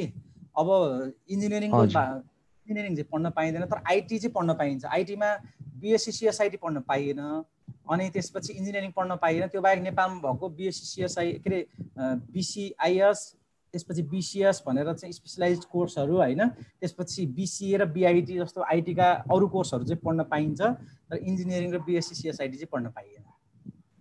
ए हस्। Thank you so much again. Now the next uh, is for Region Katil. Region Katil जीले hand raise गर्नुभएको छ. सर मेरो क्वेसन चाहिँ के भन्दा अब नेपालमा हामीले बिए गर्छौँ नि हजुर बिए गरेपछि पाउने जबको कुरा र एमई गरेपछि पाउने जबको कुरामा यसो के डिफ्रेन्स छ भनिदिनु हामीले फाइदा के हुन्छ भनिदिनु न ल दिवस सर हजुरले भनिदिनुहोस् न है यसको एन्सर चाहिँ ल बी बीमा लगभग सबै कुराहरू कभर त हुन्छ हाम्रो होइन? कुनै पनि पार्टिकुलर फिल्डमा बी पढिसकेपछि लगभग सबै कुराहरू कभर हुन्छ। मास्टर्स भनेको एउटा त्यो मध्येको पनि एउटा पर्टिकुलर सब्जेक्टमा चाहिँ हामी स्पेसलाइज हुन्छ मास्टर्स भनेको। है अझै पिएचडी गयो पिएचडीमा पनि के हुन्छ भन्दाखेरि त्यो एउटा सब्जेक्टभित्रको पनि एउटा टपिकमा हामी स्पेसलाइज हुने है? त्यसैले जस्तै नर्मल जबहरू गर्नलाई त सबै इनफ छ बी बी इज इनफ तर चाहिँ आफ्नो स्ट्याटसलाई अगाडि बढाउन होइन आफ्नो पोजिसनलाई माथि लिएर जान चाहिँ यो मास्टर्स पिएचडी चाहिने हो। नत्र भने त काम गर्नलाई बी इनफ है जस्तै कति ठुल्ठुलो कम्पनीहरूले पनि नेपालको नेपालको चाहिँ हकमा तपाईँले अधिकृत लेभलको सातौँ तरको के अरे सरको जागिर खानको लागि चाहिँ ब्याचलर्स डिग्री अर्थात् ब्याचलर्स गरेको हुनुपर्ने भनेर मात्रै माग्छ मास्टर्स नेसेसिटी होइन। जस्तै एनसेलदेखि लिएर डिफ्रेन्ट टेलिकमदेखि लिएर अरू अरू इन्डस्ट्रीहरूले माग्दाखेरि पनि तपाईँको ब्याचलर यदि इन्डस्ट्री पर्पजबाट जाँदै हुनुहुन्छ भने होइन अथवा तपाईँले आफ्नो करियर ओरिएन्टेड एन्टरप्रिनर हुँदै हुनुहुन्छ भने ब्याचलरसम्म सफिसियन्ट हुन्छ। न त धेरैले मास्टर्स डिग्री गर्ने भनेको चाहिँ सरकारी लेभलमा गइसक्यो बढुवा हुनु पऱ्यो भने अब चाहिँ त्यति बेला आठौँ तहमा जुन कोर चाहिँ टेक्निकल कामहरू प्लस म्यानेजरल काम गर्नुपर्ने हुन्छ त्यति बेला मास्टर्स डिग्री रिक्वायर्ड हुन्छ। अथवा एकाडेमिक सेक्टरमा जाँदै हुनुहुन्छ एकाडेमिक सेक्टरमा तपाईँ एज अ चाहिँ लेक्चरर भएर पढाउँदै हुनुहुन्छ भने हाम त्यति बेला चाहिँ मोर फोकस हुँदै चाहिँ कुनै पनि विषयमा चाहिँ मोर फोकस हुँदै एन्ड अफ दि पिएचडीसम्म चाहिँ पुग्नुपर्ने हुन्छ क्या। त्यही भएर तपाईँ इन्डस्ट्री बेसबाट जानुहुन्छ भने अथवा चाहिँ नेपालको चाहिँ नियमले भनेअनुसार सातौँ त सरको अधिकृत मात्रै भएर चाहिँ तपाईँले आफ्नो लाइफलाई अगाडि बढाउन चाहनुहुन्छ भने ब्याचलर भनेको सफिसियन्ट हुन्छ है त? ए भनेपछि सुरुमा बिए गर्ने अनि त्यसपछि फेरि लाइसेन्सको इक्जाम हुन्छ है? हजुर हजुर। त्यो लाइसेन्सको इक्जाम दिएर जागिर खाँदै गर्न पनि पाइयो हामी भनेपछि। पाइयो। पाइयो। ए हस् सर धन्यवाद। यहाँ एउटा एउटा कोइरी आएको रहेछ मैले अर्गनाइजर भाइहरूलाई रिक्वेस्ट गरेँ जस्तै डिफ्रेन्ट एम्बेसीहरूको इन्जिनियरिङ इक्जामको बारेमा भनिदिनु भन्नुभएको छ। यसको लागि छुट्टै चाहिँ एक्सपर्टहरूको लाई चाहिँ के अरे चाहिँ रिक्वेस्ट गरेर यसको एउटा सेसन राखिदिनु होला किनभने नेपाल बाहेक अरू डिफ्रेन्ट एम्बेसीहरूको इन्जिनियरिङ जस्तै चाहिँ इन्डियन एम्बेसीको जापानिज एम्बेसीको होइन डिफ्रेन्ट एम्बेसिसहरूको हुन्छ। शिक्षा मन्त्रालयबाट पनि डिफ्रेन्ट स्कलरसिपहरू चाहिँ आइरहेको हुन्छ। कसरी त्यसलाई चाहिँ भर्ने अनि त्यसपछि अरू अरू पढ्दै गर्दाखेरिमा चाहिँ विद्यार्थीहरूलाई चाहिँ प्लस टूकै मार्क्सले पनि पाइने स्कलरसिपहरू हुन्छ। त्यसको बारेमा एउटा सेसन राखिदिनु होला होइन। त्यसपछि अर्को एउटा यहीँ यहीँ कमेन्टमा आएको मैले एकदम छिटो सकेँ। Difference between IT and computer engineering भनेर सोध्नु भएको छ सुजित गौतमले। कम्प्युटर इन्जिनियरिङमा चाहिँ डिजाइनको आर्किटेक्चर्सहरूको बारेमा एकदम धेरै पढाइ हुन्छ। इलेक्ट्रोनिक्ससँग रिलेटेड कुराहरू एकदम धेरै पढाइ हुन्छ भने र फिजिक्स केमिस्ट्रीहरू पनि पढ्नुपर्छ एकदम फोकस गरेर। भने आइटीमा चाहिँ फिजिक्स पढ्नुपर्छ केमिस्ट्री पढ्नु पर्दैन इलेक्ट्रोनिक्सको कन्टेन्टहरू एकदमै कम हुन्छ र पढ्नै परे पनि इलेक्ट्रिकमा गएर चुज गरेर पढ्नुपर्ने हुन्छ। र कम्प्युटरमा नट ओन्ली द आइटी मात्रै होइन कि कम्प्युटरसँग रिलेटेड आर्किटेक्चर त्यसको डिजाइनको पर्सपेक्टिभको कुराहरू पनि एकदम धेरै समेटिएको हुन्छ। त्यसरी बुझ्नु पऱ्यो त्यसपछि अमित गिरिजीले सोध्नु भएको छ मलाई चाहिँ नेटवर्किङ एन्ड साइबर सेक्युरिटी पढ्न मन छ कुन फ्याकल्टी बेस्ट होला? भनेर। नेपालको अहिलेको केसमा साइबर सेक्युरिटीमा ब्याचलर पढाउने चाहिँ नेपालको युनिभर्सिटीबाट सम्बन्धन कलेजहरू कुनै पनि छैन। तपाईँले काठमाडौँ अथवा काठमाडौँभन्दा बाहिर जस्तै काठमाडौँभन्दा बाहिरको केसमा कुरा गरौँ भने अघि मैले भनेको थिएँ जस्तै फोर्स कलेज जसले साइबर सेक्युरिटीमा ब्याचलर्स डिग्री पढाउँछ त्यो बाहेक काठमाडौँमा तपाईँले पढ्ने इच्छा गर्नुभयो भने डिफ्रेन्ट कलेजहरू छ त्यहाँ काठमाडौँमा पनि जसले चाहिँ साइबर सेक्युरिटीको चाहिँ टेक्सास कलेजदेखि लिएर डिफ्रेन्ट कलेजहरूले चाहिँ तपाईँको चाहिँ यो यो डिग्री चाहिँ पढाउने गर्छ है। अब अरू केही त्यस्तो क्वेसन छ भने भन्नु मैले यहाँ देखेको चाहिँ भनिहालेँ है त। यहाँ अनिस भाइको रहेछ एउटा सिटिभिटीबाट नि सिभिल पढ्न मिल्छ भनेर। जस्तै सिटिभिटीबाट चाहिँ बी पढ्नलाई पहिला सुरु डिप्लोमा पढ्नु पऱ्यो सिटिभिटीले डिप्लोमा मात्र अध्यापन गराउँछ। बिए अध्यापन गराउँदैन। डिप्लोमा सकिसकेपछि चाहिँ सिभिल जोइन गर्न पाइन्छ। बिईमा के अरे सिटिभिटीको चाहिँ तिन वर्ष कोर्स ओभरसियर पढ्नु भएपछि जुनसुकै इन्जिनियरिङ पढ्न पनि पाइयो ब्याचलरको है। र त्यसपछि कौशिक सरको सेसन्स चाहिँ एउटा फेरि नेक्स्ट किनभने अझै आइटीसँगै एकदम फोकस्ड भएर इन्ट्रेस्टेड स्टुडेन्टहरू हुनुहुन्छ जहाँसम्म लाग्छ सरको सेसन फेरि एउटा चाहिँ नेक्स्ट विकमा गर्नुपर्छ जस्तो लाग्यो मलाई है। के अरे अर्गनाइजर्स मैले भाइहरूलाई रिक्वेस्ट गरेँ है त। आज आज डिस्टर्ब भएर प्रब्लम भयो। कि आजै सक्ने हो हामीले?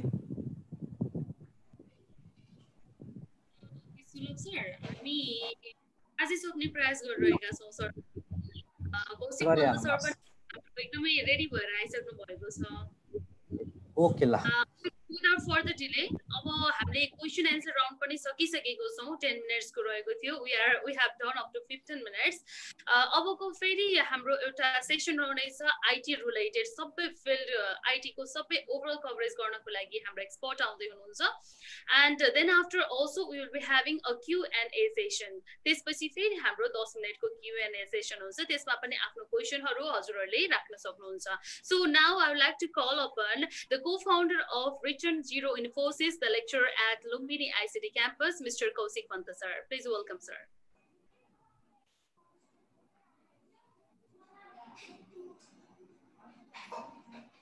Kausik, sir.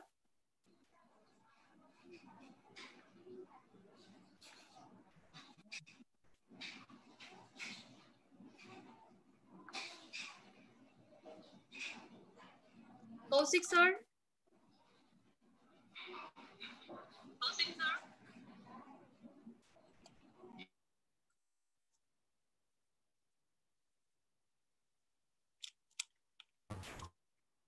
Okay हामी ग्रान्ड वेबिनार सिरिजमा रहेका छौँ। हामीले करियर्स आफ्टर प्लस टू नेपालमा इन्जिनियरिङ सेक्टरको आज डे वानमा हामीले इन्जिनियरिङ सेक्टरको बारेमा कुराकानी गरिरहेका छौँ र यो आवाज सुन्दै हुनुहुन्छ सृजना ताम्राकारको।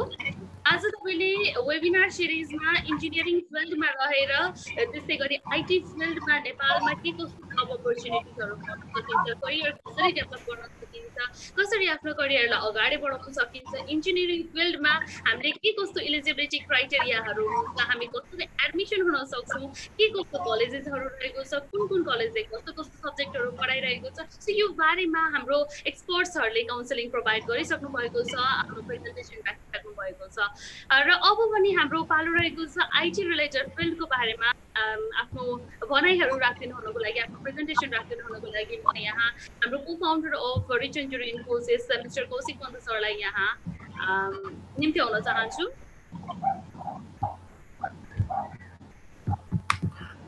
ओके थ्याङ्क यू सृजना मेरो चाहिँ लास्टै यो इन्टरनेट प्लस यो ल्यापटपको प्रोब्लमले चाहिँ यो सेसनलाई चाहिँ अलिकति पछाडि धकालियो खासमा यो चाहिँ कस्तो थियो भन्दा सुरुमा चाहिँ आइटी अनि त्यसपछि हाम्रो सरले चाहिँ आइटी र त्योभन्दा पछाडिकोलाई चाहिँ समग्रमा भन्ने भन्नुभएको थियो। सो म लास्टसम्म जहाँ पुगेको थिएँ म त्यहाँबाट चाहिँ सेयर गर्न चाहेँ। ओके म चाहिँ इन्फर्मेसन टेक्नोलोजीको बारेमा चाहिँ कुरा गरिरहेको थिएँ। सो इन्फर्मेसन टेक्नोलोजीमा चाहिँ हामीले चाहिँ यति धेरै सबै यो सबै कुराको बारेमा चाहिँ अलिकति पढ्नुपर्छ। Hardware database internet security software design application network server supports communication and the computer. अब यिनीहरूहरूको स्कोप चाहिँ के छ त? What is the scope scope of the information टेक्नोलोजीमा चाहिँ के के छ त भन्दाखेरि पहिला चाहिँ हामी चाहिँ के के हुन सक्छौँ त हामी?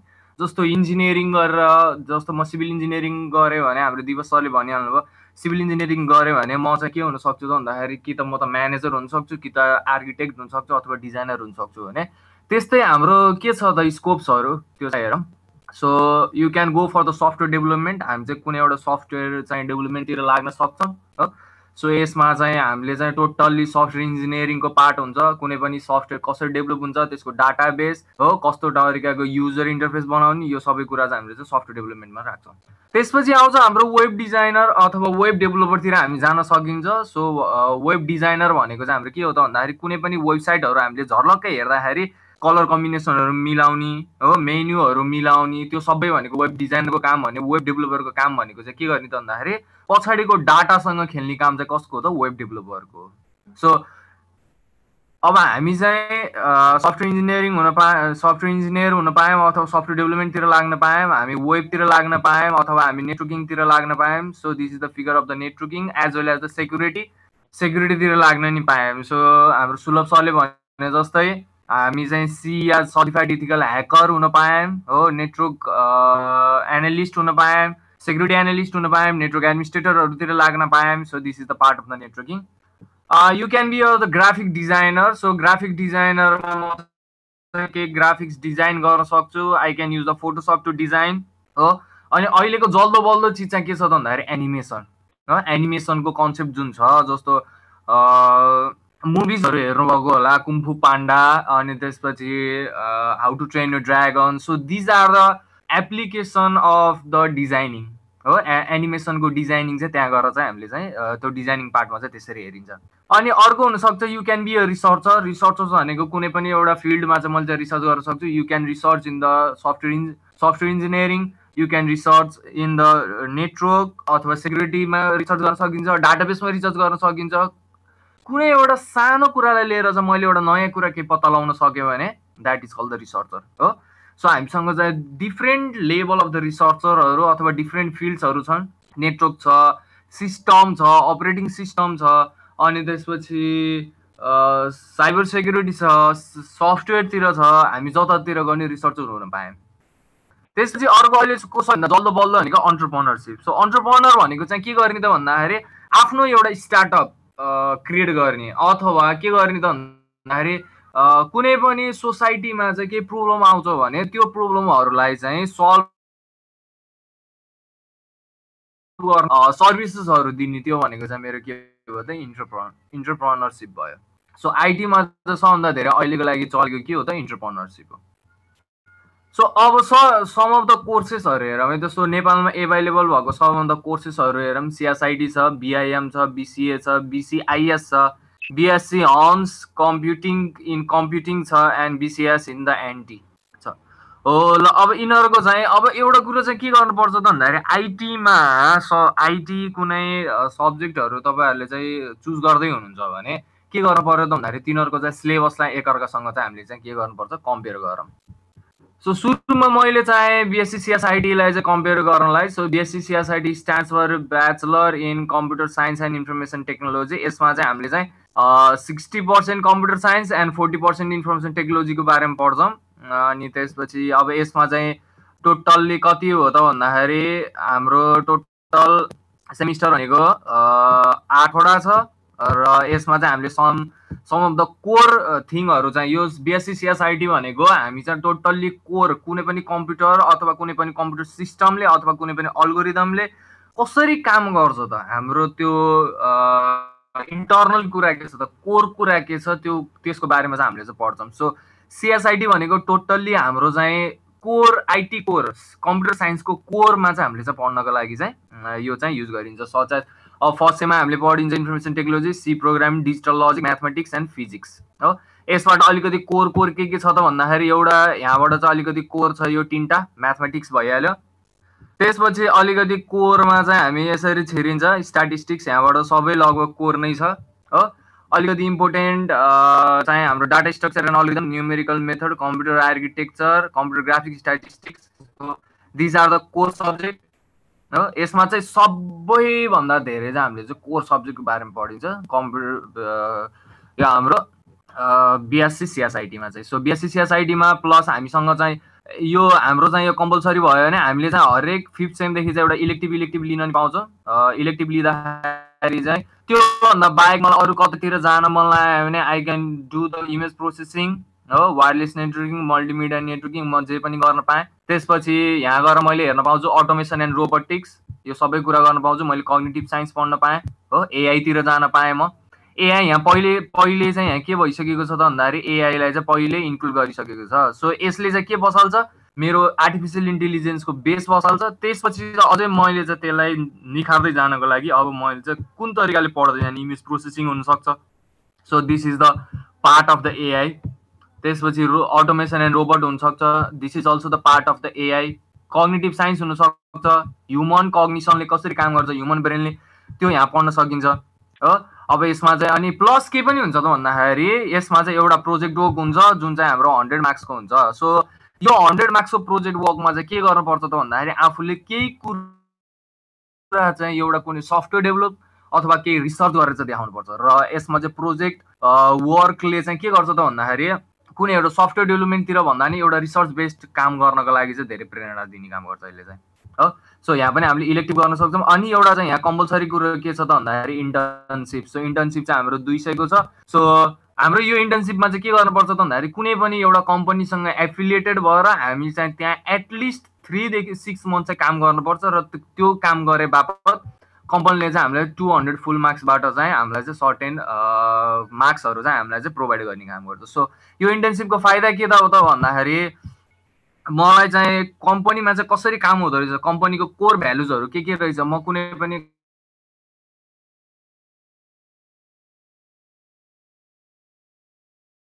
कोही चाहिँ अलिकति कोर नलेजतिर थ्योरिटिकल नलेजतिर प्लस प्र्याक्टिकल पनि हुन्छ तर it is mostly focused on the theoretical knowledge र थ्योरिटिकल नलेजले चाहिँ के गर्छ त भन्दाखेरि you should go through towards the research रिसर्चतिर धकेल्ने काम चाहिँ हामीले कसले गर्छ त भन्दाखेरि बिएससी सिएसआइटीले चाहिँ हामीले चाहिँ रिसर्चतिर धकेल्ने काम गर्छ। सो यसको लागि के गर्नुपर्छ? यो चाहिँ आइएसटीले दिएको सो आइएसटीको हामी चाहिँ साइटमा गएर हेर्न सकिन्छ। So you can search for the CD CSIT dot edu dot NP यो गर्ने बित्तिकै हाम्रो चाहिँ this is the central department of computer science and information technology यसमा चाहिँ हामीले एकाडेमिक्समा गएर हेऱ्यौँ भने बिएससी सिएसआइटी छ एमएससी सिएसआइटी छ पिएचडी पनि छ। So we can do a PhD in CSIT as well as हाम्रो चाहिँ के पनि छ त भन्दाखेरि बिआइटी पनि छ। सो अब बिएससी सिएसआइटीको लागि इक्जाम हामी इन्ट्रान्स दिनको लागि चाहिँ के गर्नु पऱ्यो त भन्दाखेरि you must have the science background science background हुनै पऱ्यो प्लस म्याथ पढेको हुनु पऱ्यो र टुवेल्भमा गएर मैले बायो लिन्छु भने केही पनि फरक पर्दैन यसमा चाहिँ। त्यसपछि आउँछ हाम्रो ब्याचलर इन्फर्मेसन म्यानेजमेन्ट सो यदि कोही म्यानेजमेन्टतिरबाट हुनुहुन्छ भने उहाँहरूले चाहिँ के गर्न पाउनु भयो त भन्दाखेरि ब्याचलर इन्फर्मेसन म्यानेजमेन्ट गर्न पाउनुभयो। सो ब्याचलर इन्फर्मेसन म्यानेजमेन्ट भनेको टोटल्ली के को लागि राखिन्छ त भन्दाखेरि हाम्रो चाहिँ यो चाहिँ ब्याङ्किङ रिलेटेड सेक्टरहरूमा चाहिँ कोही काम गर्न इच्छुक हुनुहुन्छ पछि गएर चाहिँ भन्यो भने यो भनेको चाहिँ हाम्रो ब्याचलर इन्फर्मेसन म्यानेजमेन्ट हुन्छ। So this is the perfect place to learn about हो? सो अब यसमा चाहिँ हामीले के गरिन्छ त भन्दाखेरि ब्याचलर अफ इन्फर्मेसन म्यानेजमेन्ट पनि सेम एट सेम हो। र यो चाहिँ कसले दिन्छ त? फ्याकल्टी अफ म्यानेजमेन्टले प्रोभाइड गरेछ टियुकै हो। सो अहिले सिएसआइडी पनि टियुकै हो बिआइएम पनि टियुकै हो। र यसले चाहिँ के निकाल्ने काम गर्छ त भन्दाखेरि बेसिकली हाम्रो चाहिँ ब्याङ्कमा गएर ब्याङ्किङ सेक्टरमा गएर चाहिँ कोही आइटीको महानुभावहरूले काम गर्नुहुन्छ भने त्यति बेला चाहिँ हाम्रो चाहिँ BIM is the perfect plus यस यसमा चाहिँ के हुन्छ त भन्दाखेरि हाम्रो चाहिँ सिक्सटी पर्सेन्ट आइटी हुन्छ र फोर्टी पर्सेन्ट म्यानेजमेन्ट हुन्छ so you will be learning plus management at the same time so यसरी हेर्दै जाने हो भने म्याथमेटिक्स सबैमा छ लगभग लगभग सेम हुन्छ। यसमा अलिकति फरक के छ त भन्दाखेरि हामीले चाहिँ म्यानेजमेन्टको बारेमा पढ्नु पऱ्यो सो सोसियोलोजी छ हो। अनि त्यसपछि यो साइडमा हेर्न सकिन्छ हामीले चाहिँ म्यानेजमेन्टहरूको बारेमा चाहिँ अलिकति बढी छ यसमा चाहिँ। जस्तो फाइनेन्सियल एकाउन्टिङ छ म्यानेजमेन्ट एकाउन्टिङ छ माइक्रो इकोनोमिक्स छ। हो बिजनेस स्ट्याटिस्टिक्सहरू छ। प्लस एमा पनि हामीले के गर्नु पर्छ त भन्दाखेरि यसमा चाहिँ अब के छ त एउटा नयाँ कुरा चाहिँ के छ त भन्दाखेरि यसमा चाहिँ हामीले एउटा समर प्रोजेक्ट भनेर गर्नुपर्छ so this is this summer project is same as the project of the BSc CSIT BSc सिएसआइटीको same project हो र यसमा चाहिँ के छ त भन्दाखेरि एउटा चाहिँ इन्टर्नसिप चाहिँ कम्पलसरी छ। हो सो एट सेममा गएर चाहिँ हामीले चाहिँ के गर्नुपर्छ इन्टर्नसिप कम्पलसरी हुनुपर्छ। र मैले देखे अनुसार चाहिँ यो बिआइएम भनेको आर पर्फेक्ट फर दो जसलाई चाहिँ जाबा प्रोग्रामिङ अलिकति इन्ट्रेस्ट लाग्छ हो। प्रोग्रामिङतिर अलिकति कोही इन्ट्रेस्टेड हुनुहुन्छ भने त्यो जाँदा हुन्छ। अनि अर्को चाहिँ के पनि एकदम इम्पोर्टेन्ट यसमा चाहिँ के पनि छ त भन्दाखेरि यसले चाहिँ हाम्रो नेटवर्किङको बेस नेटवर्किङमा कसैले म काम गर्छु भनेर जाने भने this is also the one of the best course for the networking किन त भन्दाखेरि हामीले सेकेन्ड सेममा के पढिन्छ यसमा? Data communication and computer network पढिन्छ। त्यसपछि सिक्स सेममा आएर चाहिँ हाम्रो चाहिँ एडभान्स इन्टर नेटवर्किङ छ। So this advance internetworking भनेको all same as the Cisco certified network associate जुन चाहिँ हाम्रो नेटवर्किङको हाम्रो सर्टिफिकेसन छ त्यो अनुसारको हुन्छ। अनि त्यसपछि अरू चाहिँ अनि हामीले चाहिँ अर्को के पनि गरिन्छ system administration with the networking and अर्को चाहिँ high speed network with the multimedia networking so हामीले चाहिँ चारवटा सब्जेक्ट चाहिँ as well as the computer security and cyber law हो? सो यो पाँचवटा सब्जेक्टले चाहिँ के गर्छ त भन्दाखेरि हामीलाई चाहिँ नेटवर्किङमा करियर बनाउनको लागि चाहिँ हामीले चाहिँ एकदम राम्रो चाहिँ बुस्टअप गर्ने काम गर्छ। त्यसपछि आउँछ यसलाई चाहिँ हामीले चाहिँ यसको अझ इन्फर्मेसन हामी चाहिँ कहाँ गएर हेर्न सकिन्छ त भन्दाखेरि फ्याकल्टी अफ म्यानेजमेन्ट हो? एफओएमइसिडी डट इडियु डट एनपीमा गएर चाहिँ हामीले चाहिँ हेर्न सकिन्छ यसलाई चाहिँ। त्यस्तै ब्याचलर इन ल बिसिआइएस छ सो बिसिआइएसको लागि चाहिँ हाम्रो के हुन्छ त भन्दाखेरि यो चाहिँ हाम्रो खासमा चाहिँ पियुले प्रोभाइड गरेको पियुको हो पूर्वाञ्चल युनिभर्सिटीको हो यो चाहिँ र यो चाहिँ कहाँ कहाँ एभाइलेबल छ भनेर हेर्नको लागि चाहिँ हामीले चाहिँ के हेर्न सकिन्छ त यसमा चाहिँ यसको चाहिँ खासै मलाई चाहिँ त्यति साह्रै इन्फर्मेसन चाहिँ थाहा छैन तर बिसिआइएस भनेको अघि हाम्रो सुलभ सरले भने जस्तै एप्लिकेबल हो। र same as the BS B BCA जस्तै हो यो पनि यसमा पनि हामीले चाहिँ सरी बिसिआइएस भनेको चाहिँ same as the BIM information system यसमा चाहिँ हामीले चाहिँ microeconomics principle of management सबैको बारेमा चाहिँ यो चाहिँ पढ्नुपर्छ स जस्तो टियुले चाहिँ के प्रोभाइड गरेछ बिआइएम प्रोभाइड गरेछ त्यसरी नै हाम्रो चाहिँ पियुले चाहिँ बिसिआइएस भनेर चाहिँ हाम्रो चाहिँ प्रोभाइड गरिरहेको छ। यसमा पनि सबै कुरा चाहिँ नेटवर्किङको सबै कुरा पढ्नुपर्छ। हो इन्टर्नसिप पनि छ यसमा प्रोजेक्ट वर्क छ।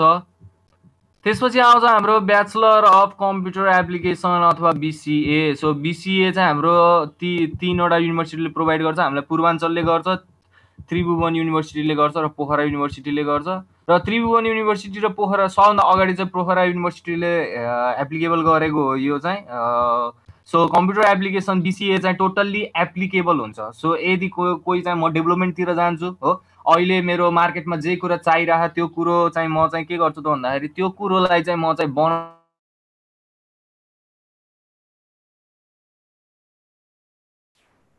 सो यसको लागि पनि हामीले चाहिँ इक्जाम दिनु पऱ्यो र यसको लागि इक्जाम दिँदाखेरि हामीले चाहिँ यहाँ सिलेबस हेर्न सकिन्छ।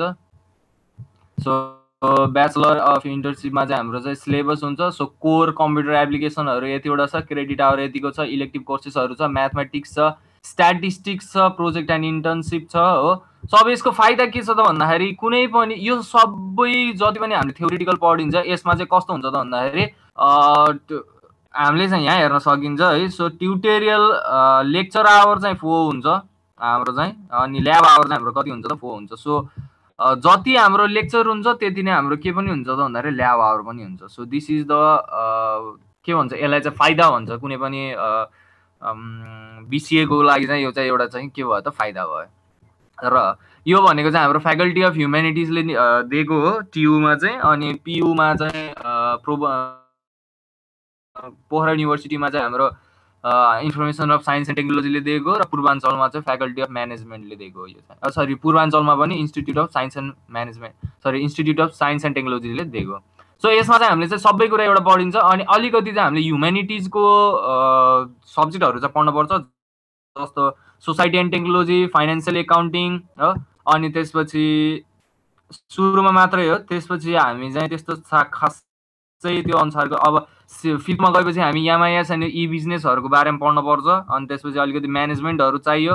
अब यसको फाइदा के छ त भन्दाखेरि हामीले चाहिँ कतिवटा प्रोजेक्ट गरिन्छ। एउटा फोर्थ सेममा एउटा प्रोजेक्ट गरिन्छ जुन चाहिँ फोर क्रेडिट आवरको सरी टु क्रेडिट आवरको हुन्छ। र अर्को प्रोजेक्ट गरिन्छ हाम्रो सिक्स सेममा चाहिँ अर्को प्रोजेक्ट गरिन्छ जुन चाहिँ टु क्रेडिट आवरको हुन्छ। अनि त्यसपछि हामीले चाहिँ यहाँ गएर चाहिँ सेभेन सेममा चाहिँ इन्टर्नसिप गरिन्छ।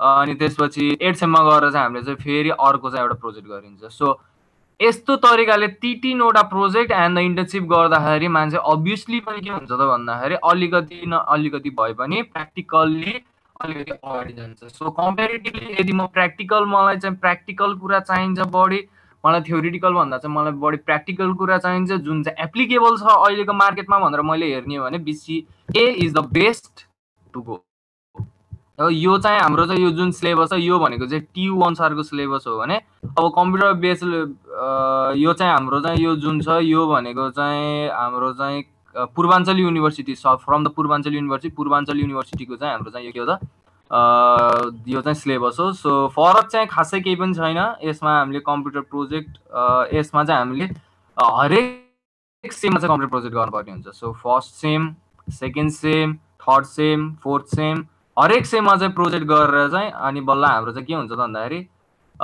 यसमा चाहिँ एउटा फाइदा अझै के भयो त भन्दाखेरि यदि मैले चाहिँ BCA of the Purbanchal university पढेँ भने मैले हरेक सेममा चाहिँ एक एक घन्टा प्रोजेक्ट चाहिँ गर्नु पऱ्यो अझ म एप्लिकेबल भएँ त्यो कुरामा। त्यसपछि आउँछ मेरो पोखरा युनिभर्सिटीको पोखरा युनिभर्सिटीको चाहिँ हाम्रो यो चार यो छ हाम्रो चाहिँ एभाइलेबल छ। र यदि कोही नारायणघाट चितवन अथवा नलपरासीको हुनुहुन्छ भने अक्सफोर्ड कलेज अफ इन्जिनियरिङ छ। अब यहाँ चाहिँ हाम्रो के छ त भन्दाखेरि सेकेन्ड सेममा एउटा प्रोजेक्ट छ त्यसपछि फोर्थ सेममा छ त्यसपछि सिक्स सेममा छ अनि त्यसपछि इन्टर्नसिप छ र यसमा चाहिँ हामीले के पनि पढिन्छ चौथो हो हामीसँग चाहिँ। यसरी चाहिँ चारवटा प्रोजेक्ट चाहिँ यसमा छ। सो कम्पेरिटिभली हेर्दाखेरि चाहिँ हाम्रो बिसिए बिआइएम सिएसआइटी बिसिआइएस भन्दा चाहिँ अझ अहिलेको लागि प्र्याक्टिकल्ली हेर्दाखेरि चाहिँ हेर्दाखेरि चाहिँ हाम्रो बिसिए इज द बेस्ट तर हाम हामीले चाहिँ यदि मलाई चाहिँ कोर कुराहरू चाहिन्छ कुनै पनि मेरो सिस्टमको चाहिँ मेरो कम्प्युटरले कसरी काम गरिरहेको छ त्यो कोर कुरा चाहिन्छ भने सिएसआइटी इज द बेस्ट अब आफूले आफूलाई कतातिर लैजाने त्यो आफूमा भर पर्छ। अनि त्यसपछि अब बिसिएको बारेमा हेर्न सक्नुहुन्छ faculty of humanities and social sciences यो साइडमा गएर हामीले हेर्ने भने यसमा चाहिँ हामीले चाहिँ के हेर्न सकिन्छ सबै यसमा चाहिँ के के हुन्छ। अब यहाँ चाहिँ फरक के हुन्छ त भन्दाखेरि हाम्रो सिएसआइटीको बिएससी सिएसआइटीको लागि चाहिँ जस्तो हाम्रो इन्जिनियरिङमा इक्जाम दिएर पास नभएसम्म हामीले पढ्न पाइँदैन। त्यस्तै सिएसआइटी बिआइएम बिसिएमा पनि सबैमा त्यही हुन्छ। सिएसआइटीमा हामीले इक्जाम दिनै पर्यो अनि त्यसपछि पास हुनु पर्यो र इन्जिनियरिङ जस्तो चाहिँ थोरै यसको चाहिँ आङ्गी क्याम्पसहरू छैनन्। यसमा चाहिँ प्राइभेट क्याम्पसहरू पनि छन् आङ्गी क्याम्पसहरू पनि टन्नै छन्। सो बिएससी सिएसआइटीको लागि सबभन्दा यसको सेन्ट्रल क्याम्पस भनेको हाम्रो के हो त भन्दाखेरि अस्कल हो। अस्कल चाहिँ हाम्रो के हो त? बिएससी सिएसआइटीको लागि चाहिँ हाम्रो सेन्ट्रल क्याम्पस हो भने बिआइएमको लागि चाहिँ हाम्रो सेन्ट्रल क्याम्पस चाहिँ हाम्रो फ्याकल्टी अफ म्यानेजमेन्टलाई नै भन्छ। अनि त्यसपछि बिसिएको लागि चाहिँ हाम्रो सेन्ट्रल क्याम्पस भनेको चाहिँ पाटन। सो पासन पाटन क्याम्पस भनेको चाहिँ हाम्रो कम्प्युटर एप्लिकेसनको लागि चाहिँ सेन्ट्रल क्याम्पस हो। सो यसरी चाहिँ हामीले तिनटै जति पनि छ यहाँ सबैमा चाहिँ हामीले के गर्नुपर्छ इक्जाम दिनु पऱ्यो पास आउट हुनु पऱ्यो र पास आउट भइसकेपछि कुनै पनि एफिलिएटेड हाम्रो कलेजहरूमा चाहिँ हामीले चाहिँ के गर्न सकिन्छ त भन्दाखेरि गएर चाहिँ हामीले इजिली भर्ना भएर चाहिँ पढ्न चाहिँ सकिन्छ। जुन चाहिँ आफूसँग नजिक छ त्यो चाहिँ हामीले चाहिँ इजिली पढ्न सकिन्छ। हो? ल अब यति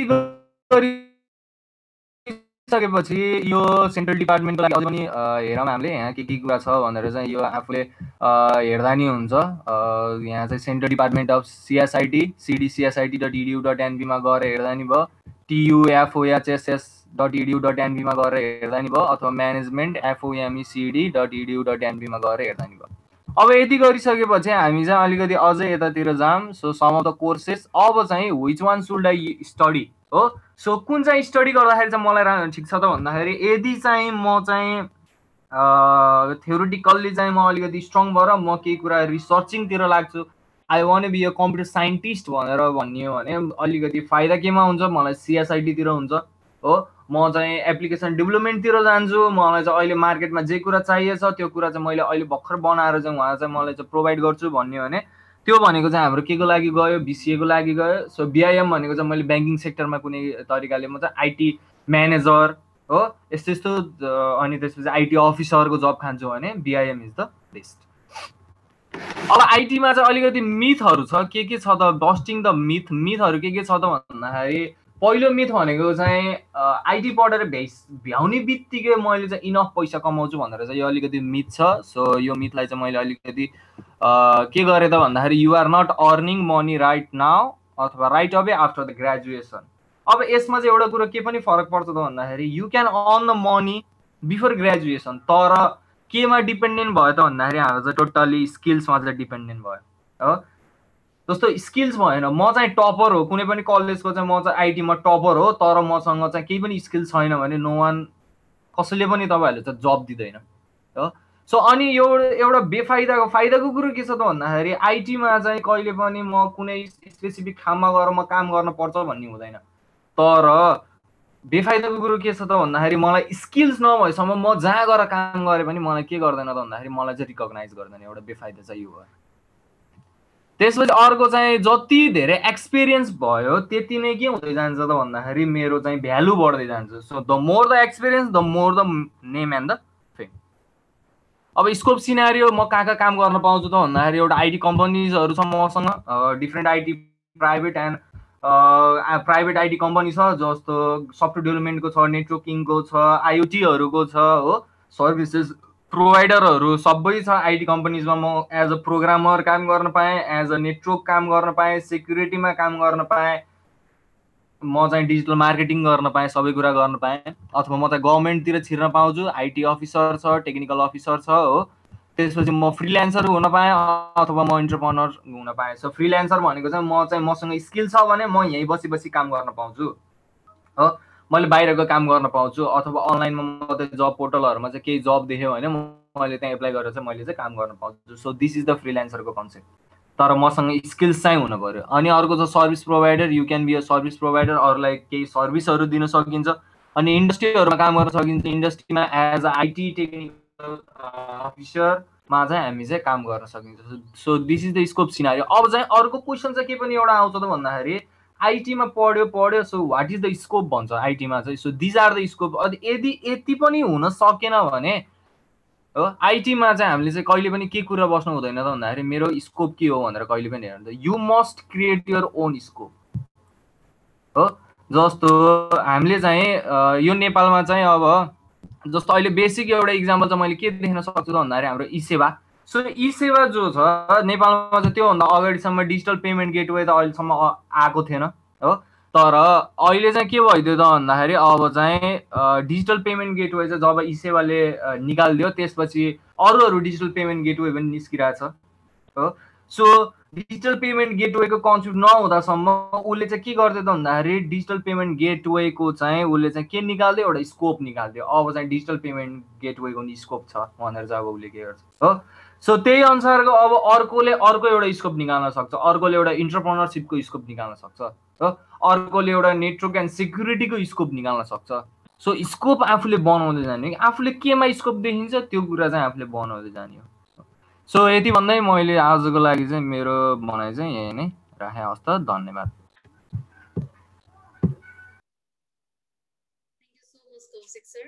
for your wonderful presentation okay पनि तपाईँको प्रेजेन्टेसन हेर्दाखेरि त मलाई पनि आइटी पढौँ पढौँ जस्तो लाग्यो. Anyways so besides uh, uh, यो आइटी रिलेटेड फिल्डको जति पनि क्वेसनहरू छ तपाईँको मनमा उब्जिएको कुनै पनि क्वेसन छ भने you can put forward now अबको भने हाम्रो टेन मिनट्सको क्वेसन एन्ड एन्सर राउन्ड रहनेछ।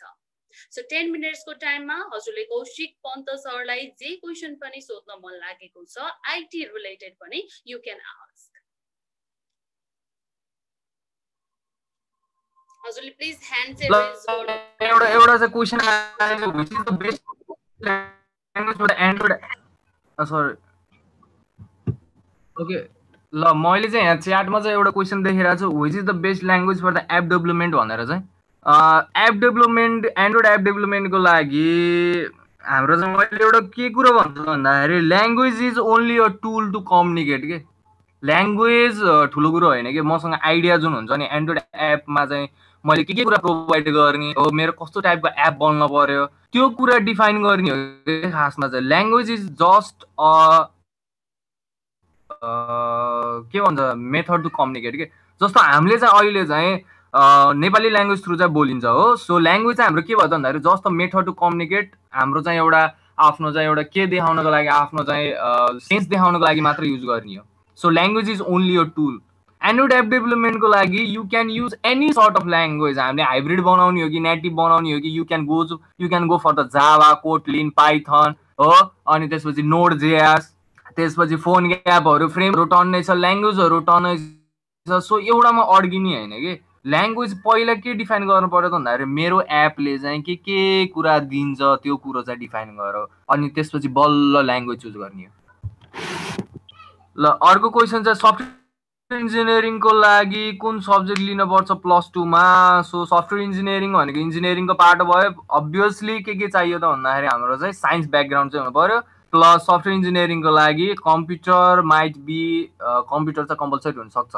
है यो चाहिँ मलाई कन्फर्म छैन। You can search for the software engineering in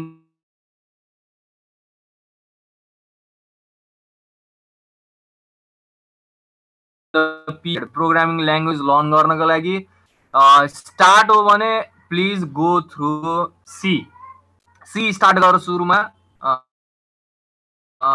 C अलिकति किन्न भने you can go for the Python so आइटीको सबैको फी र स्कलरसिपको बारेमा नि भनिदिनु न। आइटीको सबैमा चाहिँ हाम्रो सिएसआइटीको लागि ल। सिएसआइटीको फी चाहिँ कति छ त भन्दाखेरि एराउन्ड आउट अफ भ्याली चाहिँ एराउन्ड हाम्रो सिक्स पोइन्ट फाइभ लाक्सदेखि सेभेन लाख छ भने इनसाइड द भ्याली नाइन लाखदेखि टुवेल्भ लाख अथवा फोर्टिन लाखसम्म पुग्छ सिएसआइटीको बिआइएमको लागि चाहिँ एराउन्ड इनसाइड द भ्याली कति छ त भन्दाखेरि सिक्सदेखि सेभेन लाख छ बिआइएमको तर आउट अफ द भ्याली चाहिँ एराउन्ड फोरदेखि फाइभ ल्याक छ। बिसिएको लागि चाहिँ कति छ त भन्दाखेरि आउट अफ भ्याली फोरदेखि फाइभ अथवा म्याक्सिमम् गयो सिक्ससम्म पुग्छ होला र इनसाइड द भ्याली चाहिँ त्यही एराउन्ड एटको एराउन्ड चाहिँ होला। अब यो उसको लागि चाहिँ अब पोखरा युनिभर्सिटीमा चाहिँ हाम्रो अक्सफोर्ड कलेज अफ इन्जिनियरिङमा चाहिँ बिसिएको कस्ट चाहिँ कति छ त भन्दाखेरि एराउन्ड सेभेन लाख जति चाहिँ छ। र स्कलरसिपमा चाहिँ हाम्रो चाहिँ स्कलरसिपमा पढ्नको लागि चाहिँ कुनै पनि स्कलरसिपमा पढ्नको लागि चाहिँ हामी चाहिँ सेन्ट्रल क्याम्पसमा पढ्न पाइन्छ। स्कलरसिपमा अथवा कुनै एउटा लोकल लेभल त्यहाँमा चाहिँ हामी चाहिँ मेरिट लिस्टमा मेरिट लिस्टमा पढेर चाहिँ हामी चाहिँ स्कलरसिपको बा स्कलरसिपमा चाहिँ पढ्न चाहिँ पाइन्छ। सो यदि चाहिँ म सेन्ट्रल क्याम्पसहरूमा पढ्न जान्छु भने त्यहाँ जस्तो अस्कलमा चाहिँ के छ त भन्दाखेरि सिएसआइटीको कस्ट चाहिँ म्याक्सिमम् परे around two point five lakhs छ। हो? अथवा यस्तो आइङ्गी क्याम्पसहरू जस्तो वीरेन्द्र अनि त्यसपछि पाटन इनर इनरमा चाहिँ के छ त भन्दाखेरि एराउन्ड थ्री ल्याक्स छ स्कलरसिप विदाउट स्कलरसिप र स्कलरसिप भनेको चाहिँ बेसिकल्ली प्राइभेट क्याम्पसहरूले दिन्छ how much you can bargain with them which is the better website to learn the coding during the lockdown the better website सबै कुरा खोज्नको लागि the YouTube is the best युट्युबमा जहिलेसुकै उसमा हेरिकन के भन्छ केही नचाहिँदो कुरा केही भाइन्सहरू अथवा यताउति केही पनि नहेरिकन if you go for the something learn to learn भने त्यति बेला चाहिँ YouTube is the best app developer job scope चाहिँ कस्तो नेपाल कस्तो नेपालमा सर एप डेभलपर के को एप डेभलपर बन्ने एन्ड्रोइड एप डेभलपर बन्ने कि आइएस एप डेभलपर भन्ने? सो एप डेभलपर बन्नको लागि चाहिँ अहिले चाहिँ के भइसक्यो भन्दाखेरि अ ल्याङ्ग्वेज क्यान एक्सपोर्ट एउटै ल्याङ्ग्वेजले चाहिँ के गर्न सक्छ भन्दाखेरि दुइटै एन्ड्रोइड एन्ड आइएसमा चाहिँ दुइटैमा चाहिँ एप के गर्न सक्छ त भन्दाखेरि एप चाहिँ निकालिदिन सक्छ। सो यो कारणले गर्दाखेरि चाहिँ के भयो त भन्दाखेरि एन्ड्रोइड सरी एप डेभलपरमा चाहिँ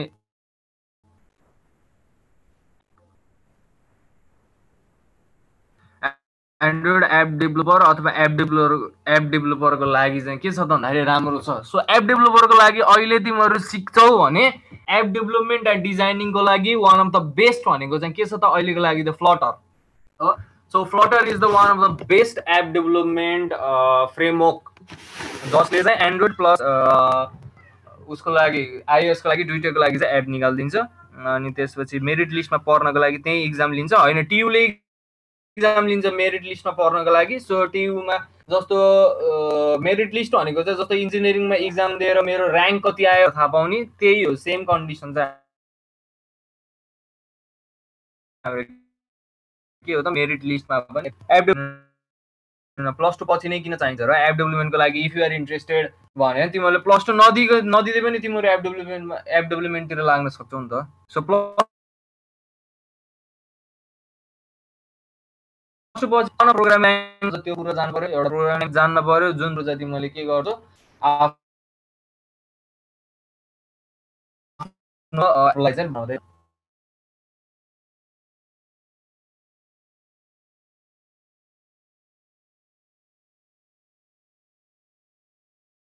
सबैभन्दा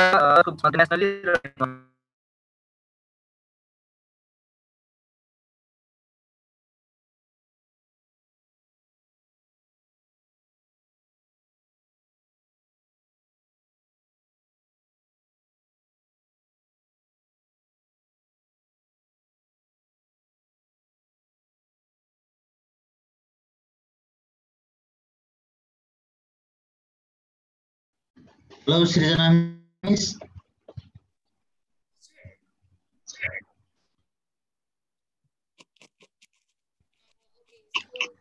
हजुरले ह्यान्डओभर गर्नु क्वेसन त यति धेरै आइरहेको छ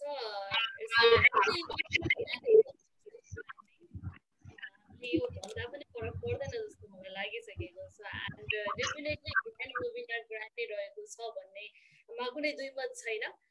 र अब चाहिँ हामीले क्वेसन एन्सर राउन्ड पनि जितिसकेको छ। यदि तपाईँलाई कुनै पनि क्वेसन छ भने हाम्रो अर्गनाइजर सर पनि यही नै हुनुहुन्छ रूपेश हरियाल हुनुहुन्छ उहाँसँग पनि उहाँले च्याट बक्समा पनि आफ्नो इमेल आइडी लेखेर पठाइसक्नु भएको छ। यदि तपाईँलाई कुनै पनि क्वेसन छ या यो रिलेटेड कुनै एउटा सेसन राखिदिनुहोस् भनेर खोज्नु भएको छ भने प्लिज लेटर्स नो कुनै एउटा टपिकको बारेमा तपाईँलाई जान्न चाहनुहुन्छ कुनै एउटा सम्बन्धित एउटा सब्जेक्टको बारेमा तपाईँलाई जान्न मन लागेको छ भने त्यो बारेमा पनि एउटा यस्तै वेबिनार सेसन राख्नु राख्नुहोस् न भनेर हजुरले भन्नुहुन्छ भने हजुरको रिक्वेस्टमा हामी कस्तो फलो नगर्नु र होइन so will be also making one related session हजुरले जुन सेसनको बारेमा चाहिँ जान्न खोज्नु भएको छ त्यो सेसनको रिलेटेड चाहिँ हामीले एउटा वेबिनार सिरिज फेरि पनि राख्ने छौँ र वेबिनार सिरिज अर्गनाइज गर्नको लागि हाम्रो यङ एकदमै एक्टिभ युथ रूपेश अरियालजी हुनुहुन्छ।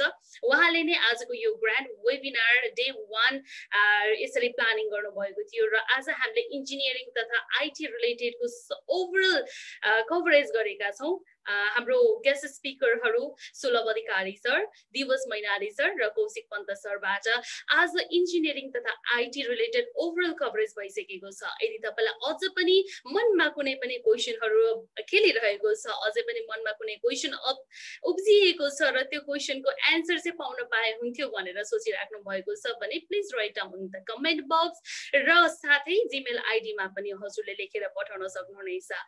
ओके यति भन्दै अब भने हामी ब्रान्ड वेबिनार सिरिज एकदमै सक्सेसफुल भव्य र सफेक साथ सफल भएको भन्ने कुरामा दुई मत नराखेकन अब भने हामी नेक्स्ट वेबिनार सिरिज पनि हुँदैछ है भन्नको लागि पनि मैले यहाँ आएको छु। सो हाम्रो डे टूमा चाहिँ हामीले एमबिबिएस बिडिएस तथा बिएससी नर्सिङ त्यस्तै गरी फार्मेसीको बारेमा पनि हामीले चर्चा परिचर्चा गर्नेछौँ। यदि तपाईँलाई कुनै पनि एमबिबिएस या बिडिएस रिलेटेड या बिएससी नर्सिङ रिलेटेड या फार्मेसी रिलेटेड कुनै पनि क्वेसन सोध्न मन लागेको छ भने डे टूको वेबिनारमा पनि जोइन गर्न नबिर्सिनु होला र साथै sharing is sharing is caring भनिन्छ नि होइन? आफ्नो साथीलाई पनि यो सेयरिङ गर्नु होला किनकि तपाईँले जसरी साथीलाई सेयर गर्नुहुन्छ उनीहरूले पनि आफ्नो करियर डेभलप गर्नको लागि तपाईँले एउटा राम्रो गाइड चाहिँ प्राप्त गर्न सक्नुहुन्छ राम्रो गाइड चाहिँ उनीहरूलाई प्रोभाइड गर्न सक्नुहुन्छ यो वेबिनारको थ्रुबाट र वेबिनार अब अबको डेट कहिले हुन्छ कति बजे हुन्छ र कसरी हुन्छ को को आउनुहुन्छ भन्ने को को गेस्ट स्पिकर हुनुहुन्छ भन्ने बारेमा जान्न चाहनुहुन्छ भने हाम्रो careers after plus two what after plus two भन्ने फेसबुक ग्रुप रहेको छ। त्यस्तै गरी career talk with Srijana Tamrakar भन्ने हाम्रो अफिसियल युट्युब च्यानल रहेको छ। त्यहाँबाट पनि तपाईँले हाम्रो अफिसियल डेट कहिले रहेको छ? वेबिनार डे टूको ग्रान्ड वेबिनार डे टूको जहाँ हामीले एमबिबिएस बिडिएस बिएससी नर्सिङ र फार्मेसीको बारेमा चर्चा गर्नेछौँ। यो कहिले रहनेछ भन्ने बारेमा डेट त्यहाँबाट थाहा पाउन सक्नुहुन्छ। ओके यति भन्दै अब भने हामी ढिला नगरिकन हामी कार्यक्रमको अर्गनाइजर मिस्टर रूपेश सरियालजीलाई म यो माइक ह्यान्ड ओभर गरिदिँदै यहाँबाट बिदा माग्दैछु। Thank you so much everyone for participating see you in next day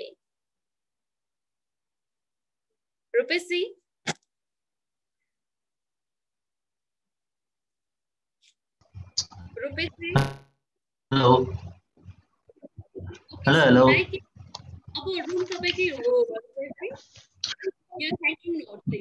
thank you Srijana me आज कार्यक्रम एकदमै ज्ञान तरिकाले सम्पन्न गरिदिनु भएको छ सबैजनाहरूले आफ्नो ठाउँबाट कर्तव्य पुरा गरे यस कार्यक्रममा एक्सपर्टहरू हाम्रो सुलभ सर दिवस सर कौशिक सर सबैलाई म धन्यवाद दिन चाहन्छु र साथसाथै हाम्रो होस्टिङमा सहयोग गर्नुहुने सृजना मिश्र समीर सरलाई पनि एकदमै धन्यवाद दिन चाहन्छु र हाम्रो टेक्निकल टिममा एकदमै मिहिनेत गर्नुभएको आजको सेसनमा एकदमै म्यानेज गरिदिनु भएकोमा विनित घिमिरे सर र संस्कार थापा सरलाई पनि मैले धन्यवाद दिन चाहन्छु। र यस कार्यक्रममा हामीलाई यो जुनको प्याकेज प्रोभाइड गरेर सहयोग गरिदिनु हुने सेन्ट जेभियर इन्स्टिच्युट र प्रशान्त अधिकारी दाईलाई पनि धन्यवाद दिन चाहन्छु। र यसै गरी एनएससी गैडाको टुले पनि महत्त्वपूर्ण भूमिका खेलेको छ मेरो यस कार्यक्रममा उसलाई पनि म धन्यवाद दिन चाहन्छु। भन्दै हाम्रो बाँकी रहेकै हाम्रो वार्ड आफ्टर प्लस टू भन्ने Facebook group career Srijana Tamrakar भन्ने युट्युब च्यानलमा पनि अपडेट आउनेछ मैले इमेल च्याट बक्समा छोडिदिइरहेको छु। हजुरहरूलाई केही क्युरीहरू छ भने मेरो इमेलमा इनबक्स इमेल पठाउन सक्नुहुनेछ। यति भन्दै यस कार्यक्रम सम्पन्न भएको म घोषणा गर्दछु। हस् धन्यवाद।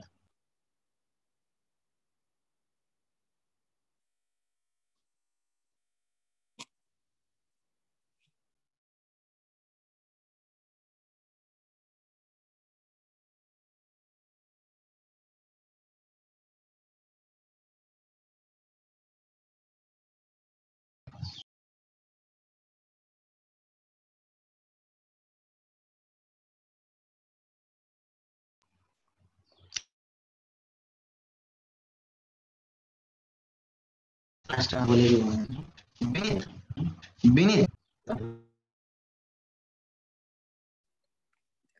Yes.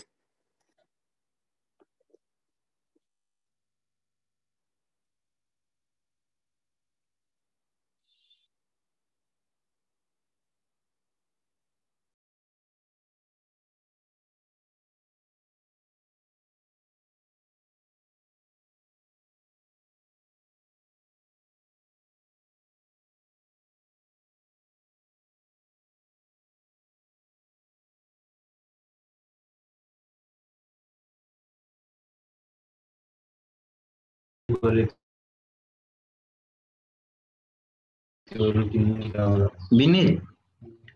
Yes. Please end the session. Okay.